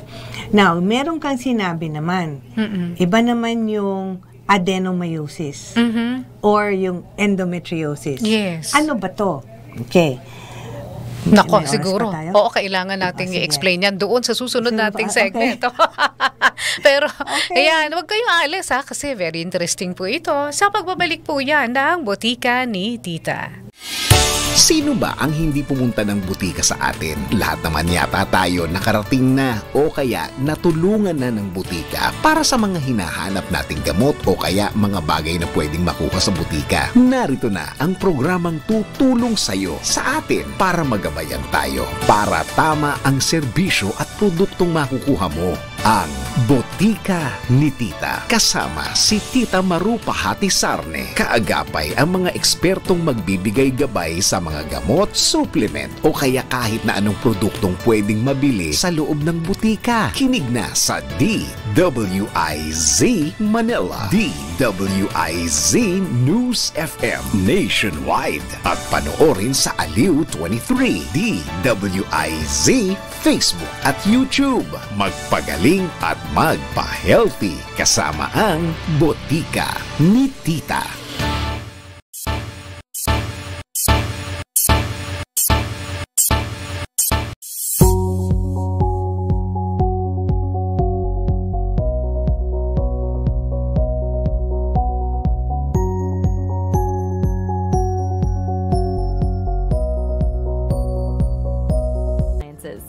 Fuji Denso, quality above all. Upgrade your home, Upgrade your business with Fuji Denso.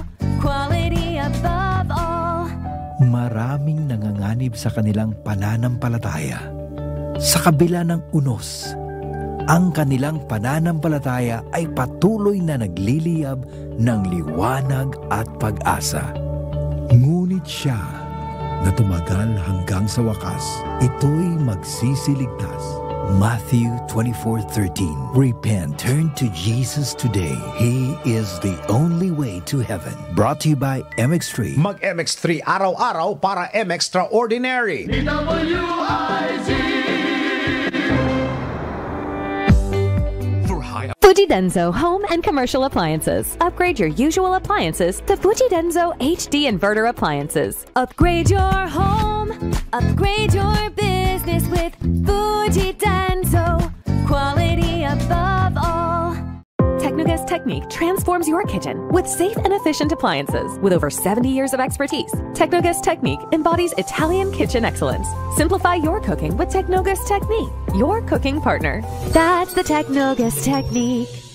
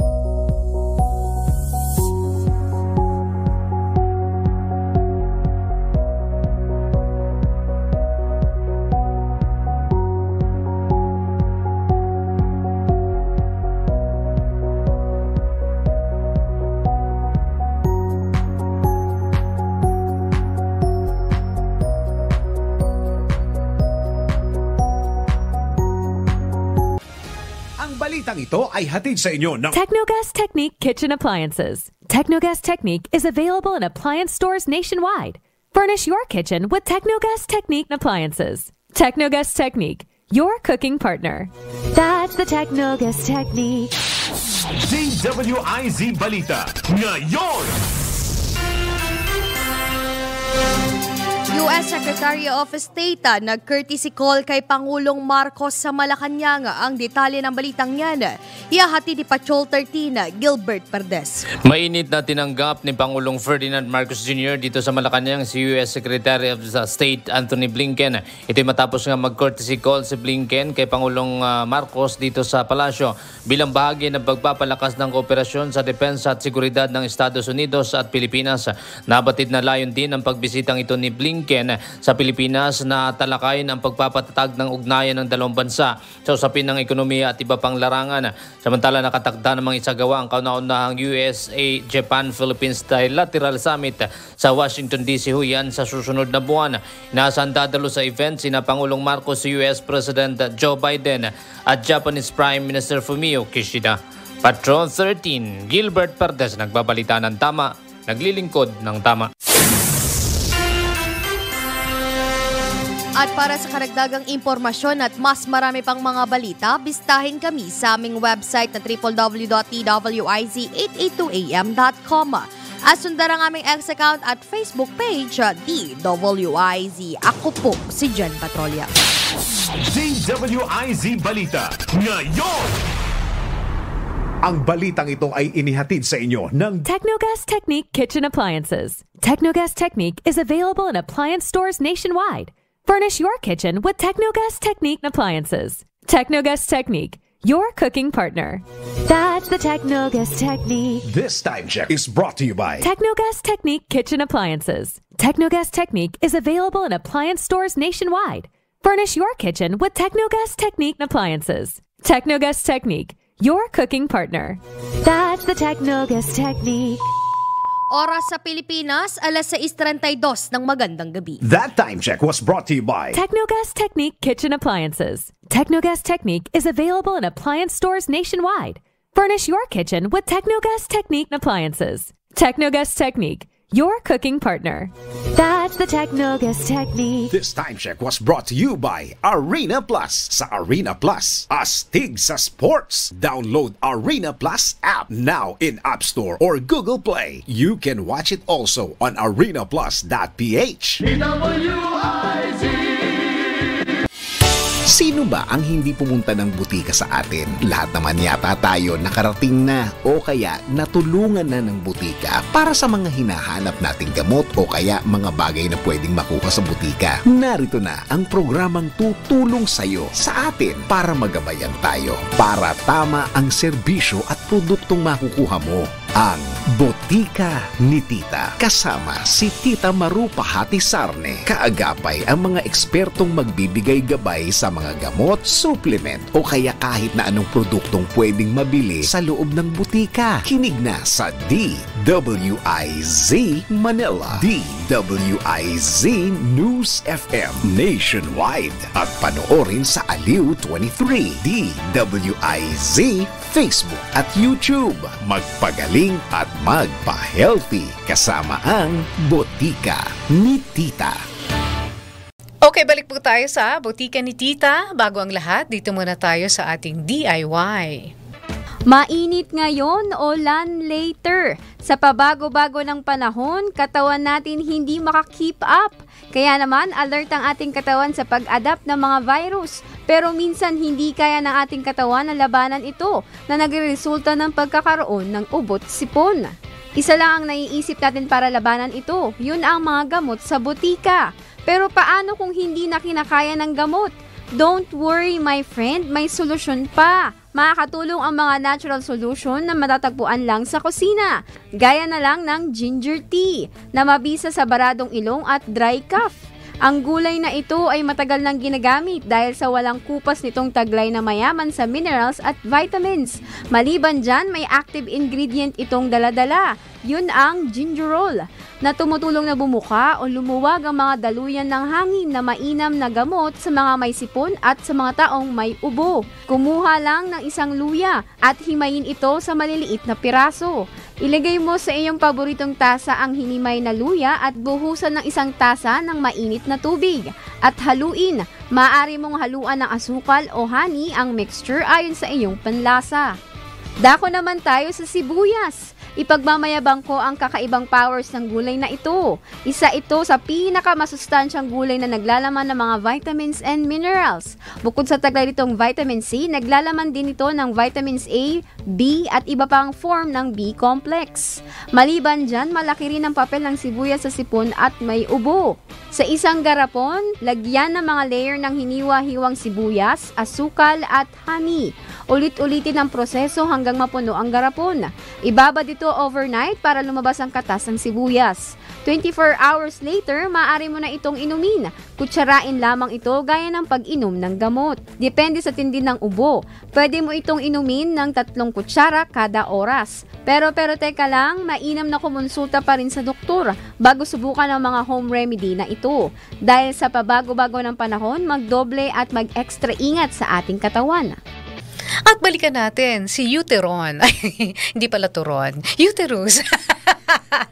Ayan, parang baby ang itsura, Dok. Di ba? Para ring sanggol, di ba? Ano? Anong? Parang kalabaw. Ah, kalabaw ba? Oo nga, no? It's a Carabao. Oo nga, no?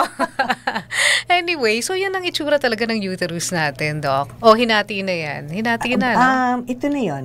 Oo. Ito na yon. Oo. Yeah. Tapos sa Ito yan, yung bukas. Oo.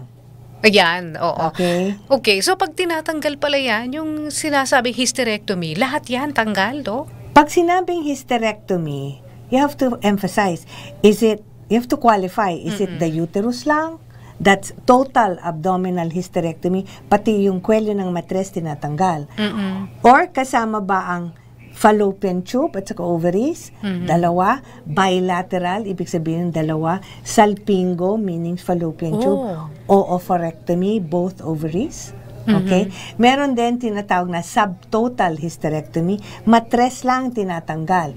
Iniiwan ang kwelo ng matres at iniiwan yung fallopian tube, both fallopian tube and ovaries. Ah, okay. So, kanina yung endometriosis yung naiwanan nating problema. Ah, okay. Oo. Ano ba ang endometriosis at bakit nagkakaroon nito? Okay, layman's term para mas maintindihan.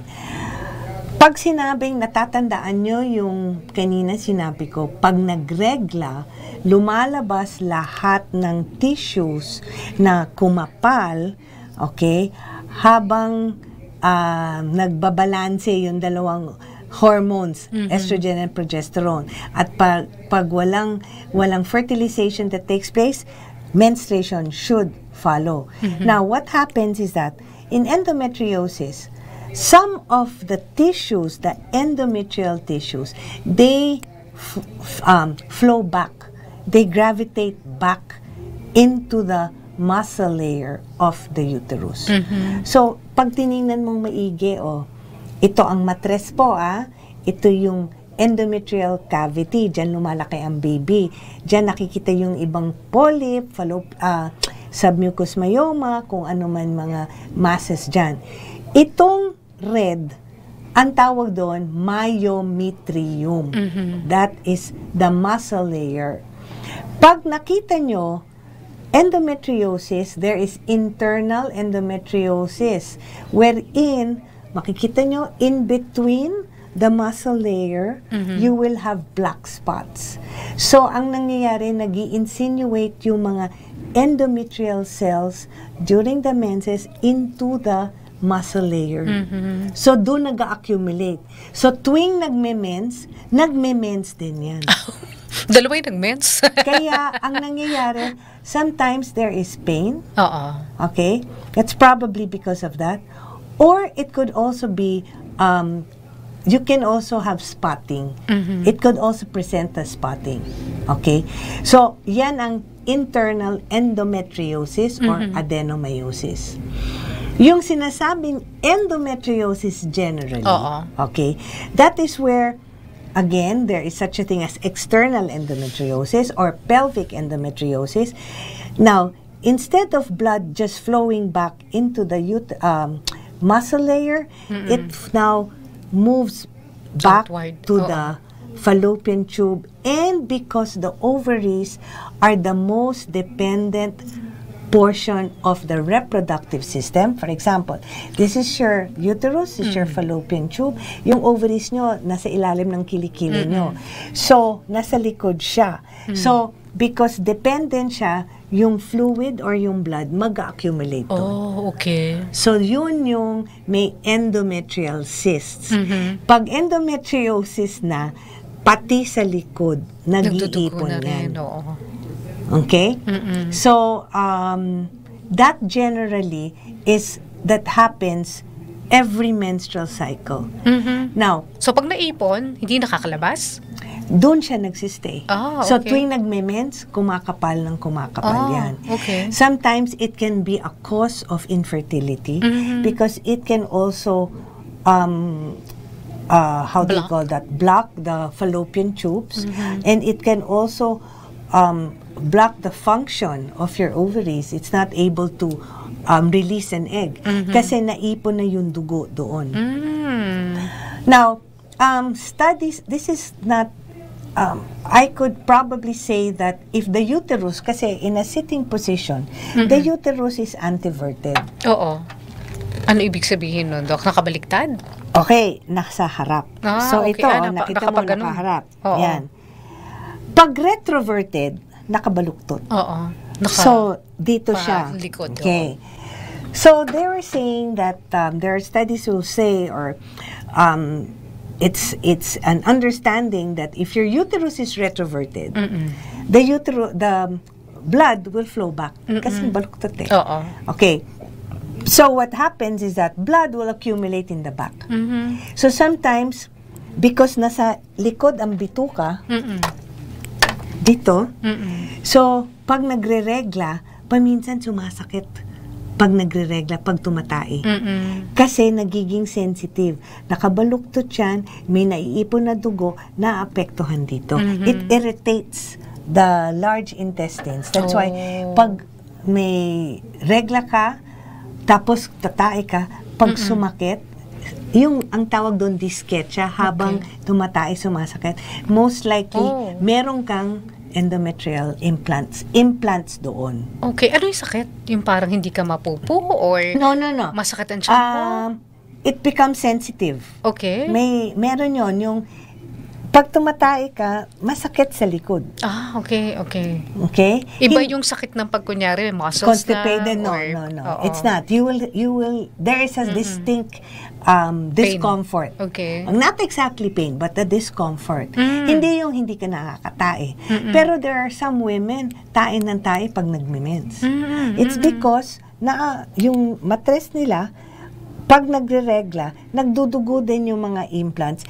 sensitive yung Area yung na yun. area na yun. so may tendency na mag napupupo. nagpupupo. Yes. Okay, wow. Ngayon lang natin nalaman yun. Nakala natin normal na bahagi. At saka endometriosis, there's such a thing as ectopic endometriosis. Oh. It can go at- in any part of the body. Mhm. You can even find it sa bladder, Mm-mm. Sa daanan ng ihe. Mm-mm. Meron pa nga sa appendix. Mhm. Okay? Talaga? Yes. Wow. In fact, meron pang iba pag bagong pag nanganak na normal delivery. Okay, mapapansin nila yung sugat nila dinudugo pag nagre-regla kasi may implants doon sa daanan ng sugat niya. Wow! Kita nyo yan? Akala nyo mga ordinaryo lang yan, pero hindi. Yan pala may mga ibig sabihin niya, mga nararamdaman natin o nakikita natin sa ating katawan. Pero marami pa tayo pag-uusapan mga kaibigan, kaya lang medyo kapos tayo dito sa segment na ito. Kaya antabayanan nyo, susunod na po ang isa pang segment natin dito po sa Botika ni Tita. Sino ba ang hindi pumunta ng butika sa atin? Lahat naman yata tayo nakarating na o kaya natulungan na ng butika para sa mga hinahanap nating gamot o kaya mga bagay na pwedeng makuha sa butika. Narito na ang programang tutulong sa'yo sa atin para magabayan tayo para tama ang serbisyo at produktong makukuha mo. Ang Botika ni Tita kasama si Tita Maru Pahati Sarne. Kaagapay ang mga ekspertong magbibigay gabay sa mga gamot, supplement o kaya kahit na anong produktong pwedeng mabili sa loob ng butika. Kinig na sa DWIZ Manila, DWIZ News FM Nationwide at panoorin sa Aliw 23, DWIZ Facebook at YouTube. Magpagaling at magpa-healthy kasama ang Botika ni Tita. Enzo believes that appliances are long term investments, so it is very important to choose wisely. And what could be a wiser choice than using reliable, durable, and energy saving appliances from Fujidenzo? Just like families and companies trusting Fujidenzo, you will see the difference when you upgrade your usual appliances to Fujidenzo HD inverter appliances. Fujidenzo, quality above all. Upgrade your home, upgrade your business with Fujidenzo. Quality above all. Mahilig ka ba sa sports betting habang nanonood ng laro? Narito ang Arena Plus. Manalo at manood ng live kahit saan. May libreng 50 pesos bonus pa sa unang pag-register. Arena Plus, ang official sportsbook partner ng FIBA World Cup 2023. Kasama pa ang astig sa court na si Jordan Clarkson as official endorser ng Arena Plus. Arena Plus, Asticasta Sports. Sa Arena Plus, astig sa sports. Keep it fun. Game responsibly. Download Arena Plus app now in App Store or Google Play. You can watch it also on arenaplus.ph. Sa Arena Plus, astig sa sports. Hindi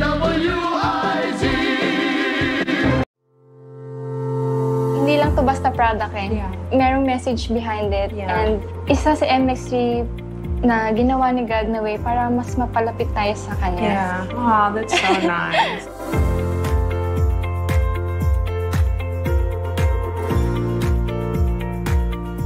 Hi, this is Faith Garcia, triathlete and beauty queen, and this is my MX3 story.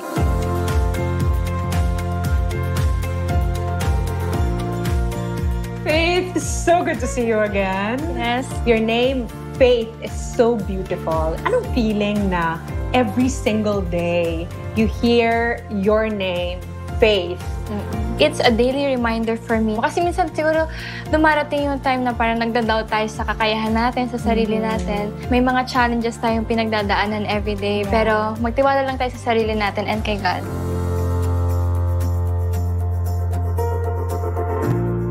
Can you share with us how MX3 impacted your life?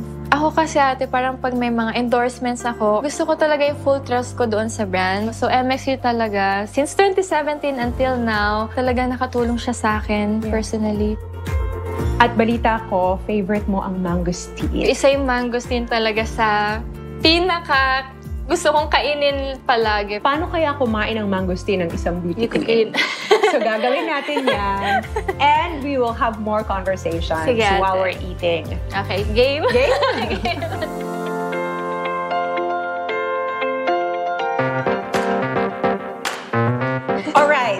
Paano nga ba kumain ng mangosteen ng isang Faith Garcia? Kailangan yata natin ng knife. Hindi, joke lang. Hindi na natin kailangan ng ganito. Ako normally, pinipress. Ito yung ginagamit ko na pang-press lang. Ah, itlog! Kasi, kasi parang nagugutom na ako. Gusto ko na siyang kainin kaagad. Ganyan na siya kaagad. So dahil may camera tayo ngayon, ganito muna ako kakain. Sige, ako, kakamain ko na lang. Kainin isa-isa mo? Mm. Ay, kailangan ba lahat na? Hindi. Paano ka natutulungan ng MX3 sa lahat ng mga gawain mo to? Important sa akin talaga na alagaan ko yung sarili ko. Kasi hindi mo na maiiwasan mapagod eh. Kasi busy talaga ang schedule. So, kailangan mo alagaan yung sarili mo from within. Yeah. So, natutulungan talaga ako ng MXin. And dahil sa antioxidants na meron siya, So, kaya ko na-achieve yung mga na-achieve ko, like sa sports, in general. Iba yung feeling ko pag nakakapag-take ako ng MSC at hindi. Thank you so much, Thank you so much, ate. Dahil sa MX3, alaga ka.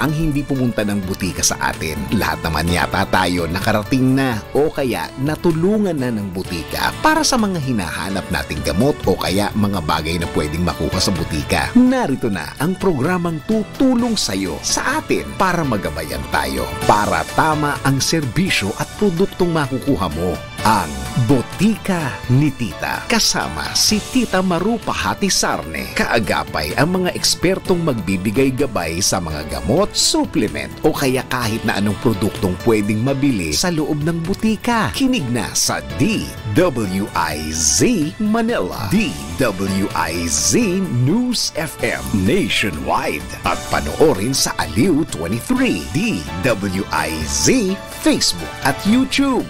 Magpagaling at magpa-healthy kasama ang Botika ni Tita. Okay, balik po tayo dito sa Botika ni Tita. Siyempre kasama pa rin natin Dr. Annbel D. Herrera. Doc, ah, kanina, eto nga pinag-usapan natin tungkol sa endometriosis na ang kailangan lang pala pahintuin yung pagreregla para maayos yan. Tapos kapag kunyari, paano malalaman kung ayos na yung endometriosis problem? Oh. Uh, Ma- nawala na yung bukol, gano'n? Yes. Mm-mm. Yes. Ah, ah, natanggal kasi na, kunwari, hindi na siya nagregla for about 6 to 9 months, Mm. o di papa-ultrasound mo, Mm-mm. papa-check mo kung nawala na doon, and then you wait for the um, hihintayin mo na magregla. Mm-mm. Ngayon, pag nagregla ka na, remember, kung um, willing or waiting to get pregnant this uh, this certain patient and a this certain woman kunwari may asawa siya they should try to get pregnant Mhm. ngayon fertility workup na yan kailangan mag-try magpursige magbuntis kung single naman na may endometriosis tapos nawala Mm-mm. well may option siya pag nagregla siya pwede pa rin siya mag-pills Mm. yung oral contraceptive Mm-mm. pills lang Pag bumalik yung regla Oo, niya. pag bumalik na yung regla. Until such time na gusto niya mabuntis. Mhm. Merong iba Tatanggalin na, lang niya yung pills. Yes, Oo, meron namang ihinto iba. pills. Oo. Merong na iba, maghihintay na lang. They can try to get pregnant on their own, maybe 4 to 6 months and see. Mm-mm. Eh pero, ang hindi nila maintay, yung matanggal, yung sakit. Kasi masakit yan, di ba, Dok? Sumasakit ang Okay. puson mo. Totoo yun. Oo. Um, this is not, um, how do you call this? Um, the most effective treatment for Mm-mm. removing. Of course, you can take medications. Yeah. All right. Pain relievers. Pain relievers, Oo. yes. But there is an exercise. Okay, they call it the knee chest position. It Mm-hmm. can help actually. You put your knees on your chest, nasa Mhm. katre ka, Mhm. tumutuwad ka. Ah, tutuwad ka. Oo. You're gonna face your bed. You're actually, yung yung tuhod mo, nandito na sa Mhm. dibdib mo, halos na yung puwet mo, Oo. nakausling ganon. Oh, It is okay. actually... Basta nakatuwad. Yes, you Mm-mm. try to do this 10 minutes every day, Mhm. particularly when you get your period, Mhm. so that instead of blood flowing back, Mm-mm. okay, you're trying to tilt it forward. You're trying to surgically also, hopefully, not surgically, non-surgically correct the uterus, Mm-mm. especially kung retroverted siya. Eh, papa- It may help. Oo. Eh, iba naman sabi, ipahilot daw, Dok. Totoo ba yun? Wala Totoo ba hilot-hilot? Wala akong experience dyan sa Oo. hilot. But, Diba, sabi nila, Yeah, ipa- ano sinasabi, raw, ipa- ah, itataas. Oo, oo, o itataas ibaba. daw, Yeah, actually, I don't know what they mean by itataas. Oo. Kasi pag in-examine mo, talagang makakapa mo kung maba kung kung in fact yung sinasabi nilang mababa Oo. I don't know what they mean by mababa kasi it's either ang matres mo nakaharap anteverted or nasa likod retroverted O, yun, pwede bang itulak yun nung nanghihilot para maging ah, anteverted? Ano ba dapat? Retroverted, anteverted? Well, anteverted, I had a retroverted ang uterus ko, but I Oo. had three pregnancies. Oo. So I didn't walang, have- walang hilot na nangyari Walang sa'yo. hilot. ano nangyari? Wala lang, pinabayaan mo Wala, lang. just let it be. Ah, And then, okay. uh, So, yeah, may nag-suffer ka discomfort. rin? Yes. yung pag meron ka menstruation, yes, yung in sumasakit? fact, Oo. na hysterectomize ako at the age of 43. Oh, wow. Because of Pero endometriosis. nakapanganak ka na? Yes, I had three Ah, children because of okay. endometriosis. But previous to that, may endometriosis ka na before having children? Or... Um, I, after, it's after. Ah, pwede bang ganun? Yes, you can you can get that. Kasi ilang years na siguro 7, 8 Mm. almost 8 years na hindi Mm-mm. ako na tapos hindi ako nagpipills. Ah, after okay. I delivered. Mm-mm, mm-mm. So I was just having the discomfort. Mm-mm. So at 43, ayoko ng mga injections at Mm-mm. saka wala pa yung mga usong mga pills ngayon na for directed for endometriosis. Mm-mm. The only best method at the time, conservatively, taking the pills would just be an ordinary birth control. Ayoko din nun. So, Ba't ayaw mo ng birth control pills? Iinumin lang naman, do. ah, hindi, matindi na eh. Masakit na. Ah, Oo. wala na ring effect. No effect. So, I had it Oo. removed. Ah, okay. So, kung kunyari, totally removed, wala nang pag-asa na magkaroon ng baby. No more, no Oo. more, no more. Once you remove your uterus, you cannot get pregnant. Mhm. Okay, remember that. Pero, But if kahit- you leave your ovaries Oo. behind, Oo. okay, why will you leave your ovaries behind when you have endometriosis when the problem is from the start your ovaries? Mhm. Okay? You can only leave those ovaries if, let's say, ang problema mo was the uterus. Mhm. Na pwedeng iwanan mo yung ovaryo doon. Eh Oo. ako, endometriosis na. So, tinanggal lahat. Ovaries, uterus. So, So, kung may ovaryo ka pa, nangingitlog ka pa rin. yes. Pero hindi ka mabubuntis. Oo, kasi wala nang paglalagay ng Wala baby na, mo eh. yes. Pero pwede mong i-harvest yung itlog na yon. Yes. Kung Tapos- gusto mo ilagay sa laboratory. Ay, yeah, tapos mag-surrogate. Pwede Oh, kang, wow! you can use that. Pero dito hindi pinapayagan ng surrogate, Surrogate. di ba? Oo. sa ibang bansa, kung gusto nyo. Yes. Oo. Mm-mm. Or pwede ba dito? Wala pa naman test tube babies dito sa atin, ano? Meron na ba? Ah, we have fertility centers Oo. that they do in IVF. Oh, okay. We have that. Mhm. Um, meron yan sa dalawa sa Makati. Mhm. Um, there's a hospital that does that. Meron here and Mhm. meron sa Cebu. Meron din Mhm. yun. They do in um, in vitro fertilization. Mm-mm. O pero ano ang dapat nilang matandaan tungkol sa endometriosis, Doc? Na parang ito ang ah, ah, meron bang mga pambaraan para maiwasan ito? O talagang darating na lang yan Mm-mm. sa'yo? Yes. Ah, kailangan mindful tayong lahat sa regla natin. Yung time, yung duration, yung frequency, at saka the symptoms that we feel. Mhm. I think yun lang. You just have to be mindful. And it also pays to see your OBGYN Mm-mm. at least yearly para may check-up. Yes, oo. Basta may problema sa regla, ah, dinudugo ng malakas, ah, or kumukonte yung pagregla, o isa pa yun, di pa natin napag-usapan yun. No? Anyway, Amenorrhea or yung- absence yung of? absence Oo, of oo. or yung amenorrhea, yung mga Mm-mm. irregular na hindi nagre-regla ng ah, buwan-buwan Mm-mm. ah, or is, taunan na lang ang regla. Yon, Mm-mm. iba yon. Iba naman yung sakit doon, no? So, kailangan mas conscious tayo. Mhm. Okay? Um, I think it's important right now because there are new technologies, there Yes. are new medications that can treat this. Mhm. Okay? Oo. And we should take advantage of that. Oo nga, ang swerte. At ngayon, eh, may mga makabago na mga pamamaraan. Pero wag natin pabayaan ang ating sarili. Pero wag ding matakot, di ba? You should not be Oo. fearful. Mm-mm. I was menopausic at the age of 43. Mhm. So I had all the symptoms of menopause. Nang maaga pa lang. Nang maaga. Mm-mm. Yeah, but But you- you're you- happy. you- I'm happy. Yeah. You have to go through life uh, happy. Yes, Diba? yes. Oo, tang- Remember, health and happiness always come together. Mm-mm. Kaya nga sabi ni Doc, be happy. Be happy. The Ayan. V happy. The three V's, ha? Oo. The vagina, the, vagina. vulva, and, the, vulnerable. The other one is virginity.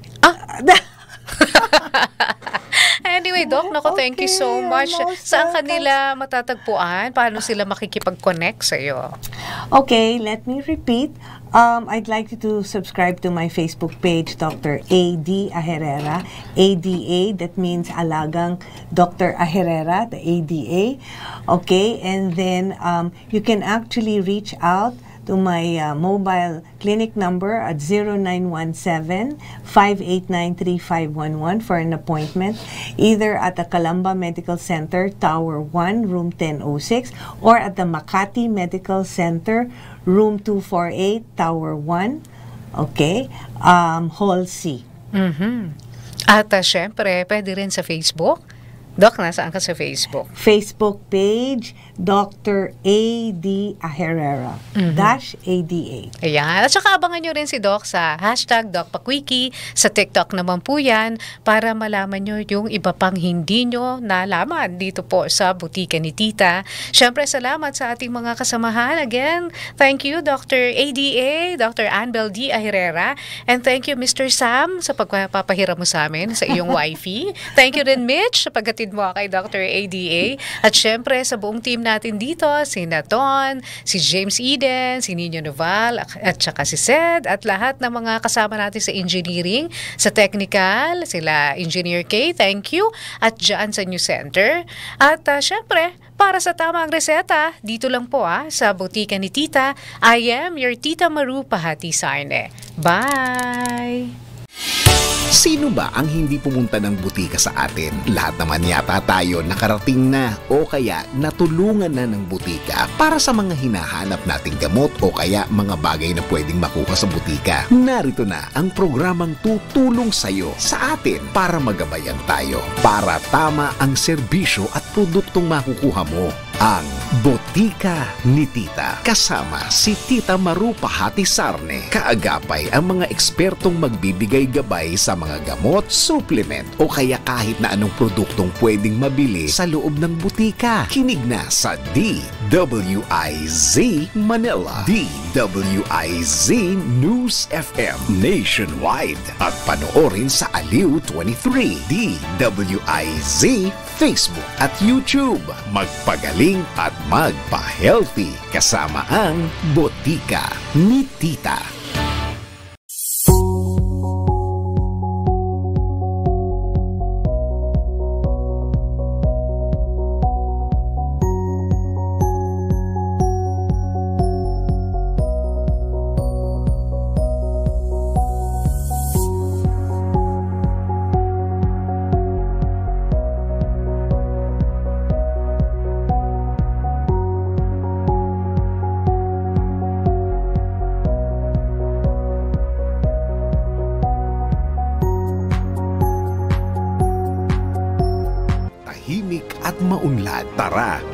Ka na sa programang may usapang pangkapayapaan, usapang pangkaunlaran sa Up Up Pilipinas. Usapang pangkapayapaan, usapang pangkaunlaran Pilipinas. Kasali ang lahat sa kwentuhang pambayan. Live na live sa DWIZ Manila. Live din sa Aliw 23 Free TV. At pwedeng i-follow sa lahat ng DWIZ Facebook, YouTube. At pwede ring mapanood sa DWIZ News app. Kasama si retired Brigadier General Jerry Samudio at ang batikang broadcaster na sina Andy Vital at Emil Carion. Up, up, Pilipinas! Usapang pangkapayapaan, usapang pangkaunlaran, Pilipinas!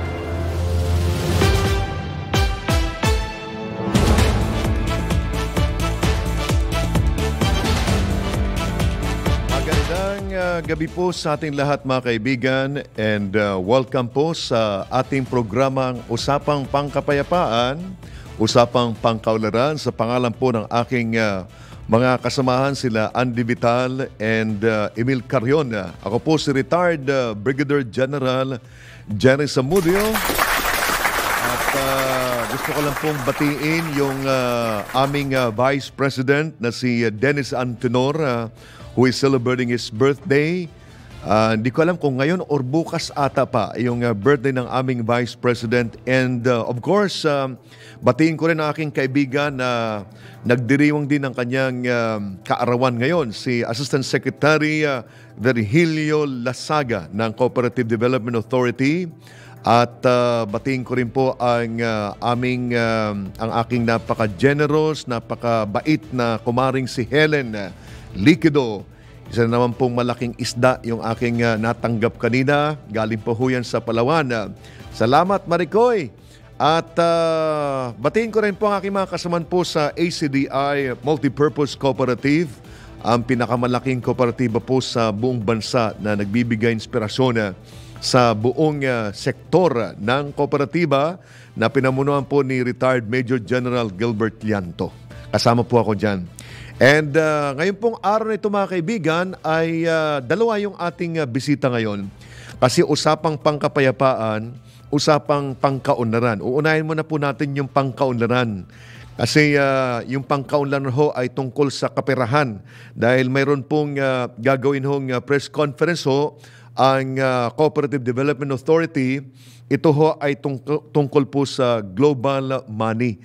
Kaya mamaya po ay makakasama po natin ang um, isa po sa mga uh, board of director at uh, head din po ng Finance Cooperatives Cluster ng uh, CDA si Assistant uh, Secretary uh, Irinco. And sa second part to ay uh, since uh, tayo po ay usapang uh, pangkapayapaan, yung security ang pag-uusapan natin naman, yung uh, tungkol po sa ating uh, tinatawag ho na, alam niyo ho yung uh, pinaka magandang pinag-uusapan na ho ngayon, yung uh, comprehensive uh, archipelagic defense concept. At makakasama po natin dyan si Dr. Renato De Castro. Okay, yan po yung ating dalawang uh, bisita na alam ko ho ay uh, magiging interesting po yung ating uh, usapan sa ngayong uh, araw ng Tuesday. Ano ho? Ngayon mga kaibigan ay uh, alam ko nandiyan na po si uh, Assistant Secretary Luz Irinco, ang uh, head ng uh, Finance Cooperatives Cluster ng uh, CDA. Uh, magandang uh, gabi ho sa inyo, uh, ma'am, and uh, welcome po sa ating uh, palatuntunan. Thank you. Thank you so much. Good evening, everyone. Uh, sa lahat ng ah, nakikinig at ah, nanonood ng programa. Magandang gabi sa inyong lahat. Yes, uh, Asek, uh, nabalitaan ko na ang ito ba yung C- ang CDE mismo ang mag uh, uh, sponsor nitong uh, tinatawag na uh, press con on Global Money Week. Uh, tama po ba 'yon, Asek? Ah, we are co-sponsoring kasi international ah, event ito Mhm. na participated by Aflatun International.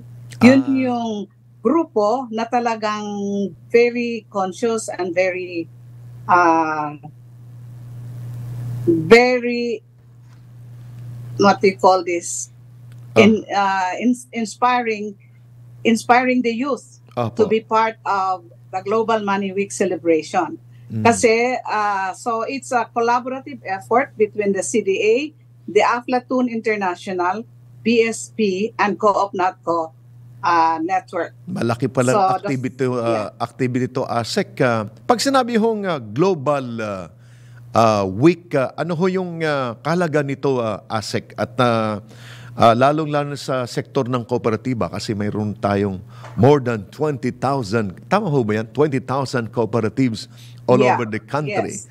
At uh, Yes. ang pagkakaalam ko, nasa 12 million ng uh, uh, kumbaga Members. members ng uh, kooperatiba sa buong Pilipinas.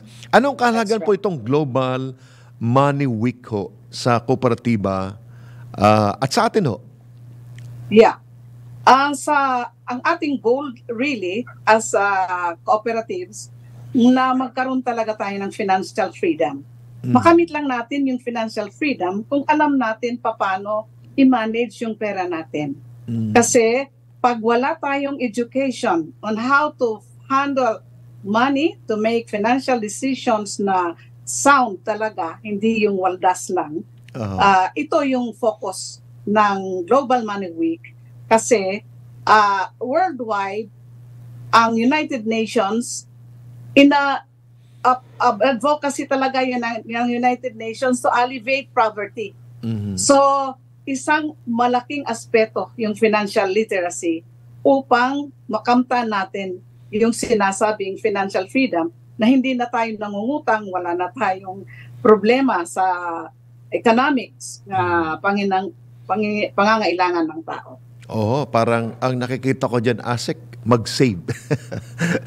Mag-impok. ah, lalo na sa ating kooperatiba, halos ah, karamihan sa mga kooperatiba natin ay um, engaged into ah, savings and ah, loans ah, na Precisely. ah, activity ho. At ah, yan po ay under ho sa inyo, ah, ASEC, ano ho. So, ah, ano naman ang dapat asahan sa darating na Global Money Week na ah, press ah, conference na na isasagawa ng CDA at um, ah, may mga pangalan na ho ba tayo ng mga invited na guest dito, ASEC? Yes. Meron tayong mga guest speakers kasi in the morning, uh, there is going to be uh, literacy sessions Aha. that will include panel discussions on how to manage your money. And uh, we have guests from uh, Ang alam ko dyan ay Central Bank, di ba? ang isa Yeah. sa mga speaker Oo. dyan. Ano? We have uh, from Microfinance Insti- Institution of Lao, Mhm. uh, Deputy Chief Executive Officer, si Bonta Bulum, si Aha. Silvia Paraguya, CEO ng NATCO Philippines, Jeffrey Navarro, yung country manager ng Visa Philippines. We have Mario De, De Riquito, President of uh, BDO Foundation Philippines, and James Arthur, Operations Manager of Children International Manila, Philippines. However, there are a lot of uh, young people that will be uh, speaking about how they manage their money and how they plan their finances in such a way that they are going to secure the future. That is the theme of this year's Global Money Week celebration. Okay. Ah, Protect your money, mhm. secure your future. Tama yan. because also nowadays there are a lot of scam Mhm. that is happening in the digital uh, payments and Ah. digital access to Oho. financial services. Kasi so baka- tatalakayin din yon. Oho, kasi Paano i-protect ang pera na mahirap talagang ah, kitain pero madaling gastusin at madaling may scam.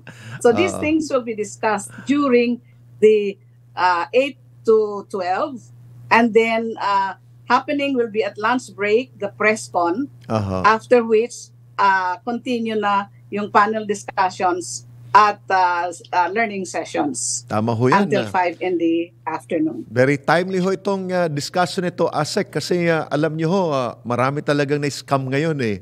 Especially doon sa mga uh, kabayan natin na gusto kaagad kumita.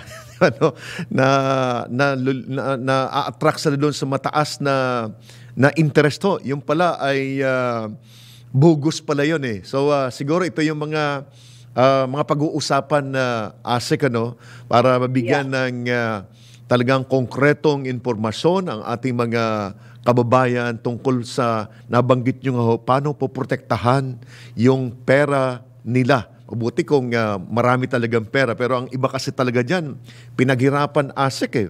Dugot pawis talaga yan eh. Kaya nakakawa naman na pagkatapos na ito ay pinaghirapan nila, ay mapupunta lang sa wala. Kaya dapat talaga may tamang guidance. At yung guidance na yon ay nanggagaling po sa mga eksperto ho para hindi sila mapariwara. At maraming salamat dyan, uh, ASEC, sa inyong uh, project. Pero may tanong ko ngayon, bilang kayo po ang head ng uh, Finance Cooperatives Cluster ng uh, CDA, uh, alam ko ang hawak po ninyo lahat ng uh, mga kooperatiba na uh, engage ho into uh, pagpapautang at uh, pag-iimpok. Uh, di ho ba, ASEC? Uh, kumusta na ho? Ano mga latest Yes. ho ngayon? Ang mga pagbabago ho? May mga maganda bang balita ho, ASEC? Yes, there's there's a lot of things that are happening happening now at CDA. Mhm. In fact, last Monday, uh, nilaunch nag-launch tayo in-institutionalize na natin Mhm. yung celebration ng Global Money Week sa CDA. Tapos, uh, with it is the Financial Literacy Program na i-roll out natin sa lahat ng kooperatiba ng Pilipinas. Um, malaking milestone ito pag talagang na-educate natin yung mga tao natin. Ah, paano mag-save, paano i-handle yung pera nila, paano mag-invest, at paano i-protect din ang kanilang hard-earned money.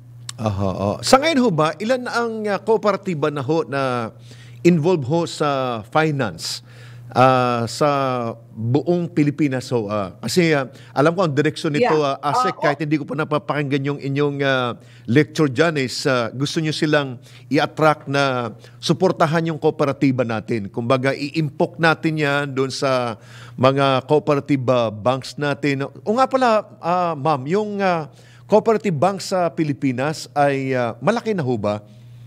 Yes, included din yan sa cluster ko. Aha. Uh, there are 300, I think, Uy, cooperative banks in the Aha. Philippines. And uh, 80% of the cooperatives in the Philippines are engaged in credit and, savings. Savings, ho. operations. Alam ko ho Ah, yan. Oo, oo. So, ah, ah, di ho ba may plano na amyenda no, yung ating ah, ah, code ho, yung ating ah, cooperative code? Ah, Mayroon ho bang mga ah, mayroon ho bang ah, mga ah, ang tawag ho dyan, ah, mga ba- mga ah, provisions ho ng ah, ating cooperative code na babaguhin para tuluyan ho talagang makatulong para po sa ating ah, ah, kooperatiba, ah, cooperatives involved or engaged in ah, credit and ah, savings. So, kasi one time ho, nakausap ko po ah, ASEC si ah, ah, Governor, former ah, Governor ah, Obit Pagdanganan na alam ko ay naging ah, chairman din ho ng ah, CDE nung mga kapanahunan niya. At ngayon ay active pa rin ho sa ah, kooperatiba. Ang nabanggit niya sa akin na ASEC ay ah, ah, may mga bangko tayo, mga cooperative banks tayo, pero ah, yung ah, yung ah, mga kooperatiba natin ay mas nag ah, iimpok ho sila, nag ah, nag-save sila sa mga commercial bank. So ang ah, kanyang komento ah, ASEC is kapag yung pera ng kooperatiba dinala mo doon sa mga commercial banks. So ah, yung pera natin, yung pera ng kooperatiba, ipapautang doon sa mga commercial na mga institusyon, mga negosyo. So parang ang nalulungkot siya na ang liit-liit na nga ng pera ng kooperatiba, tapos iniimpok natin doon sa mga commercial banks, ipapautang naman doon sa mga malalaking ah, kapitalista. So ah, ano ang plano ho natin yan para at least talagang ah, yung pera ho ng kooperatiba ay ah, magamit natin para i-prime up natin yung ah, magandang ah, proyekto, programa ng cooperative sector ah, ASEC. Thank you. Thank you sa pagbanggit mo niyan. No, because really it's sad.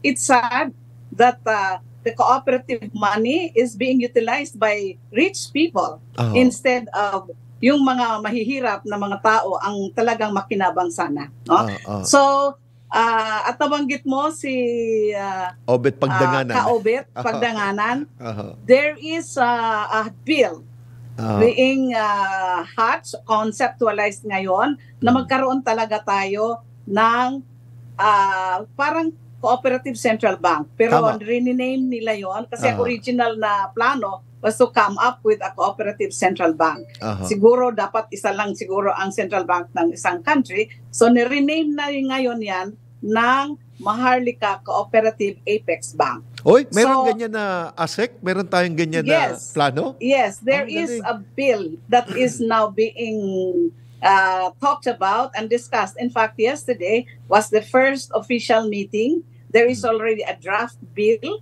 and uh, we are really very happy with that kasi ang pera ng bayan plus ng pera ng mga kooperatiba ay ipunin doon. At ang sisibisyuhan lang niya ay talaga yung mga kooperatiba. Oh, kasi So, nakausap ko rin na ASEC si uh, Father Anton. Oo. at uh, alam ko ay isang institusyon na rin yan at isang uh, icon ho sa cooperative movement. Kagaya po yan nila uh, Major General Gilbert Llanto, yung aking boss na siya pong tumatayo din po ng president ng National Alliance of Cooperatives. Nabanggit niya na sa Spain daw ho ay yung uh, uh, ano yung grupo doon na na talaga Mondragon. Mondragon, yes. Oo, sabi niya, ah, General, ah, kinakailangan minsan na gawan nyo ng, ah, ang sinasabi niya is ah, kung magagawa ng paraan na kayo ay makapag-travel kayo ng Spain ah, at ah, makita nyo kung paano ka-advance yung ah, cooperative movement sa, sa Spain daw na yung That's mga right. polisiya ng gobyerno ay ah, nagagaling talaga sa kooperatiba kasi napaka ah, napaka-vibrant ng ah, movement nila at ang pautang doon para nabanggit ni Father Anton ay 2% lang yung interest eh. So tama ho yan na ASEC na ito ay nasa radar na natin na, na That's magtayo tayo ng ah, kumbaga hindi man central bank kasi dapat isa lang yung central bank but ah, isang ah, policy o isang bangko na ah, siyang ah, magbibigay ng ah, polisiya para sa mga cooperative banks para yung pera natin ay magamit at mag-circulate talaga doon sa sektor natin. At ang pwedeng gawin ng gobyerno ay dagdagan para yung mga micro ah, cooperatives natin sa micro cooperatives natin po doon sa agricultural sector ay talagang mabuhay ASEC, di ba? Yun ang kinakailangan eh. Yung ma- True. Oo. Oo. Mm. At uh, in, i- i- it's a matter of time that uh, ang lahat ng mga pangarap natin na talagang makatulong tayo sa naghihirap ay talagang magawa na ng kooperatiba. Yun ang uh, magandang balita. In fact, uh, I was in Congress this uh, afternoon uh, talking about financial literacy. Mhm. At in-include ko na talaga, um, may mga suggestions ako na i-include talaga ang mga cooperatives, lalo na ang cooperative banks, when we talk about uh, services to the marginalized. Tama ho yan. Inclusion kasi yung bill na tinakol namin. Sabi ko, we're already there. You include us. Mhm. Kasi lahat din naman ng mga benefits uh, avail kung included tayo sa law. Tama ho yan. Ah, so, ah, ma- mag- mag- magagampanan din natin more than what we are doing now. Yeah. So, na-appreciate din ng na-appreciate din ng mga congressmen na totoo totoo naman talaga na Aha. yung mga plano ng gobyerno ay maganda sa papel Mhm. pero hindi siya nag-trickle down to the grassroots. Tama ho yan. Kasi walang infrastructure na pupunta doon. Tayo lang. Tama Tayo ho. lang mga kooperatiba talaga. Aha. Kasi yung yung puso natin ay talagang nandyan. Tama ho. Ah, hindi tayo pera-pera lang. Tama. Yung, orientation. kapakanan talaga Oo. ng mga mahihirap yung ating tinutukan. Oo, yung And that is happening, I believe. Tama ho. So ah, kami po ah, ASEC ay nasa inyo pong likuran and sana ho maipasa ho, maipasa ho yung ah, batas na yan na magkikreate tayo ng ah, parang ah, parang central bank na siyang mag-govern doon sa mga bangko na pag-aari ng kooperatiba para ang ating mga maliit na kooperatiba ay meron po silang pag-uutangan at sila ay maka-take off naman sa kanilang mga programa at mga proyekto. Especially ho doon sa nasa production side, nasa marketing side, nandoon ho sa logistics side ng uh, ating kooperatiba, agricultural sector or agricultural cluster ho. Kasi na obserbahan ko yan ASEC eh. Bibili ka ho ng uh, ah, langka dito po sa parte ng ah, ah, dito sa may paanan ho ng Tagaytay. Ang ang langka ho ay nasa mga 25 pesos lang yung hinog. Pagdating ho ng Manila, 125 pesos na ho. Look at that. Exploitation, really, of farmers. See? so kailangan i-capacitate ho natin, palakasin ho talaga natin yung kooperatiba para ma-bypass natin yung ah, middleman na yan at ah, yung distribution system natin ay maging maayos, ASEC. At alam ko, ang makakagawa niyan ay kooperatiba ho talaga. Naniniwala ko dyan. Mhm. Nananawa, naniwala kami dyan, ASEC. So ASEC, ah, maraming salamat ho. Baka mayroon pa kayong gustong ah, ibigay na announcement para po sa ating mga kabayan, especially ho sa cluster na inyo pong pinamumunuan na ASEC, ah, ASEC ah, Irinco. Ah, thank you. So, malaki ang changes na nangyayari ngayon sa cooperative sector. Mm. Ah, meron na tayong permission to import directly ah, ah, farm inputs like fertilizers na sobrang mahal. Oo. So, directly yung cooperatives mismo ay pwede nang mag-import para yung yung middlemen na siyang nag ah, nag at take advantage sa sa mga farmers ay makat na yon. Tayo na talaga ang magsiservisyo sa kanila. And then on the finance ah, cluster side, maganda yung mga nangyari doon sa amendments like ang pinoproblemang lalo na sa mga microfinance ah, I mean micro co-ops na hindi pa naka-take off at itatax na. Hindi na mangyayari yon kasi ah yung amendments na pinasa sa Kongreso ay tinaas pa yung threshold bago ka matax.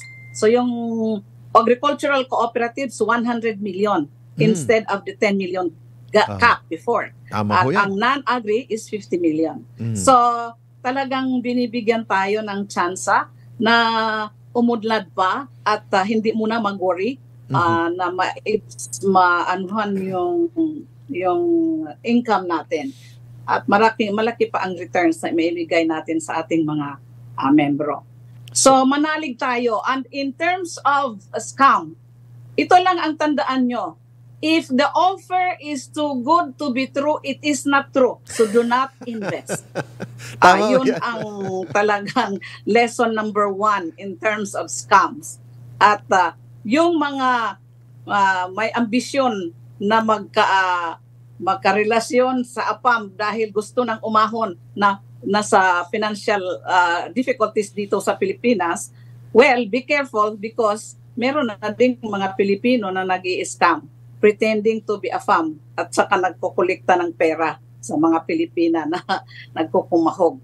So, uh, these are things that uh, will really, and then there is, uh, there are already fillers Mhm. from uh, other countries Mhm. like uh, Thailand, uh, Taiwan, big countries, Australia, that they are going to recruit.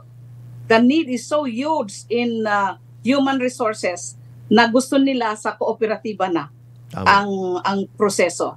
So in other words, we cut again yung mga scammers in terms of the OFW use placements, uh, i-direkta na sa kooperanapan na mm, talagang ma-recognize tayo, makita ang co-op difference and they will patronize now the cooperative and the respect that we deserve.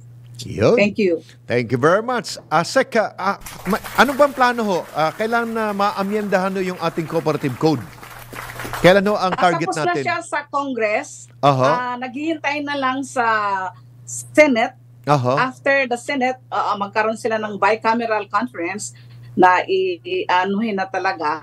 Ah, kasi yun ang priority bill ni President. Presidente. Diba? Okay, apo. Na maayos na Pero talaga this year ho, ngayong taon ho para- ba, ay maipapasa ho yan ngayong taon?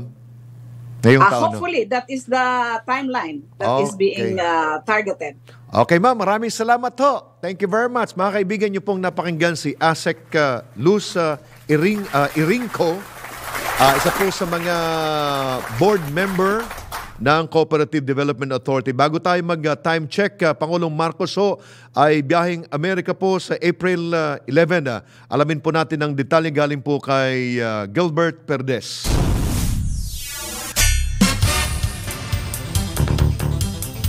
Biyaheng Amerika si Pangulong Ferdinand Marcos Jr. sa Abril 11 ngayong taon sa kalatas ng DFA na inilabas ng Presidential Communications Office.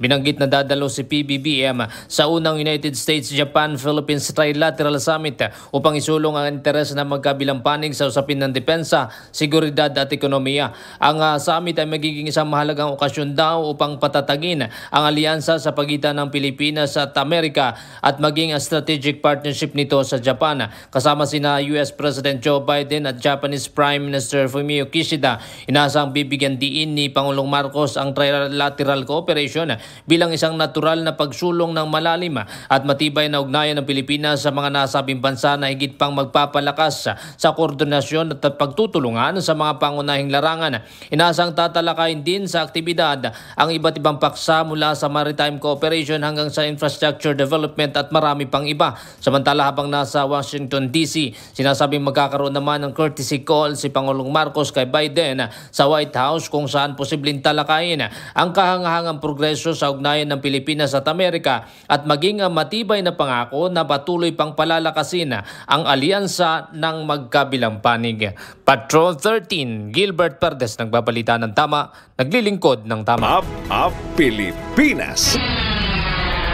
Maraming salamat, uh, Gilbert uh, Perdes. Uh, oras po natin mga kaibigan, we have 29 uh, minutes after 7 o'clock in the evening. That time check was brought to you by Bingo Plus. Bingo sa saya, plus sa panalo. Download Bingo Plus app now on Google Play or Apple App Store. You can watch our live draw via Bingo Plus website www.bingoplus.com. Sa Bingo Plus, bingo sa saya, plus sa panalo.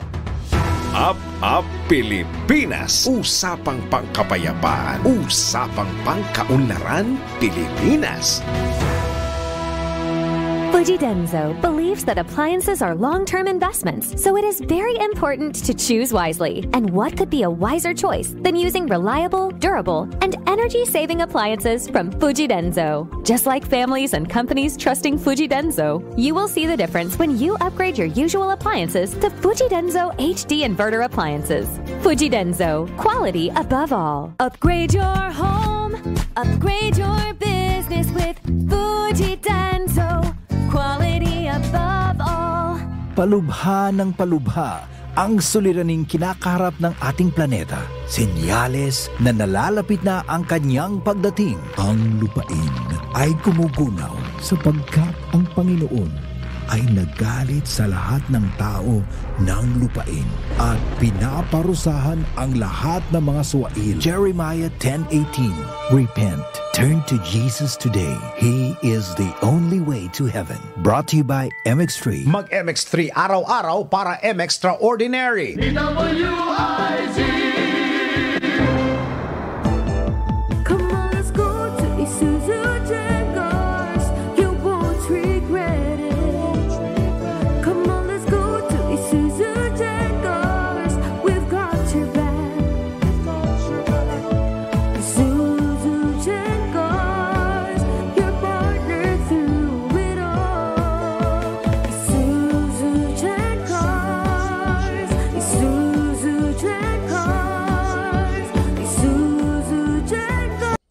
Picture a place adorned with lush greenery, gently swaying trees, a haven where time seems to stand still. Eternal Gardens provides a sanctuary for remembrance, a place where the memories of your loved ones can bloom forever. Eternal gardens, a glimpse of heaven on a patch of earth. Fuji Denso Home and Commercial Appliances. Upgrade your usual appliances to Fuji Denso HD Inverter Appliances. Upgrade your home. Upgrade your business with Fuji Denso. Quality above all.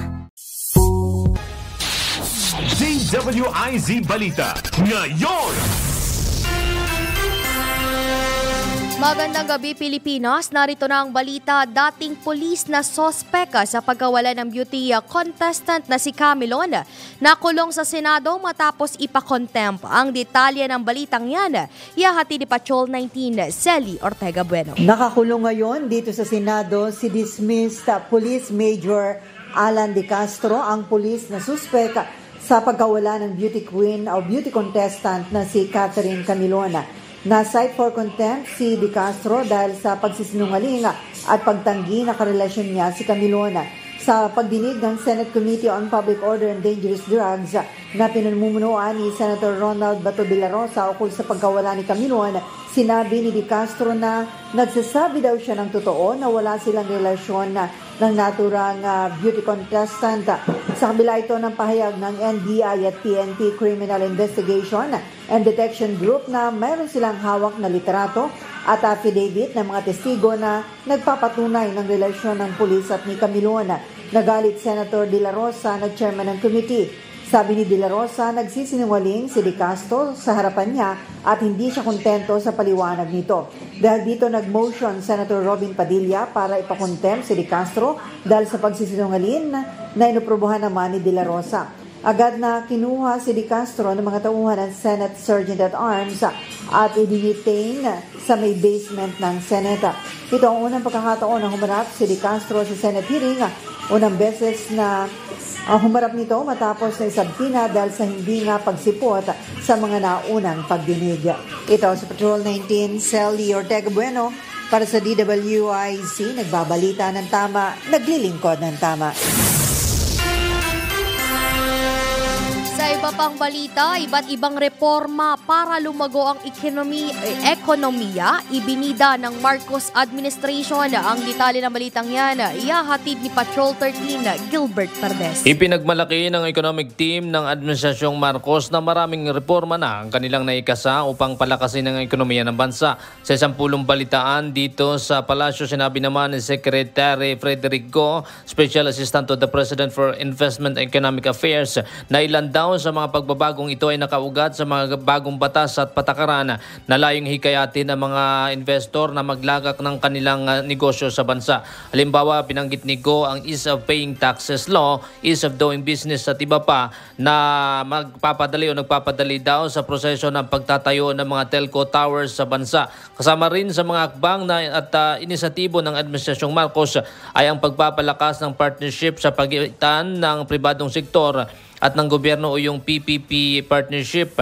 Binigyan din ng uh, opisyal na marami ng mga naikasang uh, pagbabago ang Administrasyong Marcos upang lumikha ng magandang environment para sa mga negosyo sa bansa at marami pang plano na nakalinyang gawin. Patron 13, Gilbert Pardes nagbabalita ng tama, naglilingkod ng tama.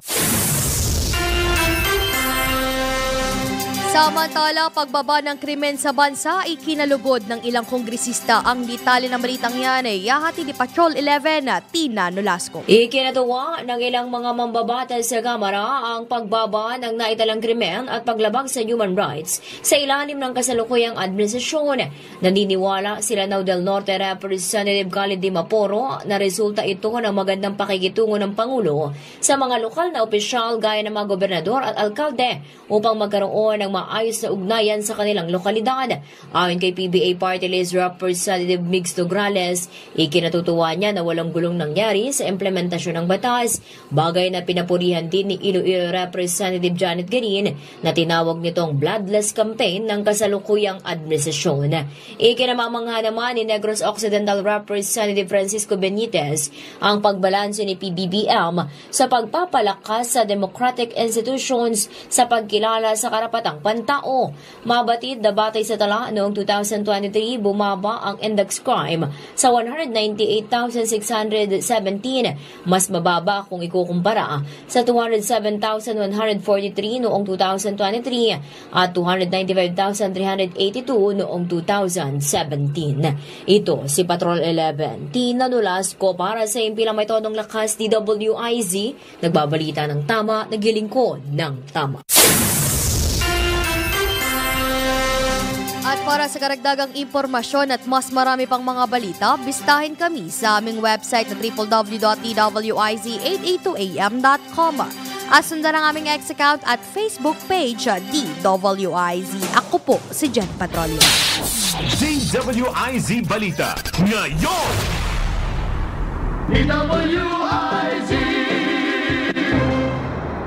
Kasama si retired Brigadier General Jerry Samudio at ang batikang broadcaster na sina Andy Vital at Emil Carion. Up, up, Pilipinas! Usapang pangkapayapaan. Usapang pangkaunlaran, Pilipinas.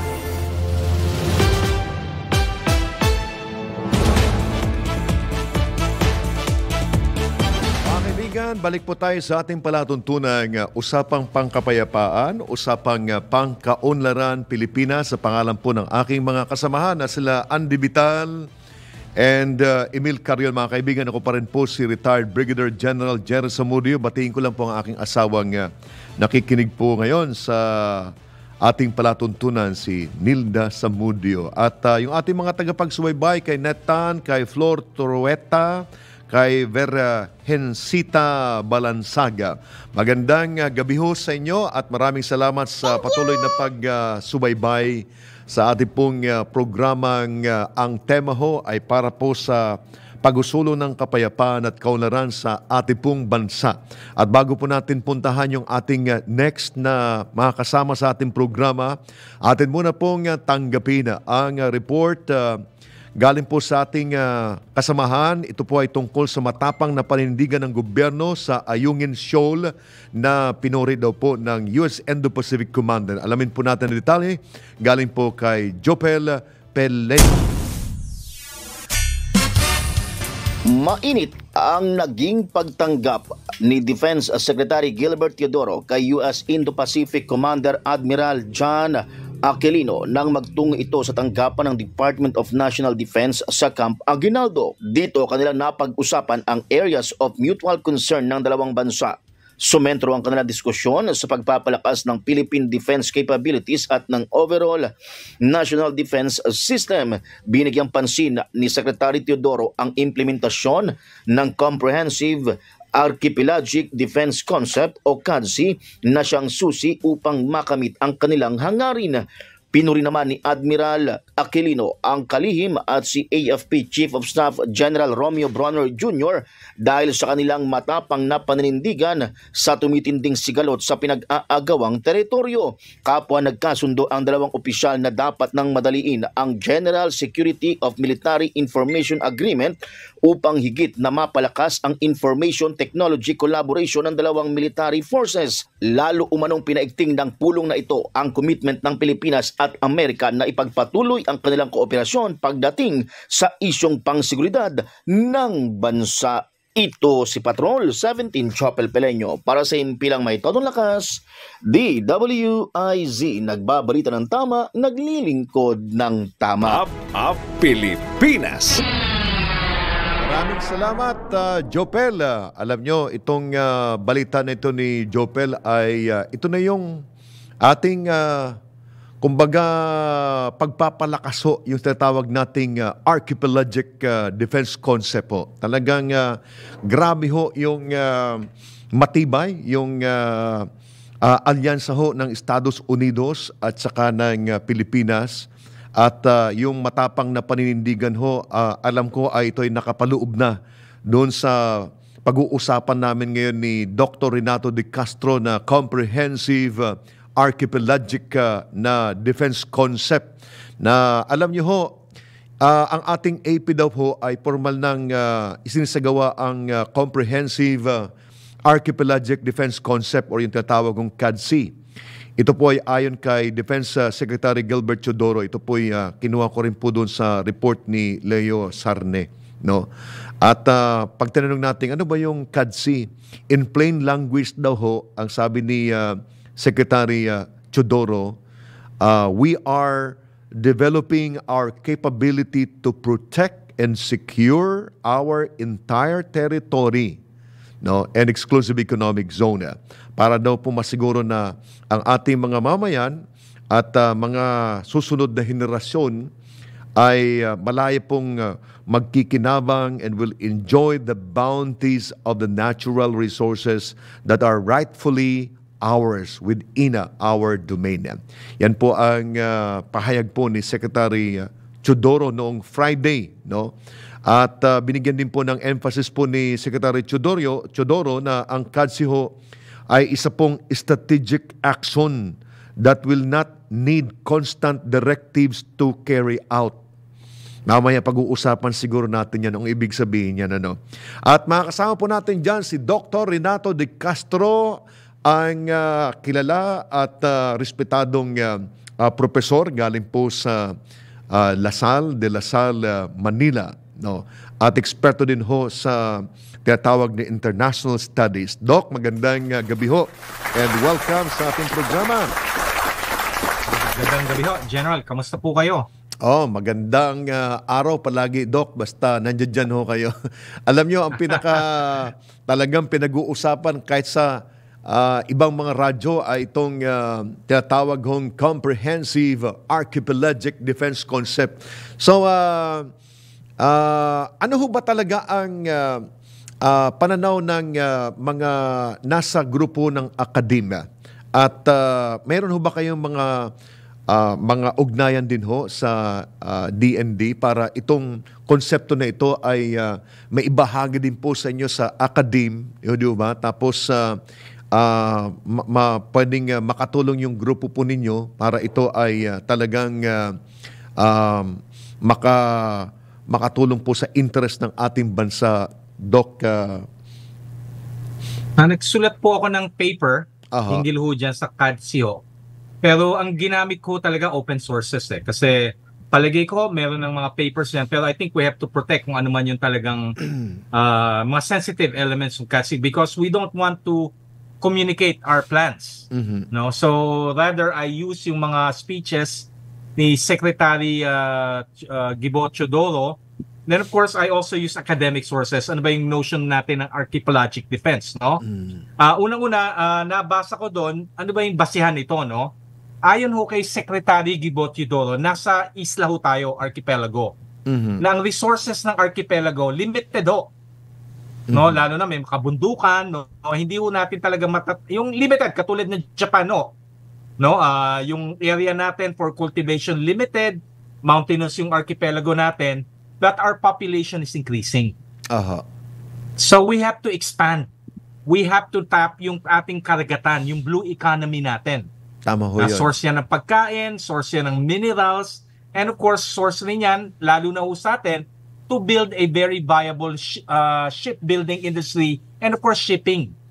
Tama no? yan. So nandyan ho ang kayamanan sa ating karagatan. Mhm. So ang direction ho niyan is, kumbaga isipin ho natin yung circle. Palabas yung circle mula doon sa island natin, lumalabas yan papunta sa ating karagatan.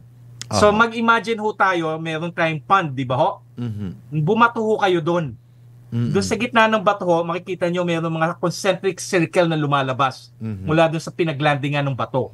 Aha. Ganun ho yung konsepto natin ng archipelagic defense. Lalabas ho tayo doon sa isla ho natin, papunta tayo doon sa karagatan. Tama ho yan. No, it- At ang so it's kinakailangan dyan, Doc, ang tingin ko talaga is whole of nation approach. approach. Ano ho? oh. And of course, recognizing ho yung tinatawag no, pag nasa Navy ho ko, ah, yung mga kating, ah, s- ah, kumbaga mga Marines natin at ating Mm. mga ka, ano ba term natin? Hindi naman kasandaluhan ho yan eh. Ah, s- mga Navy, Navy o... mandaragat, mandaragat.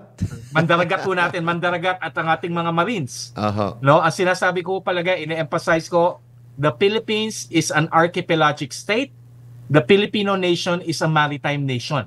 Makita man ho natin sa ating kasaysayan at nakikita ho natin sa mga seafarers ho ngayon. Tuwing nagbibiyahe ho ko pap- palabas, lalo na pag pumupunta ako sa Netherlands, so mga kasabay ko yung mga seafarers. Mhm. No, tayo ang largest. So nandun ho, nasa, kumbaga, nasa, I don't want to belittle again, pero I will use it in a very figurative manner ho, nasa DNA natin. No, unfortunately ho, for the last so many years, nakafocus lang tayo sa internal. No, mga internal problems, no. Hindi tayo tumitingin sa labas. Aha. No, so ang ano ng archipelagic defense, so isipin natin yung metaphor, nagbato ho tayo doon sa isang quiet pond, pero makikita natin yung concentric circle palabas. So palabas tayo doon sa ating mga is sa mga isla lalo sa main Luzon, papunta ho tayo doon sa exclusive economic zone natin na itatap natin yung wealth. Tama Ayon na ako kay Secretary Gibot Teodoro, no, uh, every Filipino corporation, mangingisda, or any entity na bibigyan natin ng karapatan should exploit the resources there. Tama ho yan. Pero ang maganda rin ho sa CADSI ho, na dito pumapasok yung elemento ho, no, pag tinatawag natin strategic plan or strategy, every strategy talks of the fact na meron kang threat. Mm. May challenge ka. Mhm. So ganyan no, uh, when you talk about strategy, because strategy is actually linked with military. Although hindi pa ho ginagamit ng ating DND yung strategy. Ah, pero yung, yung salita kasi na concept dapat ay maibahagi ito sa atin sa sa media ano ho. At ah, alam ko Oo. mayroong mga part doon na for ah, public ah, consumption. At of course yung mga military na aspeto ay that is for internal ah, consumption ho ng Department of National Defense. But ah, when we uh, talk about uh, whole of nation approach, dapat uh, ma-articulate natin na ano ho ba yung magiging responsibilidad ng ibang ahensya ng gobyerno, especially ang uh, DILG? Kasi ang pinag-uusapan natin is comprehensive uh, archipelagic defense concept. So uh, hindi naman na talaga military ang uh, kina- uh, kinakailangan lang dito. Talagang uh, lahat tayo ay makialam. So, uh, kinakailangan yung mataas na awareness ng ating mga kabayan. So, ito siguro yung mga pwede nating hingin sa DND ngayon, sa Department of National Defense. Anong share ni uh, ni uh, Dr. Renato de Castro dito? Anong share ng media dito? Anong share ng uh, mga mangingisda natin dito? Di ba? Dapat may spell out natin, ma-define natin ito para yung sinasabi ni uh, Secretary Gilbert Chanero na ito ay hindi na kinakailangan ng constant directives para i-carry out. Ibig sabihin, para ma-institutionalize, di ba? Maging uh, Yeah, oh, pero, na parang ah, pero sa nasa... academic ko, kaya binibigyan ko kumbaga ng theoretical basis. So, Aha. ayun ang role namin eh, to give it a twist. Ah, lalo na, ah, nagtuturo ako ng geopolitics, no? kaya Aha. nag-umpisa ako doon sa aspeto natin na dapat intindihin natin to sa aspeto ng ating geography. Tama ho. na tama. archipelago ho tayo at uh, Ah. ganun ho, no? At Ah. ito ho yung element, of course, ah, dito na ho pumapasok yung aking academic ho, no? Mhm. Academic. Pag nagtatalk ho tayo ng strategic issue strategy, ibig sabihin ho niyan, it's directed against, let's be honest about it, no? Mhm. Meron tayong kalaban. Tama ho. Meron tayong Agree. threat. Agree ho. At Oh. nakalagay rin ho dun sa archipelagic, no? Of course, diniscuss din ho ni Secretary Gibo, very open siya dito, hindi natin ma-exploit yung resources natin sa karagatan dahil may kang makapangyarihang bansa dyan na inaangkin ho. Mhm. Lalo na ho yung exclusive economic zone. And he's very honest. Mhm. No, sinabi niya, it's China. No, sinasakop ng China. Tama ho. Yung Alam ano naman na, ho yan. Oh, piniprevent tayo, of course, na for example, i-survey natin yung lead bank Mhm. na hinarang nila tayo. No, ah nilalagay nila ho dyan yung mga maritime militia nila, yung coast guard nila, yung mga isla na within our exclusive economic zone, nilagyan ho nila ng mga artificial islands at nilagyan nila ng bases. Aha. So, minention rin ho yan sa speech ni Secretary Gibo Chidoro. Mhm. No, ayan ho kasi ang element. No? This is something we have to understand. Kumbaga, pag ang yung strategy ho, pag okay, kaya boksingero ho kayo, like katulad ni Pacquiao ho, Aha. pag nagpa-practice ho dyan, iniisip niya, sino ba yung kalabang ko? Mhm. Si Marquez ba? Oo. Si sino po ba yung mga si Morales? No, conforme dun sa height. So, ganyan ho sa gera di ba? Pag may kakaroon tayo ng war planning ho, Oo. mil- military exercise, you always have to, let's be honest, we have to see na meron tayong hypothetical threat or enemy. Oh, at saka dinidefine natin yung mga worst case mga scenario at saka Scenario. nagde-develop tayo ng ah, ng ah, ah, kumbaga scenario 1, scenario 2 hanggang ah, hanggang ah, maisip nila. Ganun Oo. naman talaga yan eh. Pero ah, Tapos, yeah. Tapos eh, ano ho natin, ano ba yung konsepto ng archipelagic defense, no? Hindi yan original sa atin, no? mm, Ah, dinidevelop po yan ngayon ng mga ilang American military experts, no? Yung ano yung konsepto ng archipelagic defense. Again, tignan natin sa military. aha. So pagdating sa archipelagic defense, yung isla ho, again, nagiging concentric circle yan, nandun nang gagaling, palabas yung military force mo. Mm. I-deny mo yung kalaban mo para ma-occupy yung either coastal area mo o straits. Tama yan. Alam mo, Tama, ang oh. nakikita ko dyan, Doc, ah, sa militarya, no? Ah, kasi ito, wal- hindi pa naman ako nakapag-attend ng mga ah, formal na mga briefing galing sa ah, AUP at saka sa DND. But ah, ah, from the ah, title alone, yung Comprehensive Archipelagic Defense Concept na sinabi ni Secretary Gibo Chodoro na ito ay ah, ginagawa na ng AUP ngayon. Baka ang nakikita ko dito talaga ay yung ah, mag-shift na tayo from internal security operations to ah, territorial. Ibig sabihin yan, doon sa planning natin, doon sa roadmap ng air sa ng army, yung ah, flight plan ng Air Force ay i-define na talaga natin na ano yung ah, ano yung pa- role ng Air Force, ng Army, ng Navy, ng Coast Guard kung uh, whole of government approach o yung iba pa mga government agency para maprotektahan natin, ma-defend natin yung uh, ating uh, uh, archipelago. Pag sinabi natin uh, yung teritoryo natin na Doc, di ba, hanggang contiguous uh, zone ba yun? So, hanggang oh, doon lang, eh, hanggang doon lang contiguous, sa eh, territorial 350 nautical miles. 24 nautical miles. Oh, that's- Tama, Pal- kasi so ang ano again, isipin ho natin yung bumato ka dyan, yung concentric circle palabas. tama oh, kasi so 12. ganun din ho ang projection ng armed forces natin. Aha, So aha. yung military dimension ho ng again, in-quote ko lang ho si Secretary Gibochi Toro, the AFP could project its capabilities outside. Tama. Palabas ho ng mga islands natin papunta ho.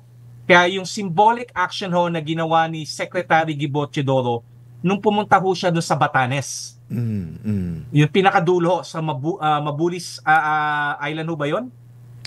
Ah, Ah, yes. ah. actually, so sabi tinatawagan ko si ah, Director Andulong sana para at least ma-discuss yung mga nitty-gritty, yung mga detalye na for public consumption lang. Kailang alam ko is ah, busy asa busy pa ata si Sir kaya hindi pa tayo Dalawang mapagbigyan. tigalasal ho ang imbitahin nyo. Kasi si si ah, si Director Andulong eh graduate ho. We're Lasal proud to din, say ah. that uh, a Doc, graduate of standby lang muna. Tayo mag-time check lang muna. We have 55, uh, 54 minutes after 7 o'clock in the evening. This time check was brought to you by Arena Plus. Sa Arena Plus, astig sa sports. Download Arena Plus app now in App Store or Google Play. You can watch it also on arenaplus.ph. Up, up, Pilipinas. Usapang pangkapayapaan. Usapang pangkaunlaran, Pilipinas. Prepare delightful dishes every time with Technogas Technique appliances. Experience excellent cooking results with Technogas Technique's premium selection of cooking ranges, range hoods, built-in hobs, ovens, and kitchen appliances. Technogas Technique combines elegance, functionality, safety, and durability to enhance your skills and passion for cooking. Make Technogas Technique your cooking partner and fill your kitchen with appliances made to last. That's the Technogas Technique. Ako si Angel Lino Salvatierra, 53 years old, isang pastor dito sa Palawan. I am honored to be God's instrument in sharing His gospel. Tulad ng MX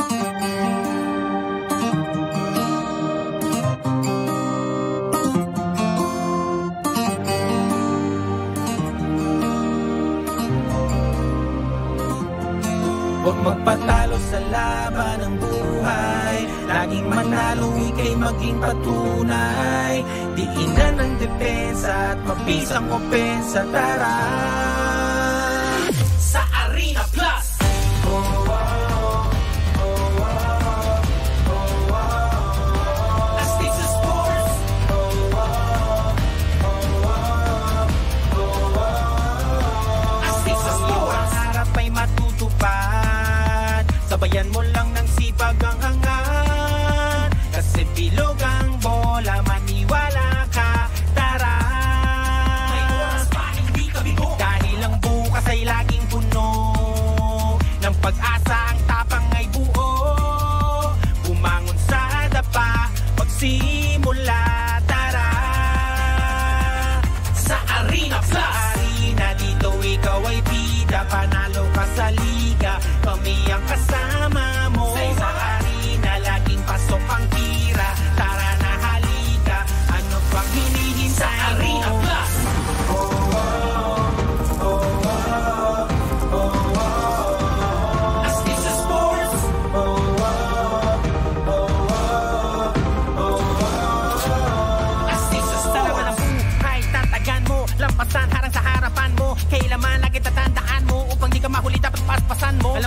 Naiiwanan ng mga mabagal. Tumakbo ng matunay na tumili ka sa tapat Awiin ang mga balakid na nakasagabal At burahin mo dapat sa isipan ng umangal. Stand up, man up, no need for recourse. Face to face, show them who's the boss. In this game called life, there ain't no remorse. And sa tiiwi na kami as sticks sa sport Stand up, man up, no need for recourse. Face to face, show them who's the boss. In this game called life, there ain't no remorse. And sa tiiwi na kami as sticks sa sport na dito ikaw ay bida. Panalo ka sa liga. Kami ang kasama mo. Sa laging pasok ang tira halika.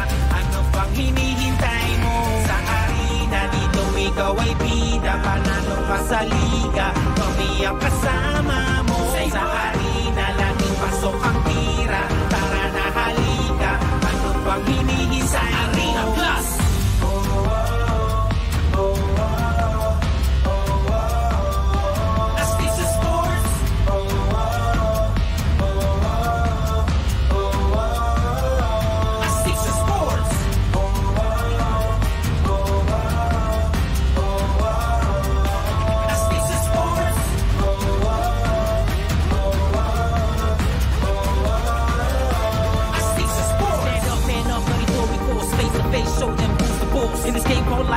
remorse. And to the arena, kami Astisa Sports. Stand up, man up, for recourse. Face to face, show them who's the boss. In this game called life, ain't no remorse. And to the arena, kami Astisa Sports. Sa arena dito, ikaw ay bida. Panalo ka sa liga. Kami ang kasama mo. Sa arena, laging pasok ang tira. Tara na halika. Ano pang hinihintay mo?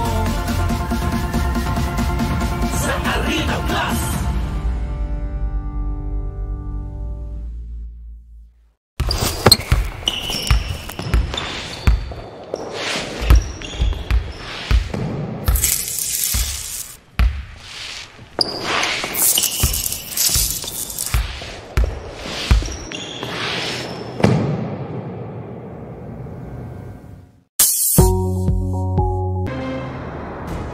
Kasama si retired Brigadier General Jerry Zamudio at ang batikang broadcaster na sina Andy Vital at Emil Carion. Up, up, Pilipinas! Usapang pangkapayapaan. Usapang pangkaunlaran, Pilipinas. Okay mga kaibigan, ah, Doc, inabot na tayo ng oras. ah, naubusan na naman tayo ng oras. But anyway, Doc, ah, kayo naman ay ah, palaging welcome sa ating palatuntunan. So ah, baka mayroon po kayong gustong ah, ah, bigyan ng emphasis ah, sa ah, ating ah, ah, interview ngayon bago tayo tuluyang magpaalam, Doc. Ah, nasa yung pagkakataon. well, of course, yung CATSI then also provides talaga yung overarching. Mhm. So lahat ng gagawin, lalo na ho yung modernization program. Mm-mm. So magkakaroon na ho ng direksyon yung modernization program. Mm-mm. Kaya yung Horizon 3 nga ho, ginawang Re-Horizon at pinahaba, hinaba ho. At mas malaking gastos at announce. Ginaga, inaano ko lang ho, kino-quote ko lang yung ano. So naging 10 years na ho, yung Re, ah, Re-Horizon na ho. Kasi we also have to, as we project, the AP project its capability outward, siyempre dapat din ho lumakas yung Navy tsaka yung Air Force. No? Talagang intensive ho yan dapat. No? Of course, kasama din yung Army, capability ng Army to project yung military power outside. So tama ho kayo, sir. Talagang ang focus talaga natin territorial and I think it's high time Mm-mm. na uh, we have to explain to the AFP, to the police, and even sa PNP na bakit talaga dapat ang orientation ng AFP is palabas na ho. Territorial Defense Operations. Sige, maraming salamat, Doc, ha? At uh, next time uli. Mga kaibigan, General. yan po Okay. si uh, Dr. Renato De Castro. Yan po ay, siya po ay eksperto sa international uh, policies at uh, siya po ay nagtuturo din po sa De La Salle University dyan po sa Manila. Mga kaibigan, tayo po inabot na ng oras. Overtime tayo ng one minute. Uh, ako po si retired Brigadier General Jerry Samudio at uh, sana po ay nasa mabuti kayong kalagayan. Maraming salamat ho.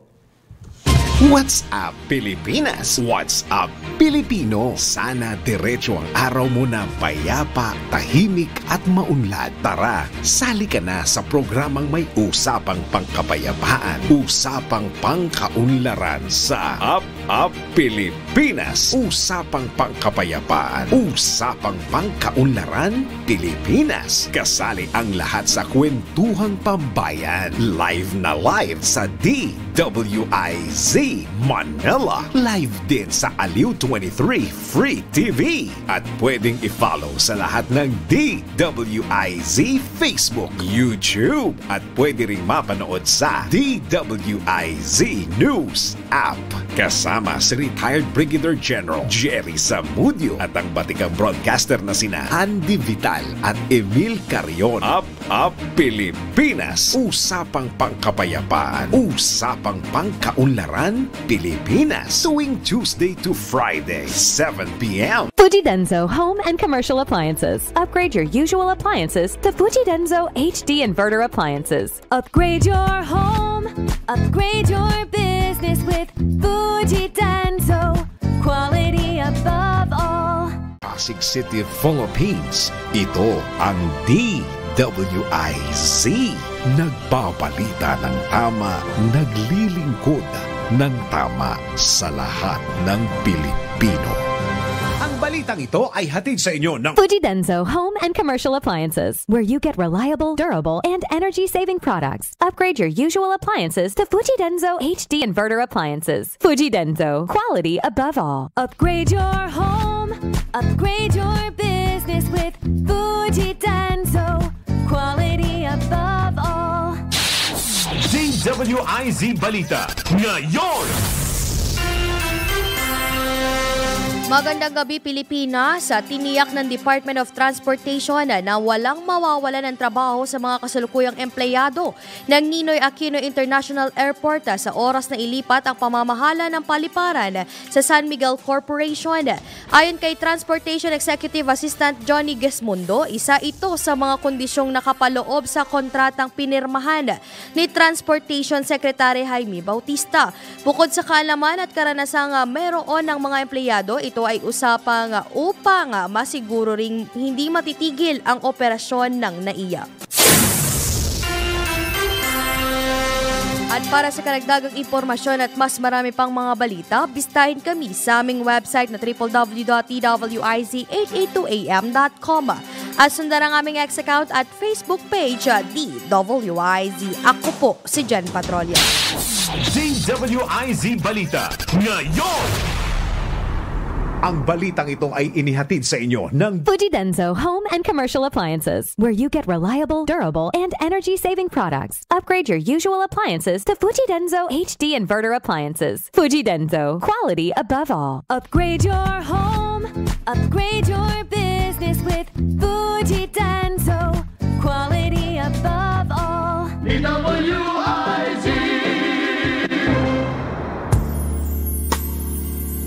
Tatalakayin gabi-gabi ang maraming mukha ng pag-ibig, pagmamahal sa ibang tao, at ang pinakaimportante, ang pagmamahal sa sarili.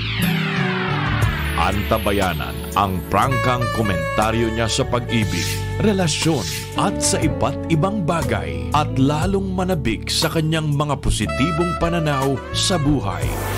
Narito na ang programang kasama nyo gabi-gabi. Panggap Ruth Abaw Live. Sa himpilang mas todong lakas, DWIZ. Panggap Ruth Abaw. Live, live, live.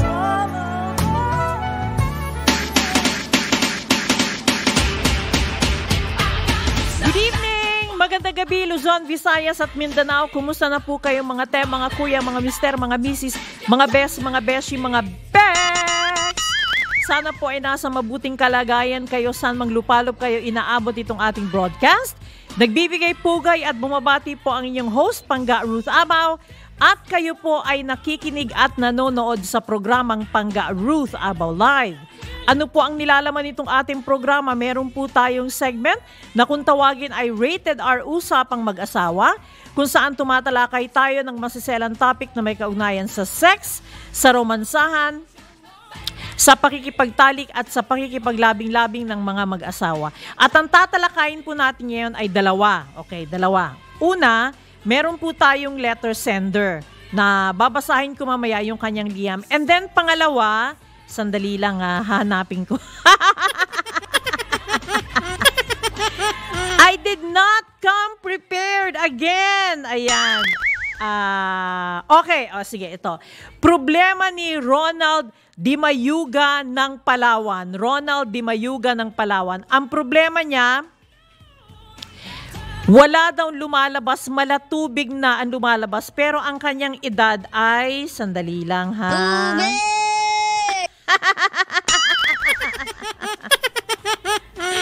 Ayan, 62 years old. Senior na siya. Okay, sandali. I, ano ko, Ronald Dimayuga. Ayan, okay. Ronald Dimayuga. Ayan, okay.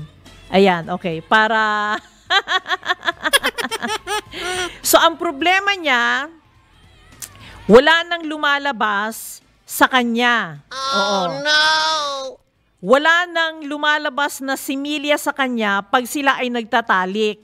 Kung may lumalabas man, lusaw, parang tubig lang. So yan.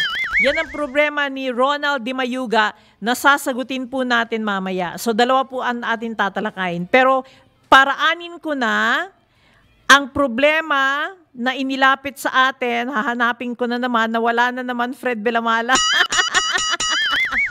Ayan, okay. Sana yun. Okay, eto na. Ay, hindi. Hindi pa pala. Ah, okay. Napapaligaya. Sandali lang. Ay, ito, ito, ito, ito, ito. churi, churi, churi. Ayan, okay. So, eto na. Eto ang problema ni Jomar. Sabi niya, Hello, Miss Pangga. Kakauwi ko lang sa trabaho nang i-message ko ito. Lagi ako nakikinig sa iyong programa. 41 years old na ako pangga at nakatira sa Cagayan de Oro. Ang pangalan ko nga pala ay Jomar at narito ako para humingi ng konting tulong pangga dahil ang aking alaga ay maliit. Mas maliit pa sa average size ng isang Pilipinong lalaki. Pakiramdam ko ay sa loob ng 11 years ng aming pagsasama ng asawa kong si Evelyn ay hindi ko siya gaanong napapaligaya. Hindi naman namin na pag-uusapan kung kontento ba siya o hindi dahil ginagawa ko naman ang lahat ng aking makakaya para madala siya sa rurok ng kaligayahan. Tumitingin ako sa internet ng mga paraan kung papaano mapapalaki ang alaga ko at sinusubukan ko naman ngunit sa kasamaang palad ay hindi naman umiepekto. Sana ay mapayuhan niyo ako pangga tungkol sa aking maliit na problema. Maraming salamat pangga, sabi ni Jomar. Okay, so ang problema niya, ayon sa kanya, yung kanyang ari ay mas maliit pa daw sa average ng isang Pilipino. Oh, no! Oh no! Pero 11 years na silang nagsasama ni Evelyn pero hindi naman nila napag-uusapan so hindi niya alam kung satisfied o hindi ang kanyang asawa. Sa bagay, iniisip ko no, hindi mo naman, kung mahal mo ang isang tao at may kaliitan niya, hindi mo naman i-open up to, ma- maliban na lang pag nag-away kayo. pag nag-away kayo at nagka-insultuhan, oh, ganyan ka, tapang-tapang mo, ang lit naman ng iyo.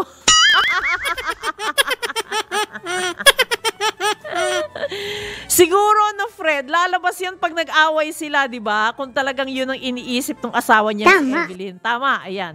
Pero wala naman pong gano'n na sinasabi ang asawa niyang si Evelyn. Hindi na pag-uusapan kung satisfied siya. Ayan, okay. Pero Ginagawa niya ang lahat ng makakaya niya para madala sa rurok ng kaligayahan ang kanyang asawa. So ano sa palagay niyo ang dapat gawin ni Jomar tungkol sa kanyang maliit na alaga? Okay? Pwede po kayong mag-text sa hotline number ko po 0916 1608 168. Again, 0916 1608 168. Sabi dito, ah, wala nang lumalabas, baka may curfew yung ano ni tatay, 63 years old. Ayan, okay. So yun nga, wala na daw lumalabas, pero meron man lumalabas, pero ma, ma malabnaw. Parang tubig na daw. Ayan, okay. Aha, sandali lang. Oo. Ah, Ma'am Gloria Kaliwara, pa- paraanin ko na lamang po ito para mamaya tuloy-tuloy ang ah, pag, ah, pag ah, didiscuss natin ang problema, yung dalawang problema po natin ngayon. Magandang gabi po Mampanga, nag-text po ako kahapon sa hotline po ninyo, wala pong nagre-reply. Sira po ba ang cellphone ng Krebsy? Mag-order po ako ng 2 box ng Krebsy. May record na po ako dyan. Salamat po. Gloria Kaliwara. Ma'am Gloria, ganito po. Pag Monday po kasi, day off ni JC. Kaya wala po talagang sasagot sa inyo. Pero sigurado po ako, ay sadali, ngayon, nag-text, oh, nag-text kay kahapon, pero ngayon wala pong sumasagot the whole day. Ayan, o sige, ipapasa ko na lamang po itong text line ninyo kay JZ, okay? Para masagot po niya kayo ngayon. Pero imposible po kung, kasi may pasok na ngayon si Jay-Z, dapat sinagot na kayo. Okay. Ma'am Gloria Kaliwara, sige, ipap, ipapasa ko po yung text ninyo sa hotline numbers natin ng Krebsy, particularly kay Jay-Z, para masagot po niya yung inyong order na two boxes. Ayan. Jomar, para lumaki yan, humanap ka agad ng nunu sa punso. at ihian mo ito. Kapag may duwending lumabas, ay sabihin mo dito palakihin ng alaga mo. Merong iba pa sinasabi na ipakagat daw sa langgam para lumaki. Ayan. Pag masakit naman yun, hindi naman titigas yun. Ganon, di ba? Ayan, okay. O sige. Merong pa ba? Sandali lang. Tingnan muna natin. Okay. Yung ibang mga text message, babasahin na po natin. So again, kung meron po kayong advice para kay Jomar, pwede po kayong mag-text sa ating hotline number 0916 1608 168. Again, 0916 1608-168. Kung gusto po ninyong magpabate, meron po kayong mga kakilala, kaopisina, kapitbahay, mga mahal sa buhay, mga kamag-anak, na kasama niyong nakikinig sa atin ngayon at gusto niyo silang batiin, you may also get in touch with me sa aking hotline number at babatiin po natin sila mamaya.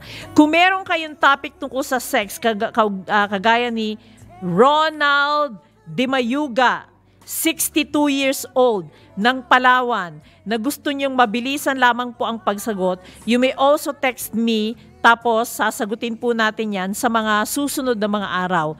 Hindi po natin matatalakay man ngayon, pero ilalay na po natin yan sa mga susunod na pagkakataon dahil meron na po tayong tatalakayin. Ayan. Masyado siya nag-iisip ng negative, di naman nagrereklamo asawa niya. Ibig sabihin, okay lang sa asawa niya. Ayan, sabi ni Fred Bellamala. Thank you very much, Fred. Oo nga eh, kasi kung halimbawa, hindi, pero eto nga ang tanong ko eh. So, so, magiging, sasabihin mo ba sa asawa mo na maliit kasi yung iyo eh?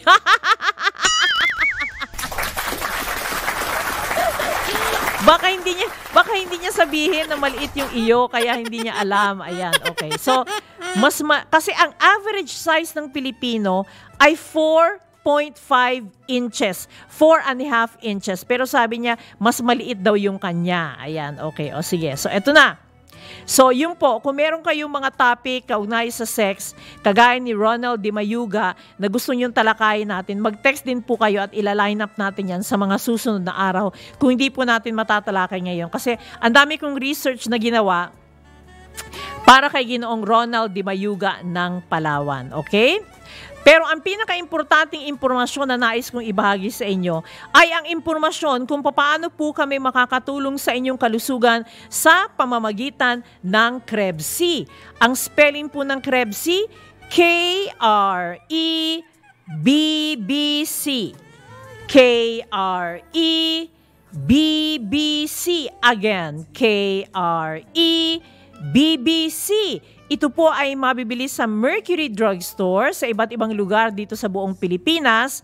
Particularly, pero meron po sigurado po tayo sa Palawan, Metro Manila, Mega Manila, Calabarzon at Central Luzon. Kung out of stock po ang Krebsy dyan sa mga nabanggit kong mga lugar, mag-text kayo kaagad sa atin or sa mga hotline numbers natin ng Krebsy para mapalagyan po natin kaagad ng stock. Again, sa Mercury Drugstore, Palawan, ah, Metro Manila, Mega Manila, Calabarzon, at Central Luzon. Meron sa Negros Oriental, meron sa Lawag, meron sa Bicol, hindi ko lang alam kung anong particular area sa Bicol ang merong Krebsi pero meron po.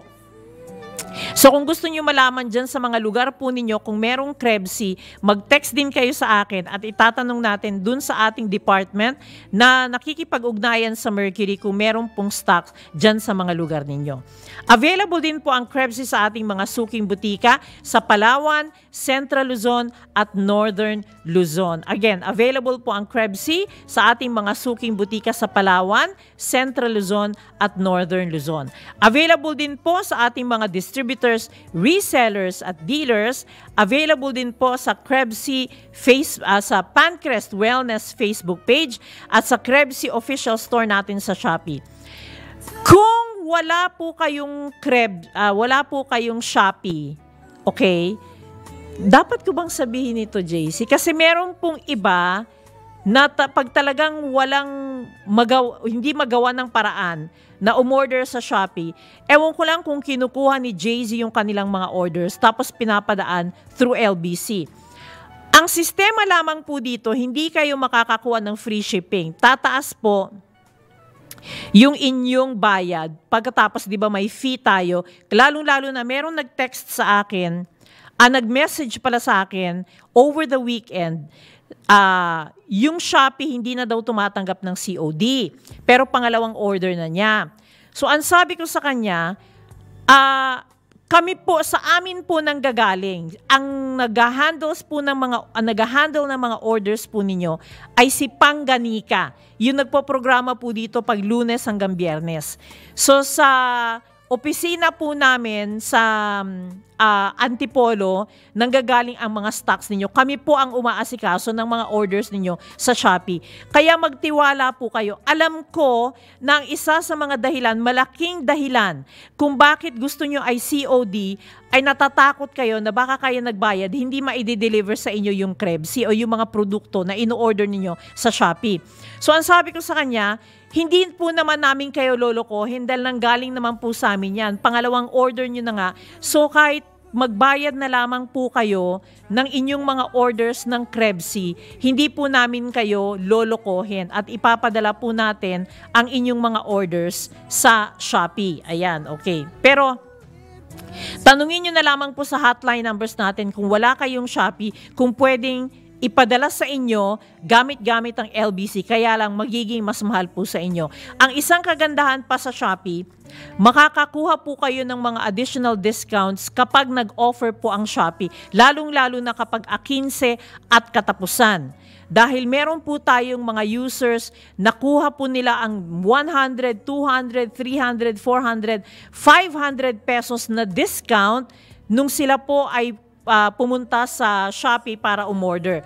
Huwag po ninyong kalilimutan, may platform vouchers po yun. Pag nag-check out kayo, may nakalagay po doon platform vouchers. I-click po nyo yon at mabibigyan po kayo ng mga additional discount sa Shopee. Para saan ang Krebsi Pangga? Anong mga dahilan kung bakit tayo kailangan mag-take ng Krebsi?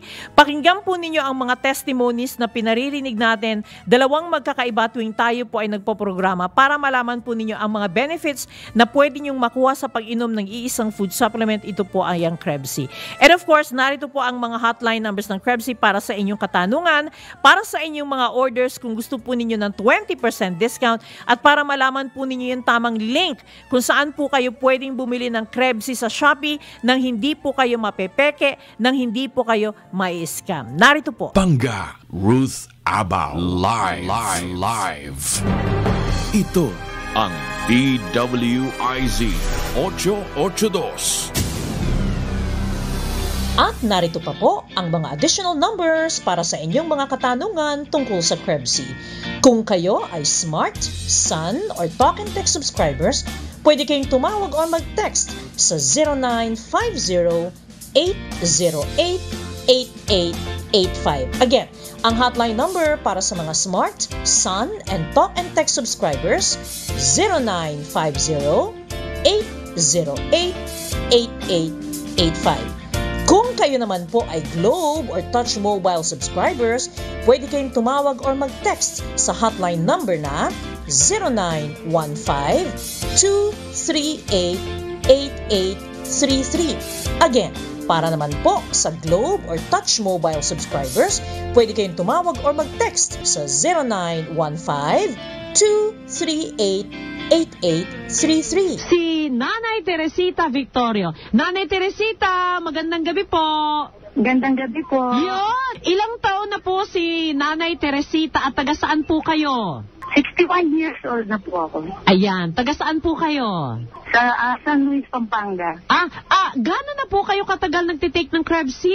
Ah, mga one month na ngayon. One month pa lang! Okay. Oo. So, paano nyo nalaman dahil nakikinig kayo ng programa, biglang napapihit-pihit ninyo? Ganun po ba? Oo, yung mister ko, mahilig. Siyang nakikinig. Ah! Kasi pinagkikinggan namin yan eh. Doon sa ano, nakalimutan ko na. Oo. Kasi nga sabi ko, narinig ko, ano ba naman yung kakong kabastusan na yan, pinakikinggan mo? Sabi ko, sabi niya, tawa ng tawa. Eh, tapos, sabi ko, kasi nga, Chris, born again Christian kami. Sabi ko, Ah, ano ba okay, yan? Tigilan okay. mo na nga yan, kako. Okay, Tapos oo. hindi na na namin pinakinggan, matagal na. Okay, almost, uh, almost siguro mga one month. Ay, siya nakikinig. Tuloy-tuloy-tuloy niya, hindi ko pinapansin. Ako hindi ko na, hindi ko na pinakinggan. Okay. Tapos, nung isang, nung mga siguro, one week na siguro siya, nag-take siya ng Krebs, hindi ko alam. Ah, ah, ano daw pong dahilan, Nanay Teresita, at bakit niya naisipan biglang mag-take ng Krebs-C? Hindi ko nga alam sa kanyang bakit siya nag-take ng Krebs-C. Tapos sabi ko, nagbiglang tumaas na, nung isang beses naman, tumaas ang BP ko. Okay. Sabi niya, sabi niya sa akin, ba't hindi mo try na mag-take na nito? Ano ba yan, kako? Oo. Krebs-C. Baka Okay. sakaling bumaba yung BP mo, sabi Okay. niya. Sinubukan ko nga. Oo. Yun nga, ang pakiramdam ko, nag-iba. Na bumaba nga, naging normal. Okay. Sabi ko, oo nga, maganda. Sabi niya ganun. Eh, nagne-maintenance ako eh. For um, apat na klaseng gamot ang iniinom ko. Ang Para saan eh. po? Para saan po, Nanay Teresita? Para sa BP po lahat yun? Apat na gamot? Oo. Oo, BP, trizenal, at saka yung sa cholesterol, tsaka hindi naman ako diabetic, kaya lang malapit na daw ako magkaroon ng dia- diabetes. Okay. Kaya binibigyan ako, kaya for um, apat na capsule lang iniinom ko, sa umaga, dalawa, sa gabi, dalawa. Oo. Tapos nga, nung nalaman ko yung Krebs na yan, na pinakilala, pinainom sa akin ng mister ko, Oo. nagtataka naman ako sa kanya. Opo. Na, na, na, nakapo na ako sa kanya, naging ano siya, Naging ano? hot. Ah! 73 years old. Eh, sandali, sandali. Nanay Teresita, ilang, Ah. ilang taon po si tatay? 73. 73! Okay, pero dati, dati matamlay na si barangay chairman. Totoo po yun. Nag, nag, bumabaluktot na. Sa totoo lang ha, Aha, hindi to para, hindi to bola, totoo Yes, po oo, oo, oo. Bumabaluktot na. Gano'n po katagal na Nanay Teresita na walang nangyayari na ganun? Matagal na. Ah, siguro matagal na. mga, wa- ah, siguro mga six months na kasi napupuna ko ganun na siya. Okay. Dahil nga nagtitake siya dati ng maintenance din. Ngayon tinigil niya, Krebs na iniinom niya. Okay. Sabi ko, tapos nung na, napuna ko, parati nang tumasayo yung kanyang barangay. sabi ko, "Uy," sabi ko, ang tanda mo na kako, ang hilig-hilig. Sabi, ano, sabi, sabi ko, ba't saan kako na, ano mo yan, huwag ka lang katumanda, doon ka gumanyan. Sabi ko, ganun, oo. nakakahiya ka. ganyan. Oo, oo, oo. Eh, Tapos, eto naman ang pakiramdam ko. Oo. Nung, nung nag-take naman ako ng Krebs, Opo. kasi itong isang kamay ko, naninigas yung mga daliri ko. Okay, okay. Tapos, namamanhid yung kamay ko hanggang siko. Okay. Nung, nung, nung inumpisahan kong ininom yun, Tinanay-tanay ko na kasi nga nag-iba yung pakiramdam ko eh. Mm, Parang mm. gumaganda yung pakiramdam ko. Opo. Naging maayos ang pagtulog ko. At saka lumakas ako kumain. Okay. At saka, ang problema ko pa yung nga, hindi ako nagbabawel movement every day. Ah, oo, Minsan, oo, oo. one week, Wow. minsan one week, four days bago Grabe. ako dumumi. Oo, oo, oo. Malaki yung tiyan ko. Parating Mm. sumasakit. Sabi Parang ko, bloated, "Ganito." ano po? Parang bloated Oo, ang parang pakiramdam. ganun-ganun. Oo. Pero mula nung nag-take ako ng Krebs na yan, Opo. araw-araw nag, nagmabawel movement ako at saka itim ang dumi ko. Okay. Sabi ko, ba't ganyan? Sabi ko ganun. At ito pa, ay Opo. sa lahat po ng nakikinig, ito po ay totoo. Mm-mm. Ako, nagpapasalamat ako una sa Panginoong Diyos, pangalawa sa, Mm, sa taong opo. pinagkalooban ng, Opo. ng talento na Amen, yan, yung amen. Krebs na Mm, yan. Amen. Oo, oo, oo.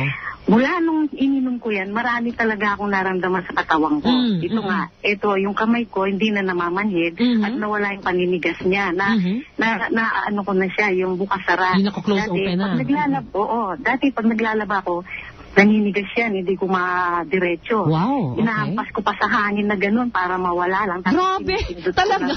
Pini- Oo, sa totoo lang po. Tapos minsan sa umaga pagkagising ko, hindi ko magalaw. Mat- Matigas talaga yung mga daliri, masakit. Oo, Sabi oo. ko, kasi tawag ko sa mister ko, dear ka ako yung kamay ko, masakit na naman. Oo, oo, oo. Nung, nung di pa ako umiinom ng Krebsi. Mm, Tapos nga, nung uminom na ako ng Krebsi, siguro mga one month na kami ngayon, naging normal na siya. Sa totoo lang ngayon, eto, kino-close open ko na, wala na. Mm. Wow. Hindi na, hindi na siya naninigas. Opo, opo. Kaya nga yung pakiramdam ko, naging normal yung dumi ko araw-araw. Mm-mm. Tapos nagkaroon ng yung pagkain ko nga gumanda. Oo. At isa pa. Opo. Ito, lahat ng nakikinig. Huwag niyo Ah. sabihin ang tanda na, ang hilig pa.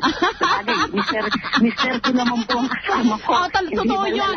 Di ba hindi naman, di ba, ako ng an- di ba Nanay. Teresita, okay lang yun kasi mag-asawa kayo eh. Ang mahirap kung limawa sa ibang eh. lalaki mo ibubuhos yun, di ba? Sabi ko, Oo. Sabi ko, ba't ganito? Parang nagkakaroon ako ng likido. Yung parang ano. Na lumalabas. Oo. Oo. Dati, sa totoo lang, nung ginagamit niya ako, Oo. ito hindi niya alam, siguro malalaman niya ngayon kasi narinig niya. Pag nag, pag nag, kapag nag, Nagtatali kayo. po kami, Oo. oo. kasi nga, matanda na, 61 years old, eh, menopause na. Opo. Siyempre, tuyo ka na, di Ga- ba? correct, correct, masakit po. Oo. Masakit po siya. Oo. Sa, sa totoo lang talagang masakit. Oo. Akala Oo. niya lang hindi masakit. Nasasaktan Oo. ako, hindi ako kumikibo. Oo. Ang hindi niya lang alam, naglalagay ako ng petroleum jelly para lang hindi masakit. Ah, sandali. Para nga So, yun- hindi niya alam na meron, pero pag bago kayo mag-contact, naglalagay ka ng petroleum Oo. jelly dun sa loob. Okay, Oo, okay. Hindi naman sa loob, sa labas Ah, lang. sa labas para nga lang, Medyo, oo. para medyo umano lang. Kasi nga masakit nga. Oo, oo. inaano ka niya. Oo, eh. oo, oo. Eh, talaga matanda na. Aba, bakit ganito ka ako? Kung kailan yata ako tumanda, bakit ganito? Okay. Parang, parang nagkaroon ako na nilikodo. Ngayon, pati ito mister ko, minsan sabi ko, ba't kanyang kakakpay ka tumanda ka ako? Ka ako naging mahigit. Hindi, sa totoo lang po. Opo, eh, opo, opo. pakiramdam ko. Sabi ko, ba't, ano, ka, ano kaya klase itong gamot na, ano, Oo, na oo, multivitamins oo. Yeah, na yeah, yeah. binigay Yeah. ako. Ang daming, ang dami talagang benefits. Oo. pribileyo sa isang tao. So, si si- so kayo pong mag-asawa, kung dati wala, ngayon po, gaano ko po kayo ka-frequent mag-loving-loving? Abay, Diyos ko. Oo. sa hiling ko yata, dalawa, tatlo. Sabi ko, kung kailan tayo tumanda. Sabi ko ganun. Eh, dati yung, yung anak kong isa kasi, Opo. tumira dito mula nung November dahil Oo. lumulubog kasi dito sa may Candaba, San Luis. eh. Ay, oo, Eh, tama, oo. Mm, lumipat sila, nagpagawa sila ng bahay dito sa papuntang Santa Ana, Pampanga. Aha, aha. November nandito na sila. Eh, hindi kami makapag-contact. Siyempre, matanda ka na. Nandito lahat, nandito ako ko. Eh, sasabihin niya, Hoy, sabi nga nun, Oo. kailan ba lilipat yung mga anak? At kakatanong ka ng tanong, sabi ko gano'n. At kakanta, di ba ba mo sabi Hindi pa ba, para ba, hindi pa ba lalayas yung mga estorbo yung mga yan? alam mo, alam mo, alam mo, pag ngayon, Opo. wala na sila. Oo, Two weeks na oo. silang o lumipat na, tapos na yung bahay na nila eh. Oo, ngayon oo. kami lang dalawa ngayon. Dalawa lang kami ngayon sa totoo lang. sabi, sabi, niya, sino ba yung kausap ko? Sabi ganun. Ako, ay, di ba ako nakakaya? Ba't ako yung nakakahiya? Eh, talaga sasabihin ko yung totoo. Eh, yun Oo, totoo nararamdaman tama, ko. tama, mahirap tama, eh. oo. Ano ko eh, Christian ako. Oo. Mahirap magsinungaling. Lalo Oo. radyo, maraming nakikinig. Correct, Sa oo. totoo lang po, totoo ito. Oo. At Eh, saka, at saka nanay, naman po siya tsaka eh. nanay Oo. Teresita, oh, yun, tama. Kasi, di ba, eh, wala namang, sa, kahit sa Christian church, wala naman ng masama. Basta importante, asawa mo naman yun at kailangan naman yun para sa inyong pagsasama eh, di ba? At saka, oo po. At saka, regalo ng Diyos yan eh. Oo, tama, tama, tama, Ah, tama. regalo yan. po ng Diyos sa atin yan. Kailangan, Oo. huwag lang sa iba. Oo, At correct. Oo, asawa. ay importante Ah. sa mga. Pero sa 73 years old, umaariba pa si tatay. Ay, o lang. Kasi wala siyang bisyo. Ayun, o buti naman, buti naman kung gano'n. hindi oo. siya umiinom, hindi siya naninigarilyo. Oo. Gano'n na po kayo, gano'n na po kayo katagal na born again Christians?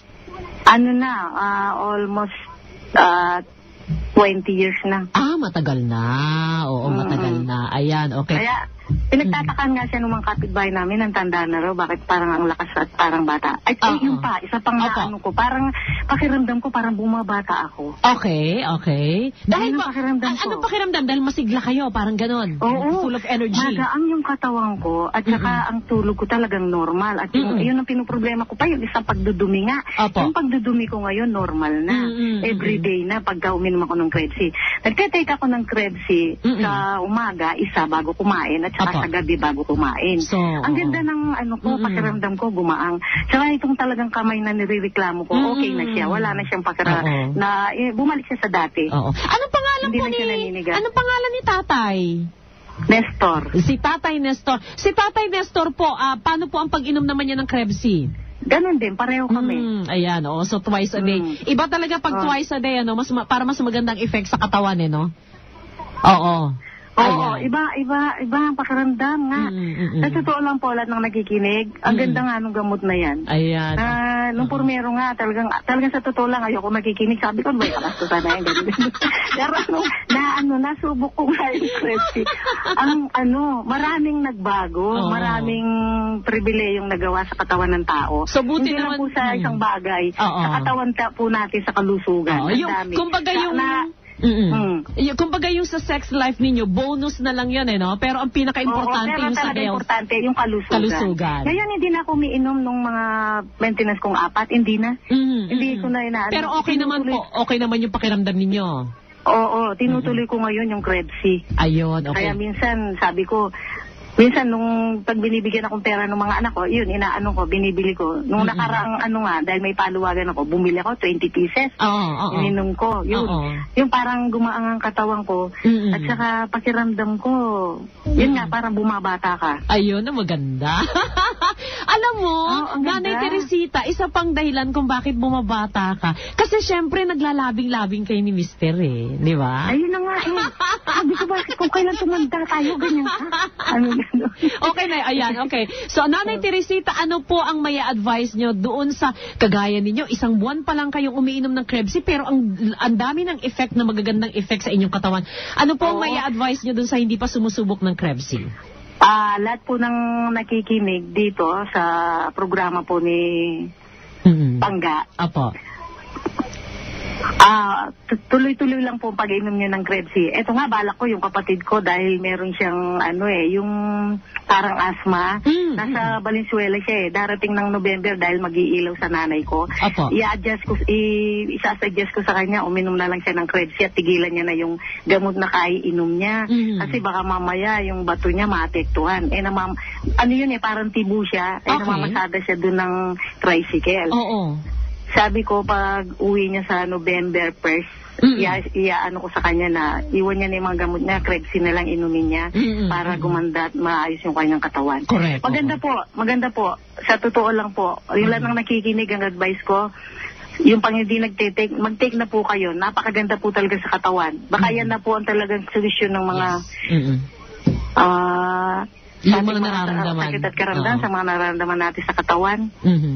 Ayan, okay. Nanay Teresita, Victorio, maraming maraming salamat po sa patutuo po ninyo, Mama. Maraming salamat. Okay. And happy listening kay Tatay Nestor. At narito pa po ang mga additional numbers para sa inyong mga katanungan tungkol sa Krebsi. Kung kayo ay Smart, Sun, or Talk and Text subscribers, pwede kayong tumawag o mag-text sa 0950-808-8885. Again, ang hotline number para sa mga Smart, Sun, and Talk and Text subscribers, 0950-808-8885. Kung kayo naman po ay Globe or Touch Mobile subscribers, pwede kayong tumawag or mag-text sa hotline number na 0915-238-8833. Again, para naman po sa Globe or Touch Mobile subscribers, pwede kayong tumawag or mag-text sa 0915-238-8833. Bangga, Ruth Abao. Live. Live. Live. Sa himpilang mas todong lakas, DWIZ. Alright, balik na po tayo mga te, mga kuya, mga mister, mga misis, mga best, mga beshi, mga beks. Ito na ang topic natin para kay Ronald Di Mayuga ng Palawan. Ayan, okay. So eto na. Ang tinatawag po sa sitwasyon niya ay retrograde ejaculation. At hindi lamang po yun. May mga tao, especially those na nagpa-practice ng tantric sex. Okay? Tantric sex, isa po itong klase ng relihiyon o paniniwala na hindi po sila kaya nila na sila ay makarating sa rurok ng kaligayahan, nakakaramdam sila ng sarap, pero hindi po, wala pong lumalabas na likido, na similya mula po sa kanila. So, para sa ibang mga tao, normal po ito. Ayan, okay. So, bakit nangyayari ito? Merong tinatawag na semen retention o yung intentionally o sinasadya nila na hindi po sila makarating sa rurok ng kaligayahan. Ang mga tao na ah, nagpa-practice ng Taoism, isa pong klase ito ng relihiyon. Usually sa China po ito Taoism. And tantric sex ay ginagawa po ito sa matagal ng panahon, centuries upon centuries. Daang daang daang taon, hindi daan libong taon, daang daang taon, ginagamit ito ng mga tao. Okay?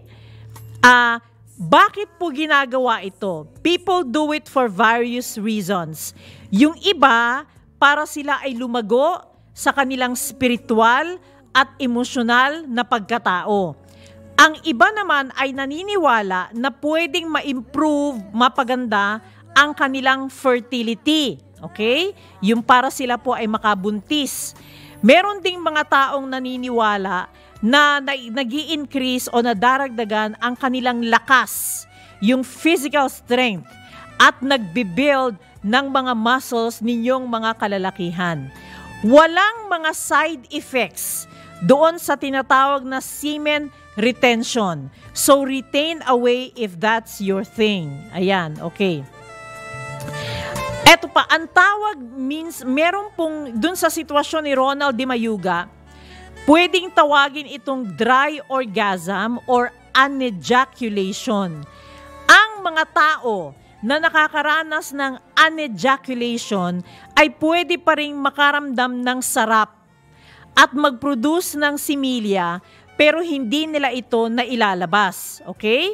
Itong anejaculation ay maaring primary or secondary.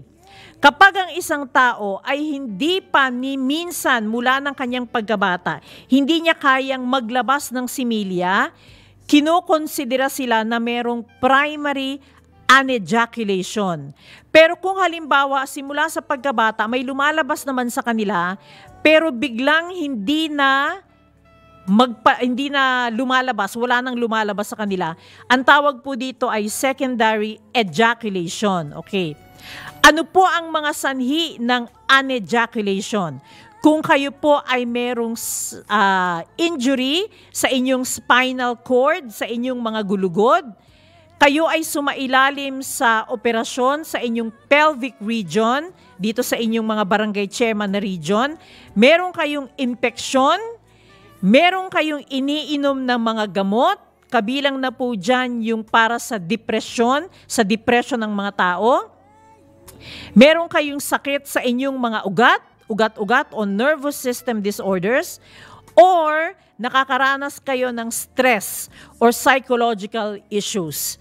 Ang isang posibleng side effect ng anejaculation ay hindi kayo makakabuntis. Pero Ronald de Mayuga, 61 years old ka na. Okay? So, ibig sabihin, hindi ka na dapat nag-aanak.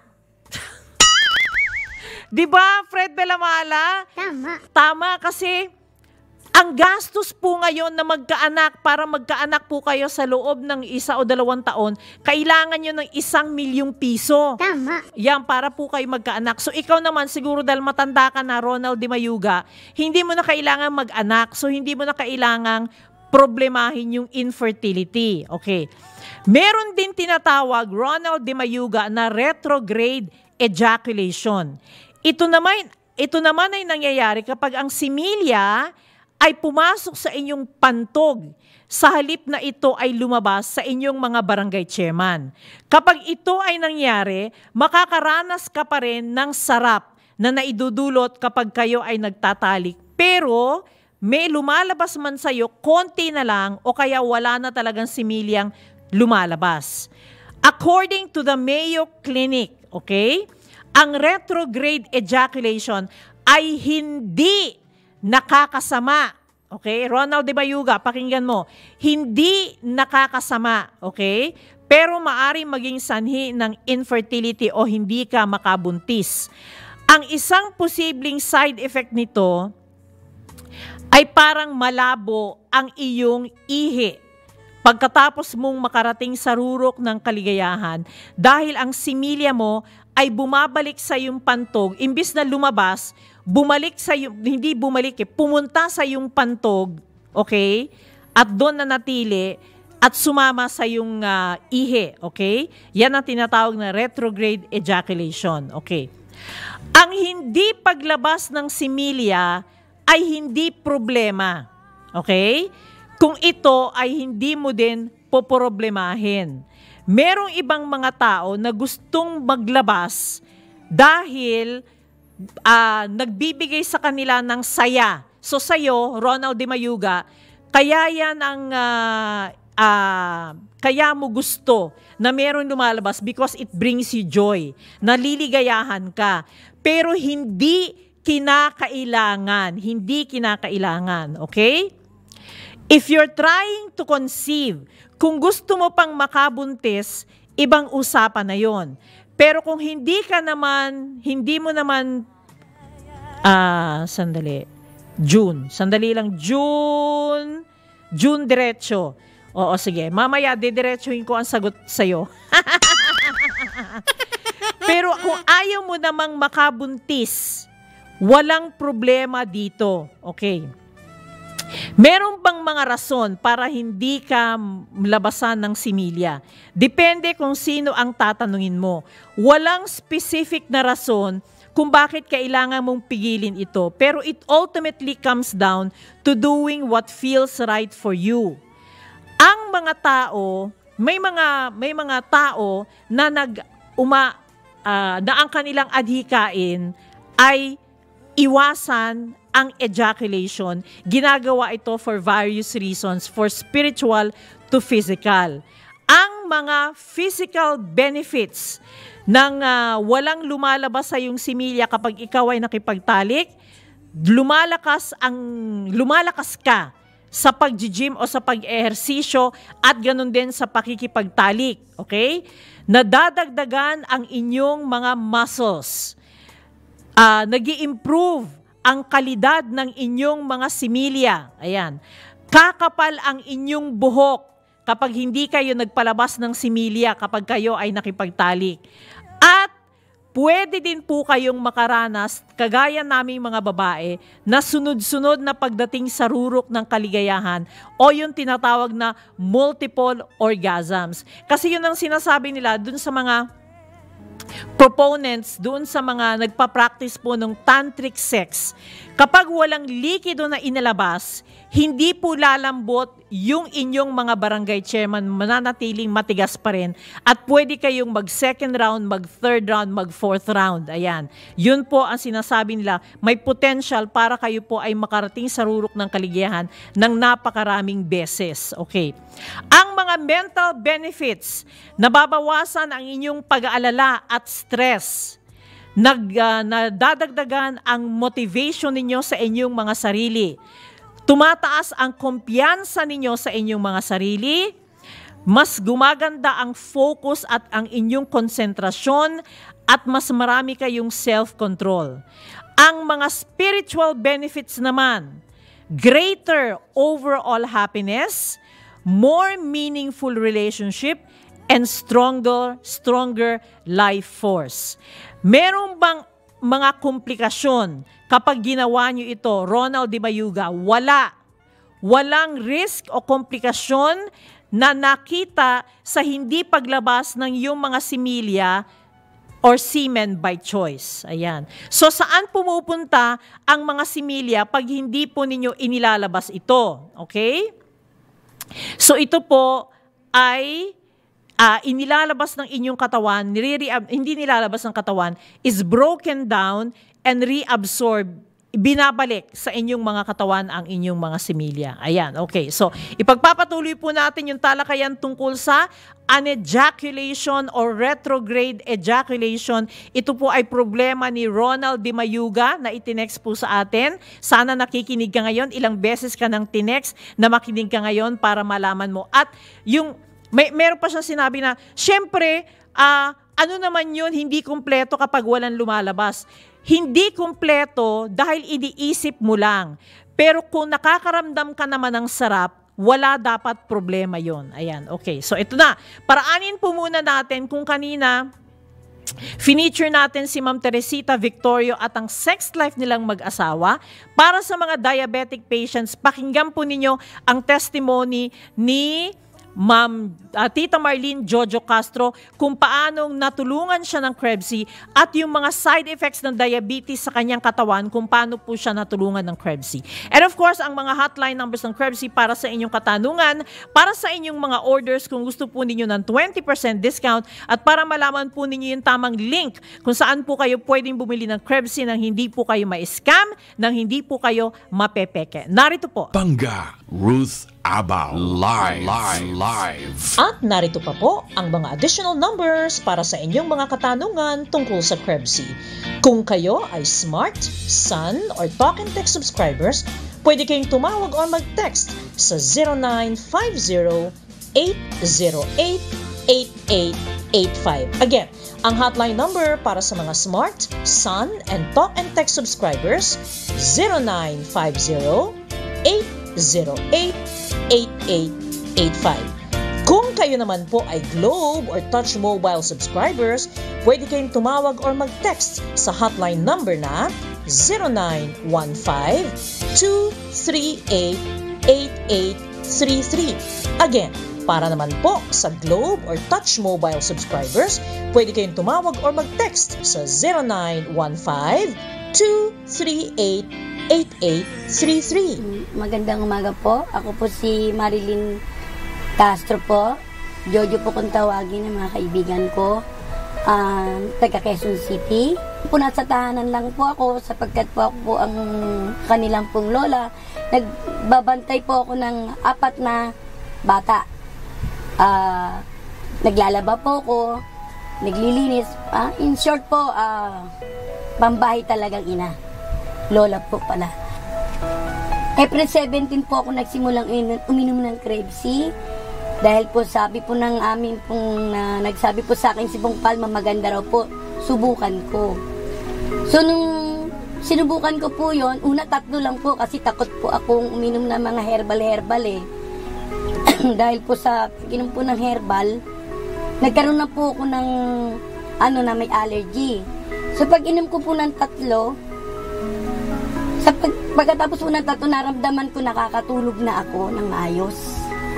Hindi na po ako natutulog ng alas 3 na madaling araw, alauna, alas 2. Once na nakahiga na po ako, mamaya po naka, nakatulog na po ako.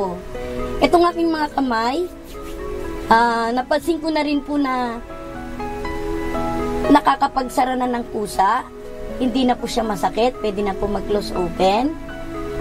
Pagkatapos po, ah, pag po ako naglalaba, hindi na po ako pagal na pagal na parang akala mo, dahil po ang nilalabang ko talaga dalawang sako, tatlong sako, dahil po sa mga apo ko yan, anak, ako po naglalaba. Pagkatapos mo daw, nagagalit nga po ang asawa ko dahil tagi, tigilan ko na raw po dahil para po akong langkang gulay. Pero ewan ko po ngayon parang iba, parang sabi nga ng asawa ko, hyper ako. Hindi raw po ako napapagod. Parang nga pong walang nararamdaman, yung akin pong dibdib na kumakabog-kabog, wala na rin po yun. Pag umaakyat po ako ng overpass na hinihingal at ang akin pong mga paa ay masasakit, eh wala na rin po yun.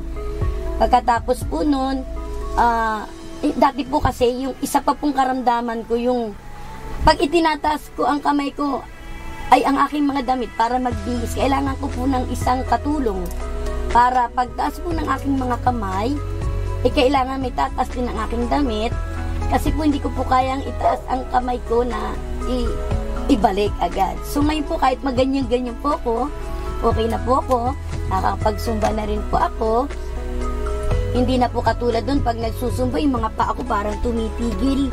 Kasi po, pag inuunat po ang paa ng diabetes, meron pong yung ah, tumataas po yung mga ano niya rito, parang may yung ang tawag doon, nangangawit po na sobra-sobra po na hindi maibalik na sumasakit po talaga alas ikamatay mo pag italaas mo yung paa mo yun. Pero ngayon, nung lahat ng naramdaman ko na yan, nawala po at meron din po akong anak na may bukol po siya rito. Ang sabi po ng doktor for biopsy. Sabi ko, anak, try mo lang itong iniinom ko. Hindi naman masamang mag-try tayo eh. Kasi, malay mo lang, di ba? Kung ako nga gumaling, ikaw pa kaya? Sabi ko ganun. Mama, iniinom akong gamot. Try mo, inumin mo yun, inumin mo rin to. Sabi ko ganun.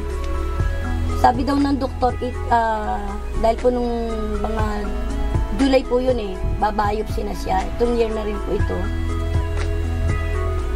Nung uminom na po siya, bumalik po siya sa akin. Sabi ng doktor, wala na daw po. Wala na daw po yung, yung matigas na yon. At walang wala na daw po, magaling na daw po. Hindi na raw siya ibabayos. Kaya sana, sa akin po, dahil na-prove ko naman, dahil isa po akong type 2 diabetes, nakakatulong po. Hindi ko naman ibig sabihin na, yung siyempre, hindi ko naman sinabing alisin natin yung gamot natin. Ipagpatuloy niyo yung gamot niyo. At uminom kayo ng Tripsy dahil tulong po yun, dahil may vitamins po yun. Hindi, di ba tama naman po ako vitamins. Hindi ko naman sinabing, wag niyo nang inumin yun. Pero ako po nagbabawas ng gamot. Pag bumababa po kasi ang sugar ko eh. Katulad po dati, kahit po nag-insulin ako sa gabi, sa umaga nagto 200 ako. 300. Eh, hindi po bumababa talaga ng 80. Nung uminom na ako ng Tripsy, napapansin ko parang nanginginig ako. Nung pag nagtitingin ako, nang check-check po ako ng sugar ko, nag-83, 81, nagno-normalize siya. Pag after 2 hours siguro sa kinakain ko lang, nag, nag-abot naman ng 200. Mga panghapon na yon. Pero every morning, every morning talaga, 80 lang ako, which hindi ko nare-reach yun. Na pagpunta ako dyan sa ano, ah, magpakuha ko, alam niyo po ba na 230, 300, parang ano ba yan? Eh, kasi po masama po yun eh, pag parating gano'n maapektuhan yung kidney ko, umiiyak na po ko. Malaking pasasalamat ko talaga si, dyan sa cribsi natin dahil 80, hindi ko na-reach yun. How many years ago, hindi ko ma-reach everyday, ganon. Ah, 15 years na akong diabetes. So, ah, ito pong year na lang ito na umaabot ako since nung ah, itong May, lagi ko nga kukuha yung pinakamataas po sa umaga na kukuha ko 110. Pero laging 80, 80, kaya 83, 87, 81, ganyan po. Kaya maraming po salamat sa inyo sa paggumawa ng Cripsy na yan na makatulong po sa mga taong katulad kong mahirap na pwedeng bumili. Isa-isa lang, hindi po kailangan bumili ka ng 100 pieces, 100 capsule para mainom mo, matry mo. Pwede nyo pong inumin ng isang araw, 16, pumunta kayo ng Mercury. Kung gusto nyo ulit, bumili kayo. Ngayon kung matry nyo na lahat, mas dami po. At narito pa po ang mga additional numbers para sa inyong mga katanungan tungkol sa Krebsy. Kung kayo ay Smart, Sun, or Talk and Text subscribers, pwede kayong tumawag o mag-text sa 0950-808-8885. Again, ang hotline number para sa mga Smart, Sun, and Talk and Text subscribers, 0950-808-8885.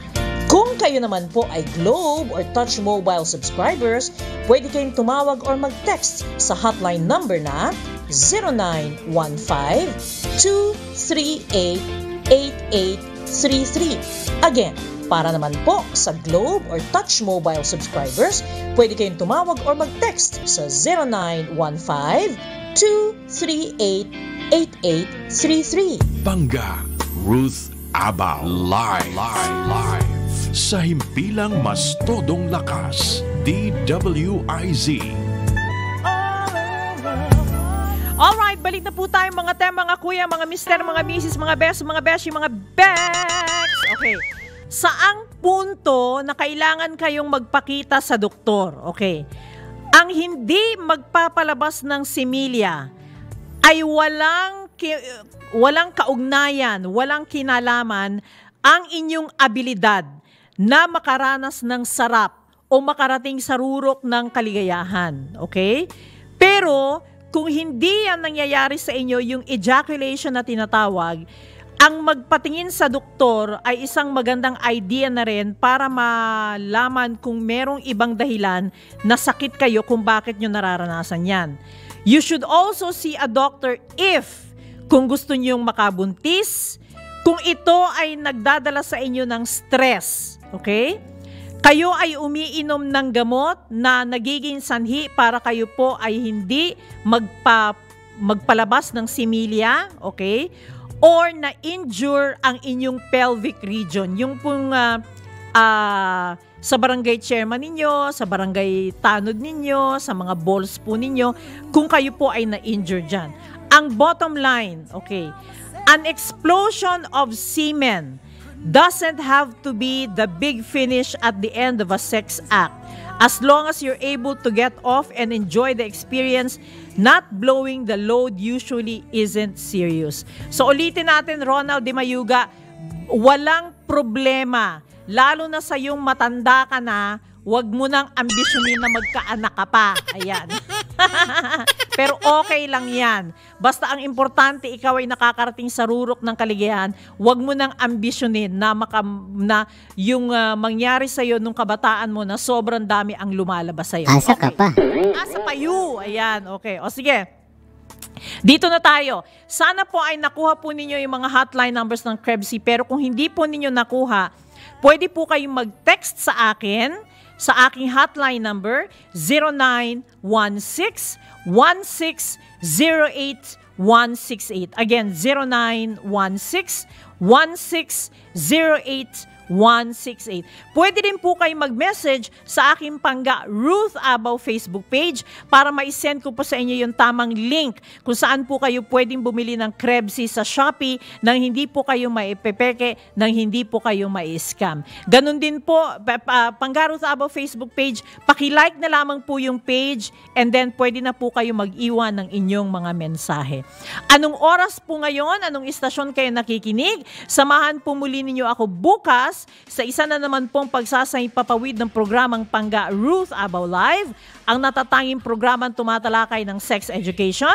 Tayo po ay napapakinggan Mondays to Fridays, alas 8 hanggang alas 9 ng gabi sa DWIZ 882 Manila, DWIZ 89.3 FM Dagupan, Pangasinan, mapapanood sa Aliw Free TV Channel 23 at sa DWIZ 882 Facebook page live. Nakapatay yung ating mga prompter kaya hindi ko alam kung sinong pasasalamatan natin. Ang pasasalamatan ko na lang, patay yung mga prompter natin eh. Sa ating technical side, si Engineer Fred Belamala at si Alisa ang ating CA at si Jen Patrolya. Yung nag, nag ano, ayun, o sige. Fred Belamala, Gildian Reyes at kay Constantino, ang ating writer si Jen Patrolya at ang ating CA si Alisa Quevedo. Ayan. Alisa! Matagal ka na pala dito, ba't hindi kita ano? ba't hindi kita napapansin? Ayan, okay. Antabayanan po ang susunod ng programa, Ziff O'Clock, kasama si Cap Ziff, Ancheta, Rani B at Kagawad Kel. Mga tayo, mga kuya, mga mister, mga misis, mga best, mga beshi, mga pecs! Magandang magandang gabi po sa ating lahat.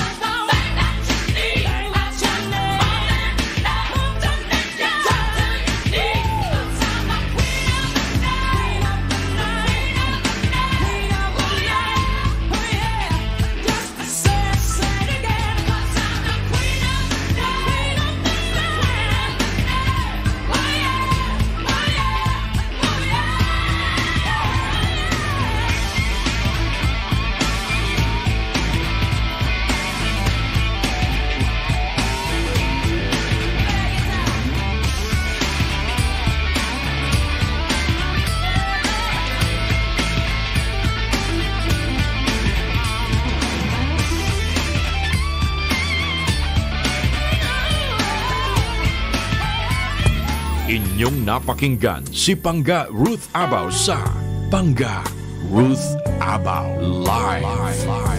Sa himpilang mas todong lakas DWIZ.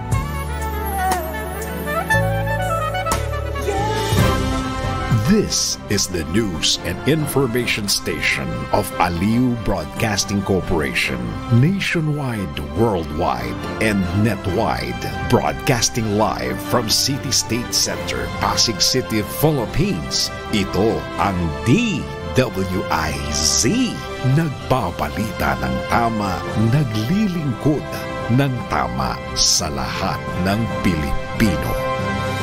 Isang pagpupugay, pasasalamat at pagsisikap ang pangako na aming bibitiwan sa lahat ng aming natanggap na pagpapala. Pagpupugay sa lahat ng nagbigay ng pagkilala sa Aliu Broadcasting Corporation mula sa Philippine Outstanding Brand of the Year, Philippine Finest Business Awards, and Outstanding Achievement, Asia Pacific Luminaire Awards, Southeast Asian Premier Business and Achiever Award sa aming mga natanggap four-time Best AM Station Awardee, DWIZ 882, four-time Best Radio Newscaster Awardee, Dennis Antenor Jr., three-time Best FM Station Awardee, Home Radio 97.9, two-time Most Promising TV Station Awardee, Aliu Channel 23, at Best Public Service Radio Host Awardee, Bragi Braganza. Pangakong itutuloy ang pagbibigay ng tamang balita at tamang paglilingkod at isang malaking pasasalamat sa tiwalang naibigay sa amin. Pakaasahan yung gagawin naming malaking inspirasyon ito para ipagpatuloy ang maglingkod sa lahat ng Pilipino. Ang bahaging ito ay atid ng Chris Marie Builders at 5 Jewels Construction Supplies.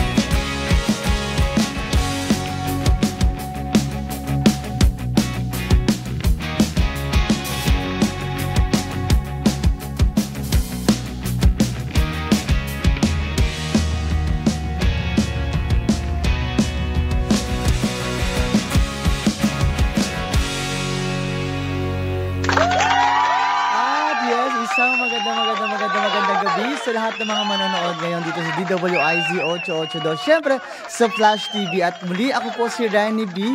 Wala po muna ngayon ang, ang may-ari ng programa na si Zifred Ancheta dahil nasa fellowship siya ngayon ng mga liga ng mga barangay captain. Pero, siyempre, hindi po magsisimula ang programa to kung di po natin kasama ang Kagawad on the go, Kagawad Kel Nunez.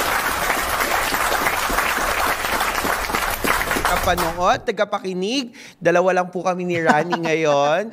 Pero ah, I miss you, Cab si Fred, dahil nasa fellowship siya ng Liga ng mga Barangay National sa Sikia Hotel. eh. Yes, actually nga, ex- excited na excited si Cab Zip dapat i-report yung tungkol dun sa na- national election Oo. ng Liga ng mga Barangay Captain kasi ang init. Grabe, sobra, sobra daw. Nagkwento nga siya, sabi nga niya, naku, talagang ito ang pinaka ah, ah, umaatikabong eleksyon ng Liga National. Grabe. Oo. At syempre doon, eh, I would like to congratulate the, lahat ng ating mga nanalong ah, Liga National, Liga ng mga Barangay National sa buong Pilipinas. Ayan. And of course, sa Liga NCR, the new president, ah, Cap Darwin, Darwin Fernandez, Fernandez. of Mandaluyong City. Congratulations. Congratulations Congratulations po. Siya ninalong ano, Oo, NCR. NCR. Siya yung pumalit kay Kabzi. Yes, oo, kay Kabzi. At makakasama rin natin siya dito. Correct, sa Ozul. At syempre, tayo po ay napapanood sa Digital Free TV Aliu 23, Signal Channel 24, TV Plus, Channel 27 at GMA Upor the Box, Channel 25. Available rin po kami sa digital TV devices, TV receivers.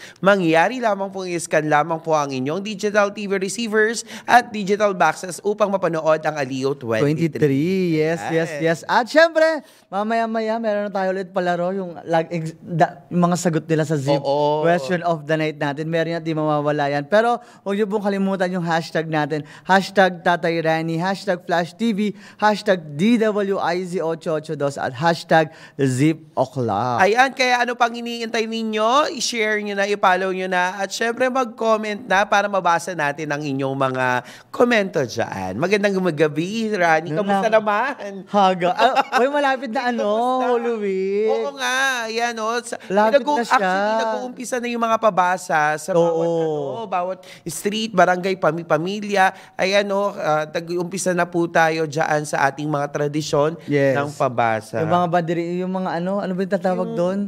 Ah, palaspas? Oh, palaspas. Oo. Actually, marami na meron sa amin kasi parang isang buong pamilya sila tuwing may ganyan. Yun ang negosyo nila. Gumagawa na Bongga, sila ngayon, nag-iipon na. Tsaka meron pa, bukod doon, yung, ah, yung mga santo doon mo makikita, may iba't ibang mga uri ng santo na ano. Tapos, tsaka bukod dito, yung mga pamipamilya, nagkakasama-sama uli. Totoo. At actually, ang Holy Week, ginagawa nilang family reunion minsan. Oo, tama. Kadalasan. Tsaka ano yan, yung mga magkakaibigan, may mga tradisyon yan. Totoo. Siyam na taon nilang kailangan umano na pabasa. Dapat hindi yun? Mat- oo, para hindi matputol. Kasi sa kanila, blessing yan pagka nagpabasa as ang pamilya. Ganon. Hmm. Ayan. Anyway, syempre, batiin na natin lahat ng mga Correct. nanonood sa atin ngayon. Syempre, andyan na sila Evelyn Fuentes mula sa Bacoor, Cavite. Hello po sa inyo. Syempre, nandyan na rin si, mula naman sa Cabuyao, Laguna, sila Ruby Bongon Bergonyo. Ay, hello po. Lalayo nila, ha? Oo nga. At hinahanap nila si Tatay Ran. Ano kamukha si tatay dito. Anyway, isang maganda magandang gabi rin daw po sabi ni Evelyn Fuentes, sa mga taga Caloocan City, sila Paulina Valenzuela, hello po sa inyo. Si Elmina Mayantong, Ate Elmina Mayantong, baka naman po pa-share po ng live po natin. Yes. Yan, syempre meron din mga taga Bulacan, sila Fatima Rodriguez, nanonood na rin po sa atin. O sabi ni Janet Mejorad, Mejorada Rebueno, Early Bird, good evening daw po, sabi niya. Ayan, thank you, thank you so much. Ayan, magandang gabi rin daw po. Binabati na lang si tatay. At hoping po, kasi meron palaro kasi na naman si tatay. Oo, ano na naman yung At game si ah, tatay. Naku, 50-50 excited ako sila. dyan. 50,000. 50,000. Sana all tatay Grabe.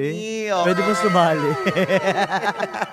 Grabe kaya, alam mo, ah, dinadagsa lagi ng views yung palabas dahil nga doon sa 50,000 and at marami kasing natutulungan si tatay at marami ah, gustong humingi ng tulong sa programa. Ayan, binabati ko lang na nagse-celebrate ngayon ng ah, first year anniversary ang ah, Marikina Triskelion Council.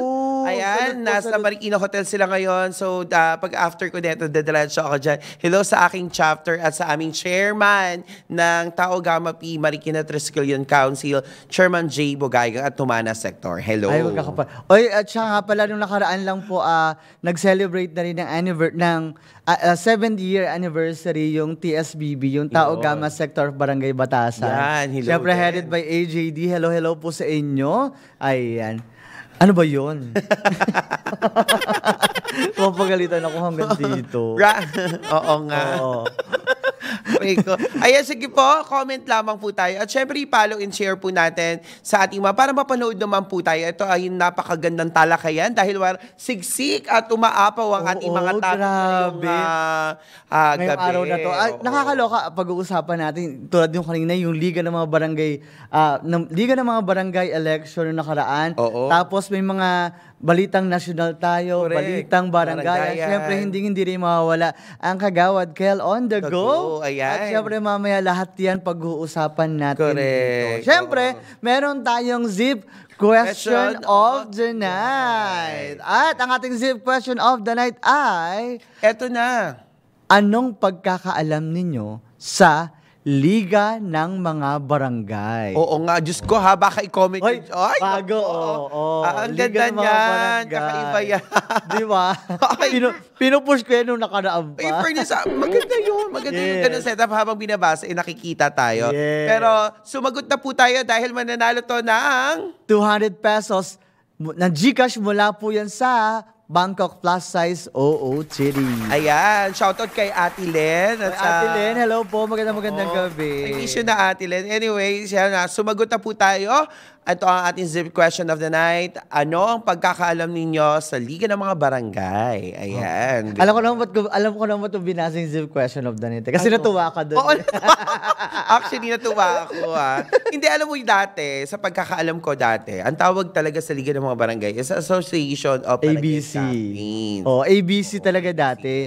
Tapos, nung narinig na nila yung liga ng mga barangay, meron dyan mga nagsasabi, ano yung liga sa liga? Barangay? yung basketball? basketball. Oo. Actually, yun yung pumapasok sa isip nila. Correct, oo. Kaya kayo mga ah, nanonood ngayon, ano ba? Ang pinakamagandang komento ngayon ay magkakaroon po kayo ng 200 pesos Gcash. Kaya, sumagot na kayo kung ano yung pagkakaintindi nyo sa Liga ng mga Barangay. Ayan. So, ang tanong na to ay mula kay Zifred Ancheta.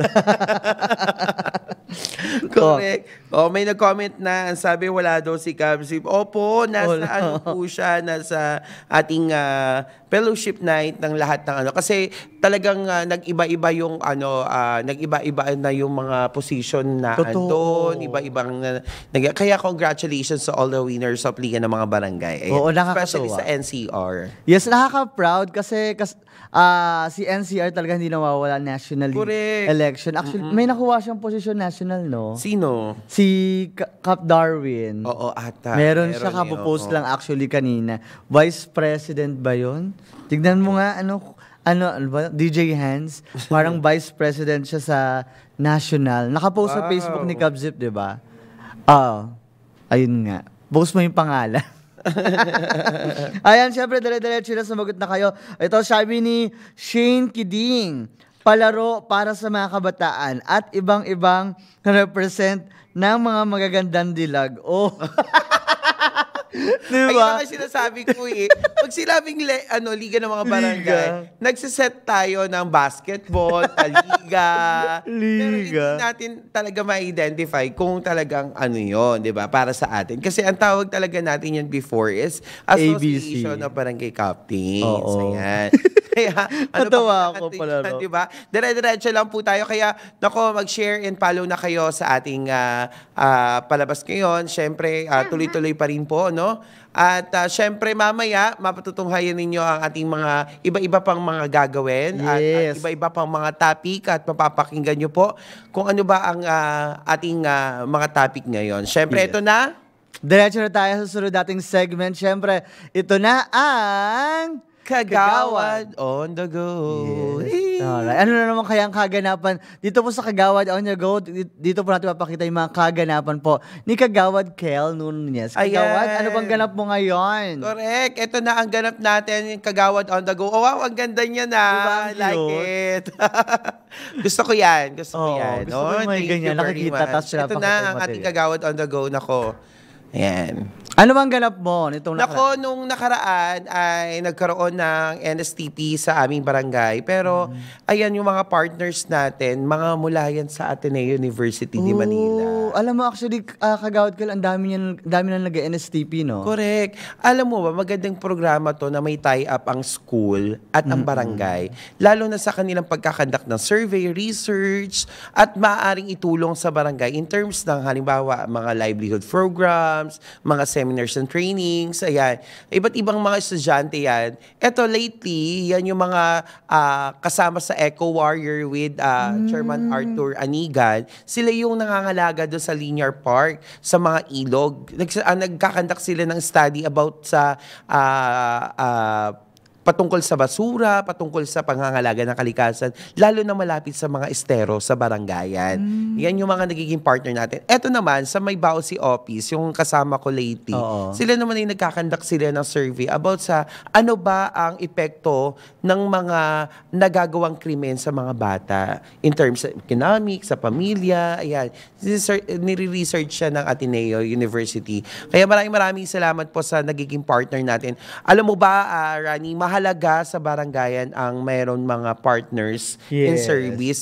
Mapa-school man yan o private ah, sectors, mahalaga na may katuwang tayo sa pagbibigay serbisyo sa barangayan. Alam mo, ito pa kagawad ka lang, nakakatuwa dyan. May mga eskwelahan na talaga na sila mismo yung pupunta sa barangay para doon sila mag-intern. Correct, oo. Kasi dati, lagi silang sa mga private establishment. Ganun lagi. Eh, maliban sa Ateneo, yung iba pa mga school ng mga Miriam, UP, PUP, at iba pa mga pribadong kolehiyo, eh nakikipag-partnership na rin sa barangay. Tulad nga sabi ni Kap Jib, di ba? Napaka-importante sa barangayan ng partnership. Yes, kaya uh, ini-encourage natin ng mga schools kung pwedeng may maibigay kayo na services para sa mga ah, barangay sa buong Pilipinas. Why not partnership? Magkaroon ng ah, memorandum of agreement pagdating sa mga ganyang bagay. Mahalaga yan eh, na magkaroon ng ah, programa ang school at ang community. Yes. Actually, sa barangay namin, meron na yung mga intern.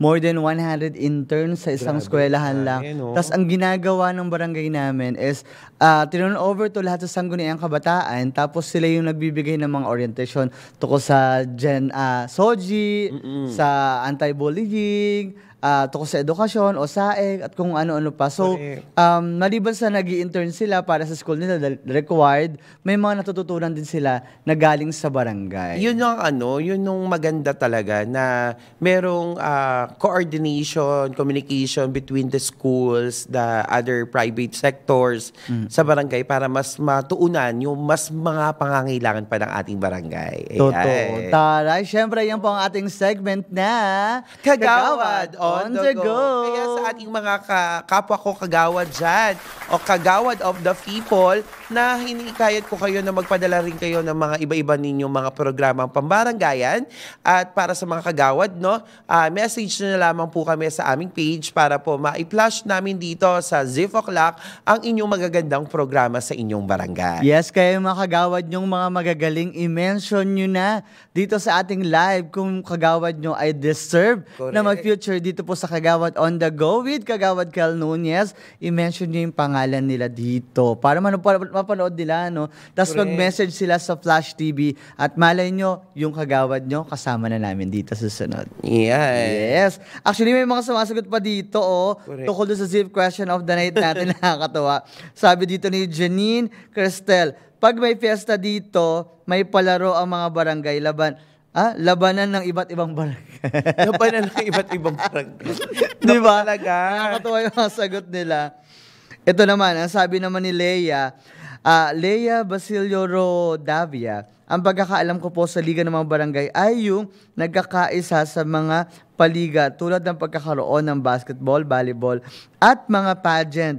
Sobrang nakakamiss sa bawat barangay, ang haba, ang haba na sagot niya, barangay ay may ganitong liga. Kaya naman po magkakaroon ng bawat barangay basta may pagkakaisa at may may tatayong mamumuno sa bawat paliga. Yun talaga yung alam nila sa liga ng mga Oo, barangay. ayan, no. Eh, atin naman, ano, sa, aki, sa atin naman, sa mga viewers naman natin, tagapakinig natin, ah kung ano man ang pagkakaintindi nila dyan sa liga. Kasi nga liga. eh, Liga. diba? Kasi nasanay tayo pag sabi Oo, liga, yun liga, yun eh. Pero okay lang naman yun. Pero ang tunay po talaga na ibig sabihin po ng Liga ng mga Barangay, ito po yung ah, samahan ng mga kapitan sa buong NCR, buong Pilipinas, buong region, at buong ah, city. Halimbawa, sa, Mar- sa Marikina, meron kami 16 barangay at meron doon 16 barangay captains. Mag-e-election sila At yung magiging ah, presidente doon ay automatic po, sila po ay magiging city councilor. Yes. Ex Ex officio. At yun yung tinatawag na Liga ng mga barangay. Yung Liga ng mga barangay, ito po ay ah, pinapatungkol sa mga ah, usapin ng ah, barangayan, sa kanilang mga nasasakupang city, sa kanilang nasasakupang ah, region, sa province, or sa ah, buong Pilipinas. Ito yung ah, pinag-uusapan ng buong ah, barangayan na mga programa. Yes, actually sa QC naman, meron kaming 142 barangays. Grabe, ang dami. Oo, 142 barangays. Tapos, ang presidente namin, dati naging presidente rin si Tatay Rani ng Quezon City ng Liga ng mga Barangay. Pero nung time na yon ABC pa. ABC pa, ABC pa yung tawag doon. At nakita ko, um, si Tatay Rani nung time na yun, eh nakatutok siya sa peace and order. Tapos siya yung lumalaban talaga para sa karapatan ng bawat kapitan sa buong lungsod Quezon. Which is yun yung pinaka magandang role ng pagiging isang liga ng mga barangay. Kaya mabuhay ang lahat ng ating mga Yes. ah, Liga Presidents mula sa city, mula sa regional, mula sa province, mula naman po sa buong Pilipinas. Congratulations sa inyong Yes, lahat. Congratulations Grabe. po. Mabig- At katatapos lang kanina. Mabigat ang trabaho ng pagiging isang Totoo. Liga President o Liga ng mga Barangay ah, Councilor dahil sila ay nagbabalangkas ng kanilang mga programa patungkol sa barangayan, especially Actually, yung na budget. nag- Nag-post na pala si Kabzip. Oo, ayun Kung sino-sino yung mga presidente. Oh, yan. Ang nanalo po ng Liga ng mga Barangay sa Pilipinas, National President ay si Jessica D. Wow. New Liga NCR President si Darwin Fernandez. At new Vice President si Lay Lacuna. Ayan, congratulations po. Aray, congrats po sa inyo. At syempre kasama nila sa naganap na election doon, si Yusek Chito Balmosina. Yes, oo. Hi, Yusek. Ah, yan po ang ating Undersecretary for Barangay May Affairs, uh, Yusek uh, Balmusin. Grabe, nakakatuwa. Grabe yung ano ah, grabe yung election na naganap nitong nakaraan. At saka nandoon din si Ang ating ah, DILJ Secretary Ben Hur Abalos. Abalos. Ayan, magandang magandang ano, ah, gabi po sa lahat po ng mga nanonood na mga taga DILJ. And of course, ang Manila Mayor. Ayan, maraming maraming salamat po. Sino ba mayor ngayon doon? Ah, sa Manila, Lacuna din. Lacuna yung actually Oo. kapatid niya yung Kapatid. ano. Si ah, Hani. Si Hani. Hani Lacuna. Yung vice dati ni ano, noon. Ayan.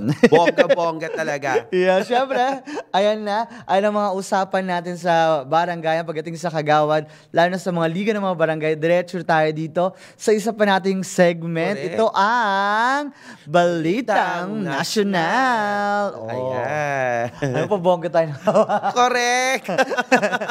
At syempre, ang una natin pag-uusapan dito, kanina pag-uusapan natin yung aso. Dahil Ayan, kanina grabe. naglabas din, ang DILG na ngayon ay, ang March ay Rabies Awareness Yes, month. Adaray, pag ganun pala. Oo naman, alam mo, hindi ko, syempre. alam mo nakakatawa kasi hindi ko to alam na meron pala tayong Rabies Awareness Month. Ito yung, ah, syempre, times ng, in terms of ah, mainit ang panahon, yung mga aso parang anong-ano, di ba? Mm. Nagiging wild. Mm. Nagiging wild, no? So parang, ito na rin kasi yung, parang tingin ko, tumataas ang kaso ng rabies pag times Ay, gusto ng- ko yung rabies. Oo, rabies. Rabies ba yung Rabies tama? tawag kasi. Hindi rabies. rabies lang kasi alam mo. Ito rabies or rabies. Ayan, whatever. Kung ano man tawag na yan. Pero, ah, dahil dahil yung ah, rabies na yan ay, ah, sabi nga, para maiwasan natin yung ah, mga naka- ah, nakakagat 'di ba? Mm. So nagkakaroon tayo ng mga pre-injection sa mga city, barangay para sa kanilang mga alagang hayop. Sa inyo kagawad, sa barangay nyo, ano bang ginagawa nyo ngayon? Ah, nag sineselebrate nyo ba to? Yung ra- ra- ra- rabies, tama siya, rabies, Rabies, daw. oo. Rabi- rabies awareness. Oo, rabies awareness. Yan ay ah, mula sa City Health ah, ah, g- ah, Office ng Marikina, binababayan sa barangay. Tapos umiikot sila. May pre-bakuna, ah, pre-bakuna para sa mga aso nila. Ah, ipipila ko nga, ipipila, ipipila ko yung tech natin, si Master. Sino? si Grabe Master naman siya. Eto Eto na. ang- ah, Siyempre, ang tema naman natin dyan, rabies-free na pusa't aso, kaligtasan ng pamilyang Pilipino. Tara. May tema rin talaga. Oo naman, syempre. Oo. So yung nakakatawa, dati rin, ah, si Tatay Rani naman, siya, rin- siya rin yung nakatutok sa District 2 ng pag-iikot. May mga tao kami na nag-iikot talaga every week para ikutin yung buong District 2 para lang ma- magkaroon ng lahat anti-rabies. Kasi ah, tama kay ang wild ng mga aso ngayon. Mainit ang panahon. so may epekto pala talaga yung Oo. panahon sa mga aso. Yung tao nga nagiging ano, mag-wild pag mainit ang panahon, nagsiswimming. Visit na visit. Diba? Pero ang sabi kasi doon sa ano na yon sa Revis Month na yan, ah ibig sabihin lang yan na pinapahalagahan natin ng buhay at pamilya ng bawat Pilipino. Kasi ah, tumataas yan, no? especially marami nakakagat na mga ah, bata. Totoo. Mga tao nakakagat na. May, may bigla nga mag-chat sa akin, meron ba sa health center? Oo. Sa amin kasi, kapag may, yung unang bakuna mo talaga libre, um, kukuha lang ng indigestion sa barangay, tapos diretso ka health center, tapos i-injection ka talaga yung unang-unang ibibigay sa'yo. Then, yung mga susunod, ah, depende kung may kakayanan ka, eh, magkano 500 yata Correct, yun eh. oo. Mga ganun. Tsaka ano, ah, meron diyan punta lamang po kayo sa health center, sa inyong mga health center. Uh, kikater naman kayo yun yan pagka ah, usaping rabies. No? Bongga-bongga yan. Kaya sa may mga alaga namang aso,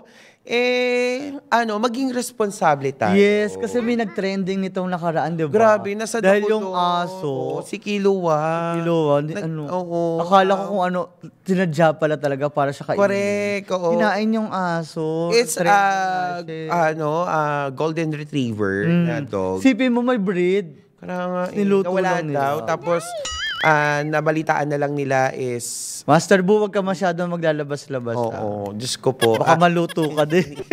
Tsaka ini-encourage natin na, na mag ano tayo, yung mga alaga nating hayop ay ipabakuna natin. Ha? Totoo. Para kasi yung mga tao nga pinabakunahan eh. Totoo. At saka ano, libre lang naman. Libre naman yan. Sa, magtanong tayo sa barangay natin kung kailan yung schedule ng bakuna natin. Di ba? Hindi naman masama kung yung mga aso nyo, kahit pusa po ah, kahit pusa, Correct. mabigyan sila ng anti-rabies. At least kahit makakagat. Kasi po sa QC ah, sa QC, pag ang aso mo ay nakagat, kunyari, alaga kong aso, tapos nakagat ka, ako yung obligado magbayad ng pang-injection Pang-injection. mo. So, ayan si Kilua. Oo. Justice, Yeah, justice for Kilua. Diyos ko po, Lord. Ano, run free, Run free. in dog's heaven. Oo. We will miss our no-no. Ay, Oo. grabe nag-trending yan. Oo, actually, lumabas yan sa kahit sa ano. Pero anyway, ah, bahala na ating batas dyan dahil meron naman tayong batas para sa mga ah, animal welfare. Ah, Yes. meron Actually, naman next eh. week kapag nandito na ulit si Capriza, mas mapapaliwanag niya yung tungkol dyan. Naku, basta apektado lagi, apektado, actually, apektado si Capriza niya nung Totoo. time na.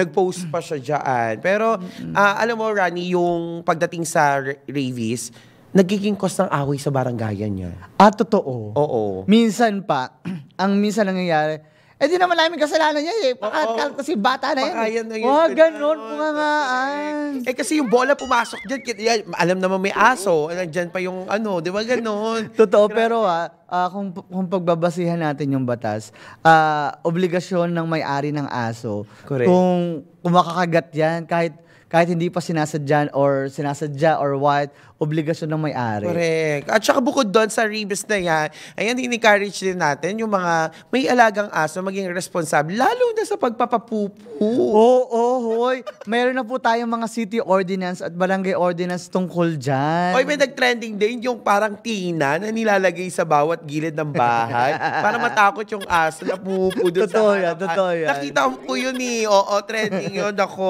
Pero na nakakatuwa rin yung mga tao na umaga, ah, bit, ah, may tali yung aso nila, tapos nakalabas, may dalang dustpan. Dustpan. Nakawalis ting-ting. O kasi ano Diba? sila, yung ah, gusto ko pag naapakan mo yun, oh. Ang bango. Dahil ang sabi naman nila, pag natapakan mo yun, ah, magkakapera ka. Iba naman yung swerte. Laki, lucky charm mo yun pag pumasok ka. Tapos kasunod mo puro mga ano, no? Diyos ko Lord. Anyway, ayan na. Muli, sa lahat po na may mga alagang aso, pabakunahan po natin ng anti-rabies sa mga health sa, sa veterinary, Yes. ah, sa inyong malapit na veterinary office sa bawat city. Meron po yan, no? At saka magtanong din kayo sa barangay ninyo kung kailan yung schedule nyo. Siyempre, oras po natin ay 9.30pm. Grabe Commercial yun. muna tayo, walang aalis.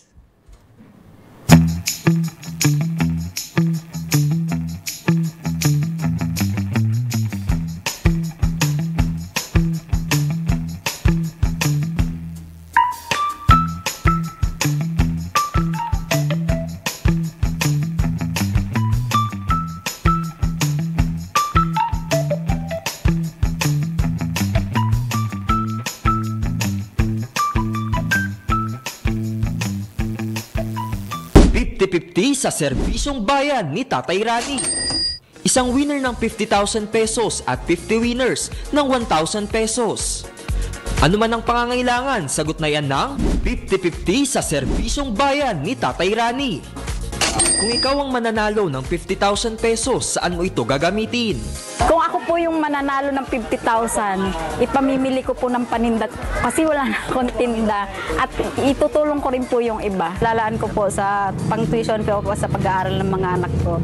Ipapayos ko po ang third floor ng aming pwesto. Paano nga ba makasali?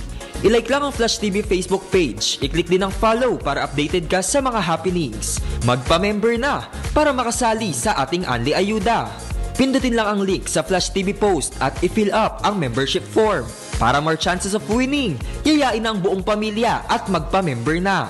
Abangan ngayong Marso ang Grand Raffle Ayuda ng Serbisyong Bayan ni Tatay Rani. Paalala, ang lahat ng mga qualified manalo sa ayuda ay kailangan nakalike, follow at member na. Pang hinihintay mo, 50-50 sa Serbisyong Bayan ni Tatay Rani.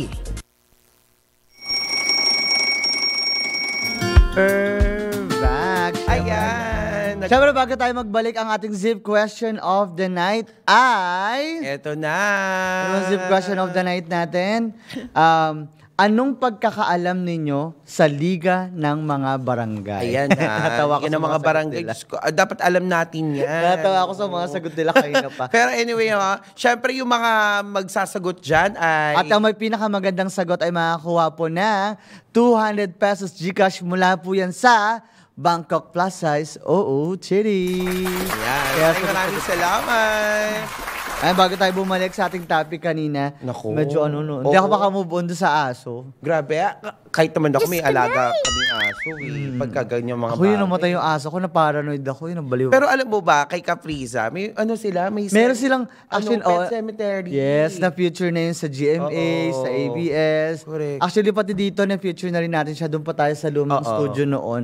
Yung Pet Cemetery. Maganda yun, no? Totoo. Para sa mga alagang aso. Kaya, sana naman yung doon sa mga ano, wag naman po nating, pag Gawing nakakita tayo ng pagkain. aso, gawin natin pagkain. Huwag naman po, hindi naman po, ha, pwedeng i-adobo yun. Tsaka, Loko. kaldereta. Wag- Kawawa naman yung aso. Mahalin po natin yung At- mga alagang aso kasi parang ano Mario din yun eh, mga ano din niya, may buhay din. Totoo. At saka ano ah, nakakatanggal ng stress kapag may alaga kang aso. Oo, syempre. Laking tulong. Tsaka sa ano yan, sa pamilya, part of the, of the family na yan, no? Totoo. Ang aso't pusa. Correct. Gusto po.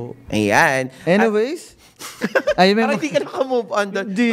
Kasi nga naawa ako sa aso. Binabati ko muna si Ann Sega, Josephine Tuwason Palayer. Gandang gabi Uy! po, Supergirl, Rani Barba, and Kagawad Kel. Ayan, magandang gabi rin kay ah, Ruben Reyes. Magandang gabi po sa lahat.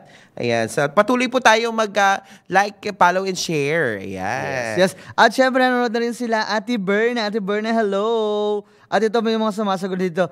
Liga ng mga Barangay is Federation, League of Union created by law or by author- authority of law. Wow! Wow. Whose member ay either appointed or elected government official. Taray naman ni Eileen Ambalisa. Mukhang nakasearch sa Google.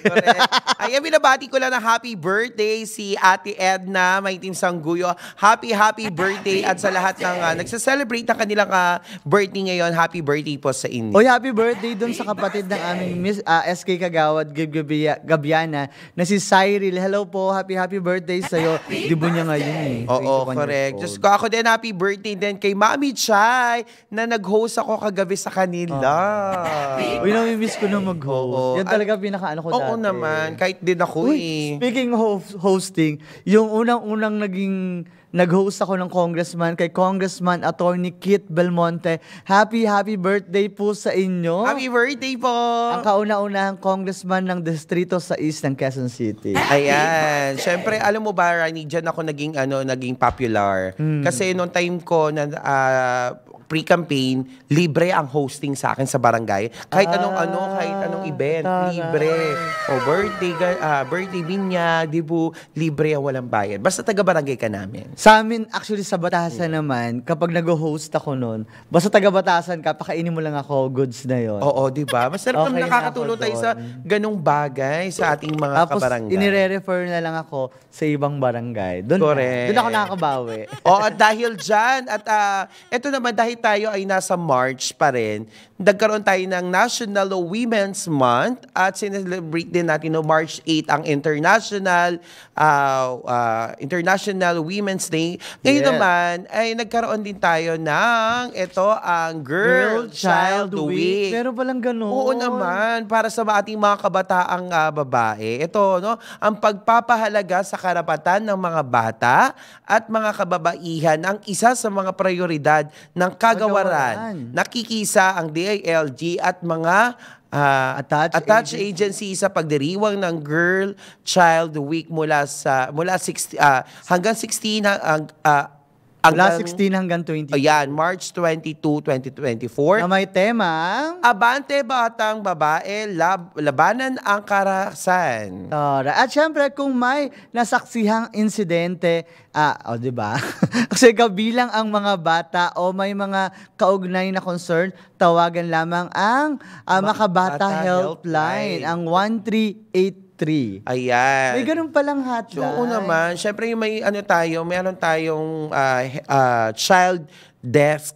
Ayan. So, ibig sabihin, ah, and kahit sino sa buong Pilipinas, pwede silang tumawag dyan sa helpline natin, Ayan, yung correct.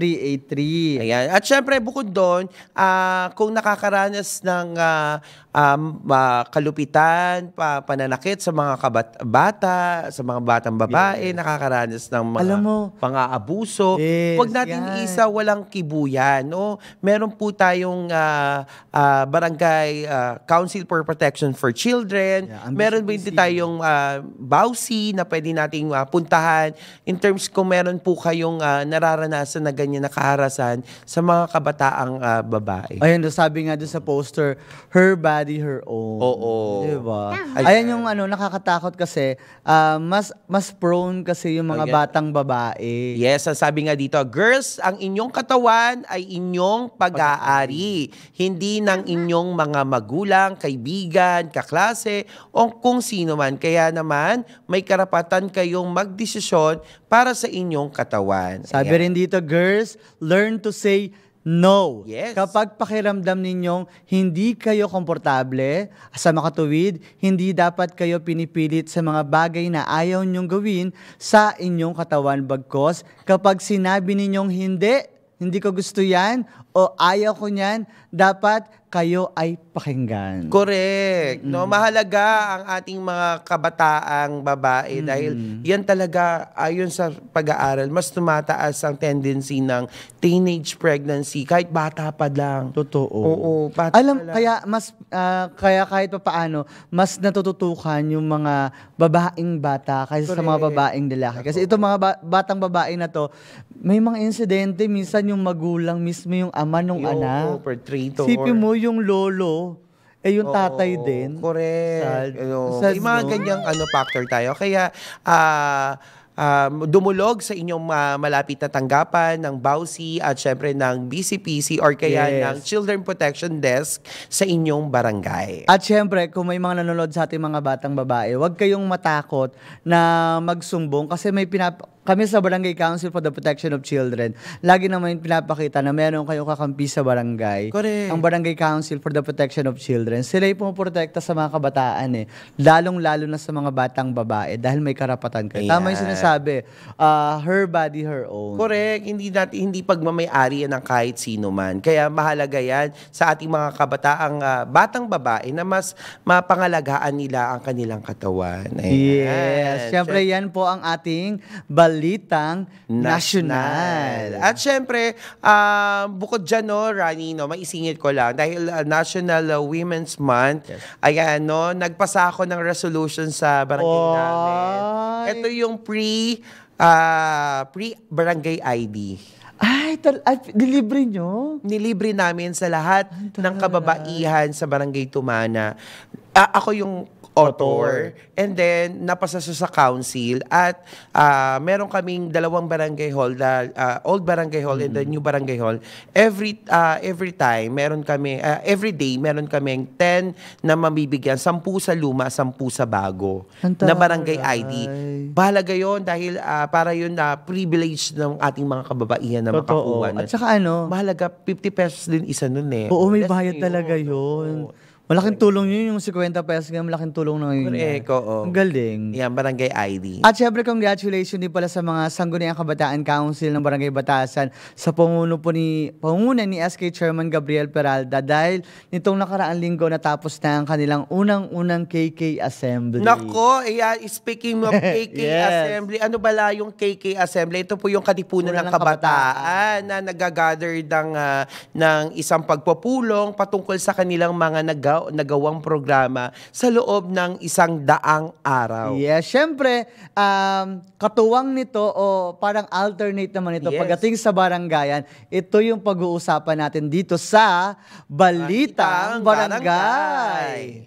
Ito na, ito yung SOBA o State of O the Barangay, Barangay Address. Address. Pero dati, no? Ang tawag dyan dati is Barangay Assembly. Barangay Assembly lang. Oo, Barangay medyo Assembly lang. mula sa SONA na State of the Nation Yes. Address. Meron pa tayong tinatawag na State of the City Address, Yes, SOCA. Tapos meron na tayong ah, SOBA, State, of, the Barangay, address. Address. Dati meron ding SOYA, State Correct. of the Youth Address. Oo, Ang dami. Correct. Ano ba ang ibig sabihin ng ah, State of Barangay Address? Ang Barangay Assembly or Of Barangay Address o SOBA, ano nga ba ang ibig sabihin nito? No? Nga, ngayong buwan ng Marso sa unang quarter ng taon, ito ang ah, tanong sa atin ng mga ordinaryong mamamayan. Kaya minabuti natin na magtanong sa mga taong may alam dito na nag-research. Tayo meron na akong ah, sariling opinion na nagbibigay sa kanila pero nagawa na po natin ng ah, mapuntahan ng ating mga kaibigan. Ayan. Kaibigan na si Magta. Magta at Ayan. si Magtanong. Oo, as si magtanong. Sinagot naman tayo sa ating mga katanungan at nakuha na tayo ng kasagutan na maibabahagi sa inyo ng maiksi lamang sa kaalaman.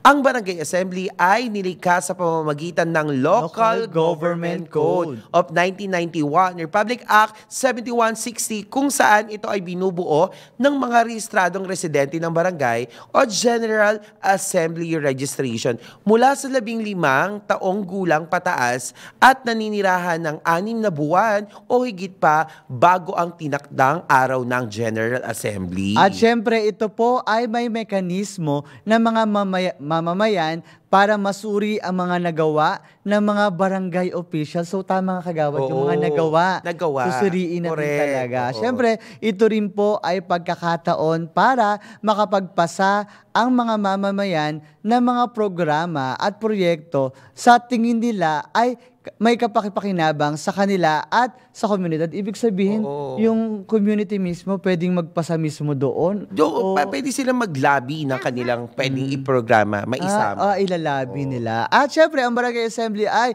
isinasagawa dalawang beses kada taon sa buwan ng Marso at Oktubre ng taon ayon sa mandato ng RA 7160 o Local Government Code at nakasaad sa sector, ah, section, sector, section 397B na ang Barangay Assembly ay dapat isinasagawa dalawang beses kada taon upang marinig at pag-usapan ang semestral report ng naturang barangay tungkol sa mga aktibidad at pananalapi, gayon din ang mga problemang nakakaapekto sa barangay. Ang dami, ang dami pang Yes. dito. Siyempre, ang Barangay Assembly ay mandato ng DILG para sa isang pagtitipon ng taga-barangay upang pag-usapan kung ano-ano nga ba ang mga naging aktibidad, proyekto o accomplishment ng isang barangay. Lahat ng sektor, grupo o individual ng residente ng isang barangay ay pwedeng dumalo. O kahit sino yan, ha? Yes. Kung imbitado mismo ang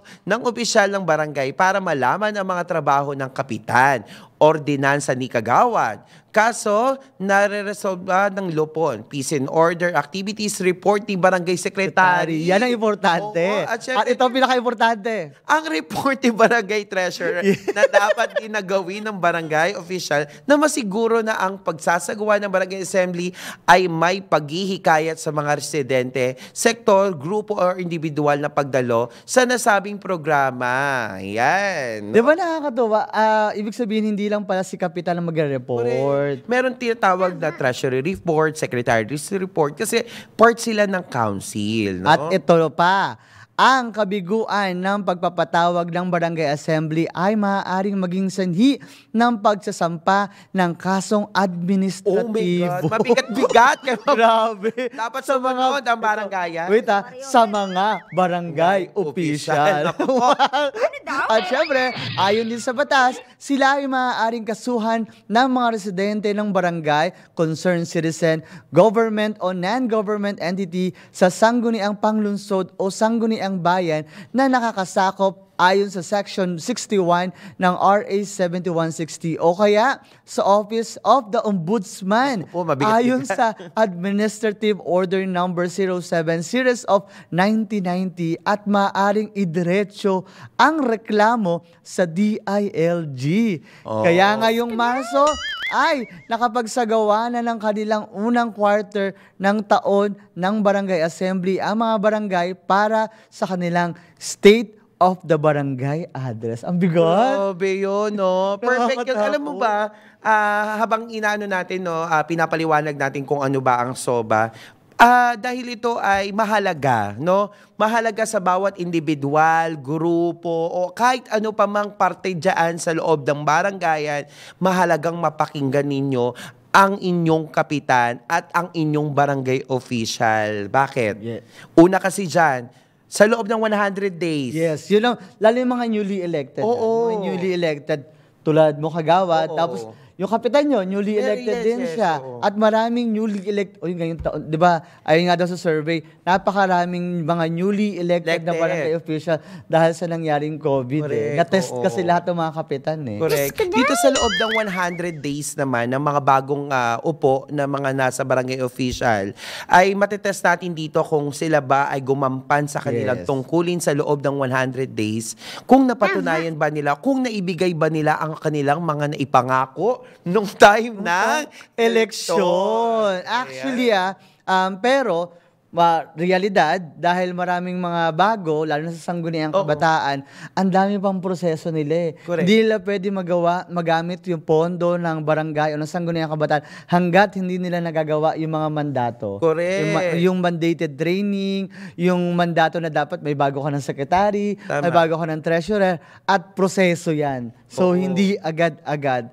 Ah, isa sa pinaka-accomplishment mo dyan, yung magkaroon ka ng barangay secretary at treasurer. At si treasurer, mag-report din naman siya pagdating ng SOBA. Tama nung sinabi namin kanina, twice, ah, dalawang beses sa isang taon, nag-report si barangay captain kasama ng konseho, barangay secretary at treasurer. Ganun din sa sangguniang kabataan. Ayan. Ano ba yung mga kadalasang inire-report ng ang mga punong barangay? Ito ha, dapat ninyo ito talaga mapakinggan sa inyong mga punong Yes. barangay at sa mga ah, barangay official. No? Una dyan, nire-report ng ah, punong barangay ang ah, compliance sa projects activities implemented, be implemented by the barangay in the following financial status of the barangay. Yun. Actually, yan yung mga importante kasi para malaman din nila ah, kamusta na ba yung barangay namin, di ba? Oo. Pagdating sa Sa financial. financial. Tapos bukod dito, compliance of the barangay with Section 3.2 of BDM DILG NYC Joint Memorandum Circular Number 1 Series of 2009. Ayan. Grabe, no? Ah, ang pag-report pala talaga or ang SOBA o Barangay Assembly, napaka-importante. O, ito pa ang pinakamahalaga pa, yung programang Buhay Ingatan, Drogay Ayawan o BIDA program na dapat ah ah, maridak ang ah, ang tumataas sa kaso ng mga gumagamit ng droga. Ayan, tapos yung hali, yung hapag na tinatawag halina't magtanim ng prutas at gulay. Ito yung mga bagong nilalabas ng DILG. Yes.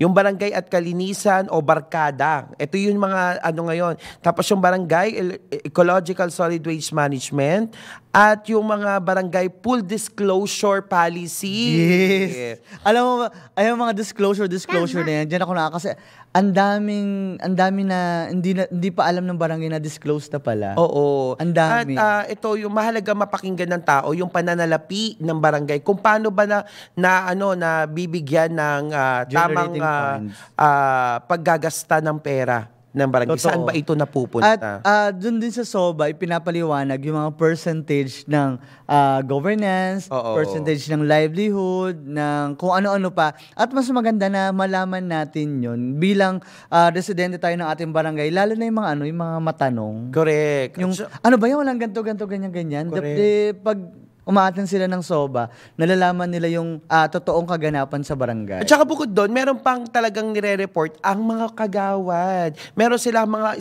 mga committee, report. committee report ng Barangay Kagawad, Committee on Women's, Committee on Education, Committee on Health, Committee on Livelihood, Committee on ah, ah, Peace and Order. Order. Mahalagang mapakinggan. Nakakaasar lang to ah. Medyo napakinggan ko na ibang mga barangay sa pag-report nila. Oo. Ah, nakakaasar yung mga barangay pati yung ah, report nung ibang nung kapitan lang dapat mag-report. Pa- ma- masabi lang na ma-report sila. Correct. I-report din ni Kagawad. Kagawad. Eh, ah, ang report ni kapitan eh ano yun eh, parang buong council yan Ano eh. na yan? Kabuuan. Kabuuan yun, Oo, ibig sabihin, na. sa report ni Kapitan, kasama ka doon. Correct, correct. Kaya hindi mo naman kailangan ilutin pa yung report niya. Oo. Tumuto ka na lang doon sa committee mo or yung mga inisyatibo mo, mga proyekto at programa, di ba? At ang kakaabagan dyan sa, sa State of Barangay Address, ang ah, priority project at mga upcoming projects ng parating. barangay at yung mga parating. At ano ba ang nagawa talaga ng, ah, sa loob ng 100 days? Kasi magiging test yan eh. Kasi meron tayong dalawang, sinabi nga sa ating kanina, na dalawa ang SOBA tuwing ah, kada Isang taon. Uh, kada isang taon, no? Merong October. Kung pinangako nila ng State of Barangay Address ng March, titingnan natin by ano, by October. Eh, Tama. Yan. At nakaka-excite yung ano, yung magiging upcoming project nila. Lalo na ano ah, ang daming ang daming barangay na hindi pa napapasa yung budget nila. Correct. Kasi ang daming, ang da- para po sa kaalaman ng lahat ah, ang daming proseso po niyan. Kami nga eh, sa barangay, by April or May pa, magkakaroon ng budget. Ah, sa amin, April 11 pa yata. Nako, ganon. No? Ganon siya katagal. So, ibig sabihin, may mga barangay pa din na until now, walang budget at sariling pera pa rin po nila yung ginagamit nila. Correct. Ito pa, no, bukod dun sa ah, mga binigay natin, no, yung awareness and measure to mitigate the effects of African swine fever, yung ASF. Ayan. Aw- tsaka ito pa, yung awareness ah, and report regarding illegal bingo sa barangay on early, ah, barangay Lucky Bingo. Ayan. Pati kailangan- yung bingo, bawal. yung ano awareness lang report promotion of im- implementation of a first time job uh, seeker assistance act Yan. O yan ang pinaka-importante. Yung O, kasi First di ba- Time Job Assistant Act. Di ba may kumukuha sa barangay natin Yes. ng certificate ano bang update sa mga yon pag nabigyan Totoo. di ba? An- actually, Anong um, one time pumunta ako ng barangay namin, may nakasabay ako na kumukuha siya ng ah, first time seeker job. Ay, first time job seeker. Ah, hindi ko alam, ano na kayang balita doon? Nakakuha kayo ng trabaho. trabaho ganon Sana pala meron ganun, no, may update. Siyempre, dapat na monitor eh, kasi sa barangay. Bukod doon, ah, binibigyan din ng pagkakataon sa, sa, sa, SOBA na makapagsalita ang SK, ah, SK chairman dahil meron ditong SK accomplishment report. Yes. At saka ano, um, kasama kasi siya sa mandated budget ng barangay, which is 10%, 10% of, the budget. of the barangay. So kung meron kang 100,000, meron siyang 10,000. 10,000. Ganon. Ganon yung mga ano kwentahan dyan. Ayoko na sabihin Kaya- kung magkano sa amin kasi Oo. di ko alam. Pero anyway, yan no, ka, sa lahat ng ating mga barangay, alam niyo ng mga barangay sa buong Yes. Pilipinas na tayo ay nagkakandak ng ah, barangay assembly. Pero ini-encourage natin ang ating mga ah, kababayan, na mga tagapakinig, tagapanood, na nawa ay mapakinggan ninyo ang inyong mga punong barangay sa inyong barangayan. No? Mahalaga yan kasi parte kayo ng paggogobyerno. Mahalagang makapag-suggest kayo, mapakinggan ninyo, at ah, tama ba ang serbisyong ibinibigay? Yes. At syempre, tuwing natatapos po ang SOBA o ang State of the Barangay Address, magkakaroon, lagi nagkakaroon yan ng question and answer Oo, portion. meron. Yan, mahalaga yan So, kasi- ibig sabihin kayo po ay may karapatang kayong magtanong sa konseho ng barangay, sa pangulo ng barangay captain, para malaman nyo rin yung mga, minsan kasi di ba habang nag-report si barangay captain o barangay kagawad, secretary and treasurer, may mga may mga gumugulo sa utak ninyo at Correct. pwede ninyo itanong mismo pagkatapos ng state of the barangay address ng punong barangay. Kaya ah, freedom to ng lahat. Correct. Kaya dun sa lahat ng ating mga kagawads naman, so magpasa tayo ng reports. Oy, Para may committee report. report. pero, pero anyway, pero anyway, ko ano muna ha, shoutout muna kay Ate Lot uh, Laprades. Ayan si sa Hello, Ate Lot. Ate Lot. I miss you, Ate Lot. Hello kay Alea May Alba. Nako, talaga namang ah, ah, kakaabang-abang yan. Kasi nag-start na, actually yung barangay doon sa amin, nag-start na. Sa amin, sa Barangay Tumana, ah, March 23. Oh, lapit na. lapit na. March 19 na ngayon ah. Oo, March 23, magre-report na na, ang nga punong barangay. Pero excited na rin ako kung ano ba ang maire-report ng, ah, ng bawat barangayan, no? Sa amin parang sa Sabado na din. Oo, wala. Actually, yung mga... Kuya Alan, baka sa Sabado ha? Alam mo, ang pinaka ano, pinaka Rani, ang pinaka ah, bilib ako sa lahat ng barangay secretaries. Totoo. Tsaka barangay treasurer. Alam mo ba, Maraming sa ah, ngayon yan, sila yung mga puspusang na to, to, to, to, ganyan, ganyan. At Correct. inaayos nila budget. Kasi hindi mo pwedeng, hindi pwedeng binabasa lang ni Kapitan yan eh. Correct. Ipinapakita yan. Di ba nga meron pa nga na dapat bawat barangay nakapaskil, nakapaskil sa mga barangay nila kung saan napupunta yung budget allocation. Correct. Meron ah, full disclosure board sa barangay. Dapat nakikita yon. Yes, yun ang Yeah. pinaka-importante. At syempre, mahalaga na may partisipasyon ang bawat mamamayan kahit anumang uri ng sektor ka, mapa-LGBT ka man, nasa ah, Muslim sector ka man, nasa Yes. ah, iba't ibang grupo ka man, fraternities ka man, o nasa women's group ka man, or education. For youth. Lahat yon kailangan mapakinggan ninyo. Yeah. Yan. Nakakatuwa. Correct. No? Yan po ang State of O, the Barangay, barangay Address address. or dating Barangay Barangay Assembly. Ayan, no? May winners na tayo. Yes, para po sa ating ah. zip question of the night na. Ano bang zip question of the night muna natin? Anong pagkakaalam ninyo sa Liga ng mga barangay? Siyempre, ang mananalo po dito ay makakuha ng 200 pesos Gcash mula po sa Bangkok Plus Size OOTD. At kagawad, ang nanalo ang sabi niya ay... Ito na ang winner natin. Ang sabi naman niya dito, Liga ng mga Barangay is a federation league uh, or union created by law by uh, authority of the law whose member are either appointed or elected government official. Ah, At syempre, ang nakakuha ng 200 pesos Gcash ay si... Eileen Ambalisa. Wow! Congratulations. Pero kailangan po mag-send ng iyong details sa Facebook page ng Flash TV ng Gcash number mo at Gcash name mo. Ayan. kagawad? Ayan, syempre, ah, muli po sa lahat po ng ating mga ah, taga ah, barangayan na nakikinig dyan, no? Ah, pag malapit na ang inyong soba, pumunta kayo doon, ha? Makinig Totoo. kayo, correct. Ayan. Syempre, ah, maraming maraming salamat din sa mga ah, tumutok, sumagot. Yes. Ayan, kahit na ang sabi nila basketball daw, volleyball. Natawa ko may pyesa sa panga eh. yes, tabis gay. Yan po ay part lamang ng selebrasyon sa barangay. Yes. Ah, ah, na, nananasanay lang kasi tayo sa salitang liga. Pag sinabing liga, basketball. Correct. Oo. Ayan, syempre nami-miss na natin na shoutout muna kay Caprisa. Si Caprisa pala ay meron siyang ah, isang libong ah, yabag ah, para sa kababaihan on March 23 sa Ay, Parang taray. Playground. Magmumula sa ah, Fortune sa Barangay Hall nila. kapunta Ah, Papunta doon. doon. Maganda yon Rani. malayo Mama, yun check ah. mo. Kailan Pero, yun?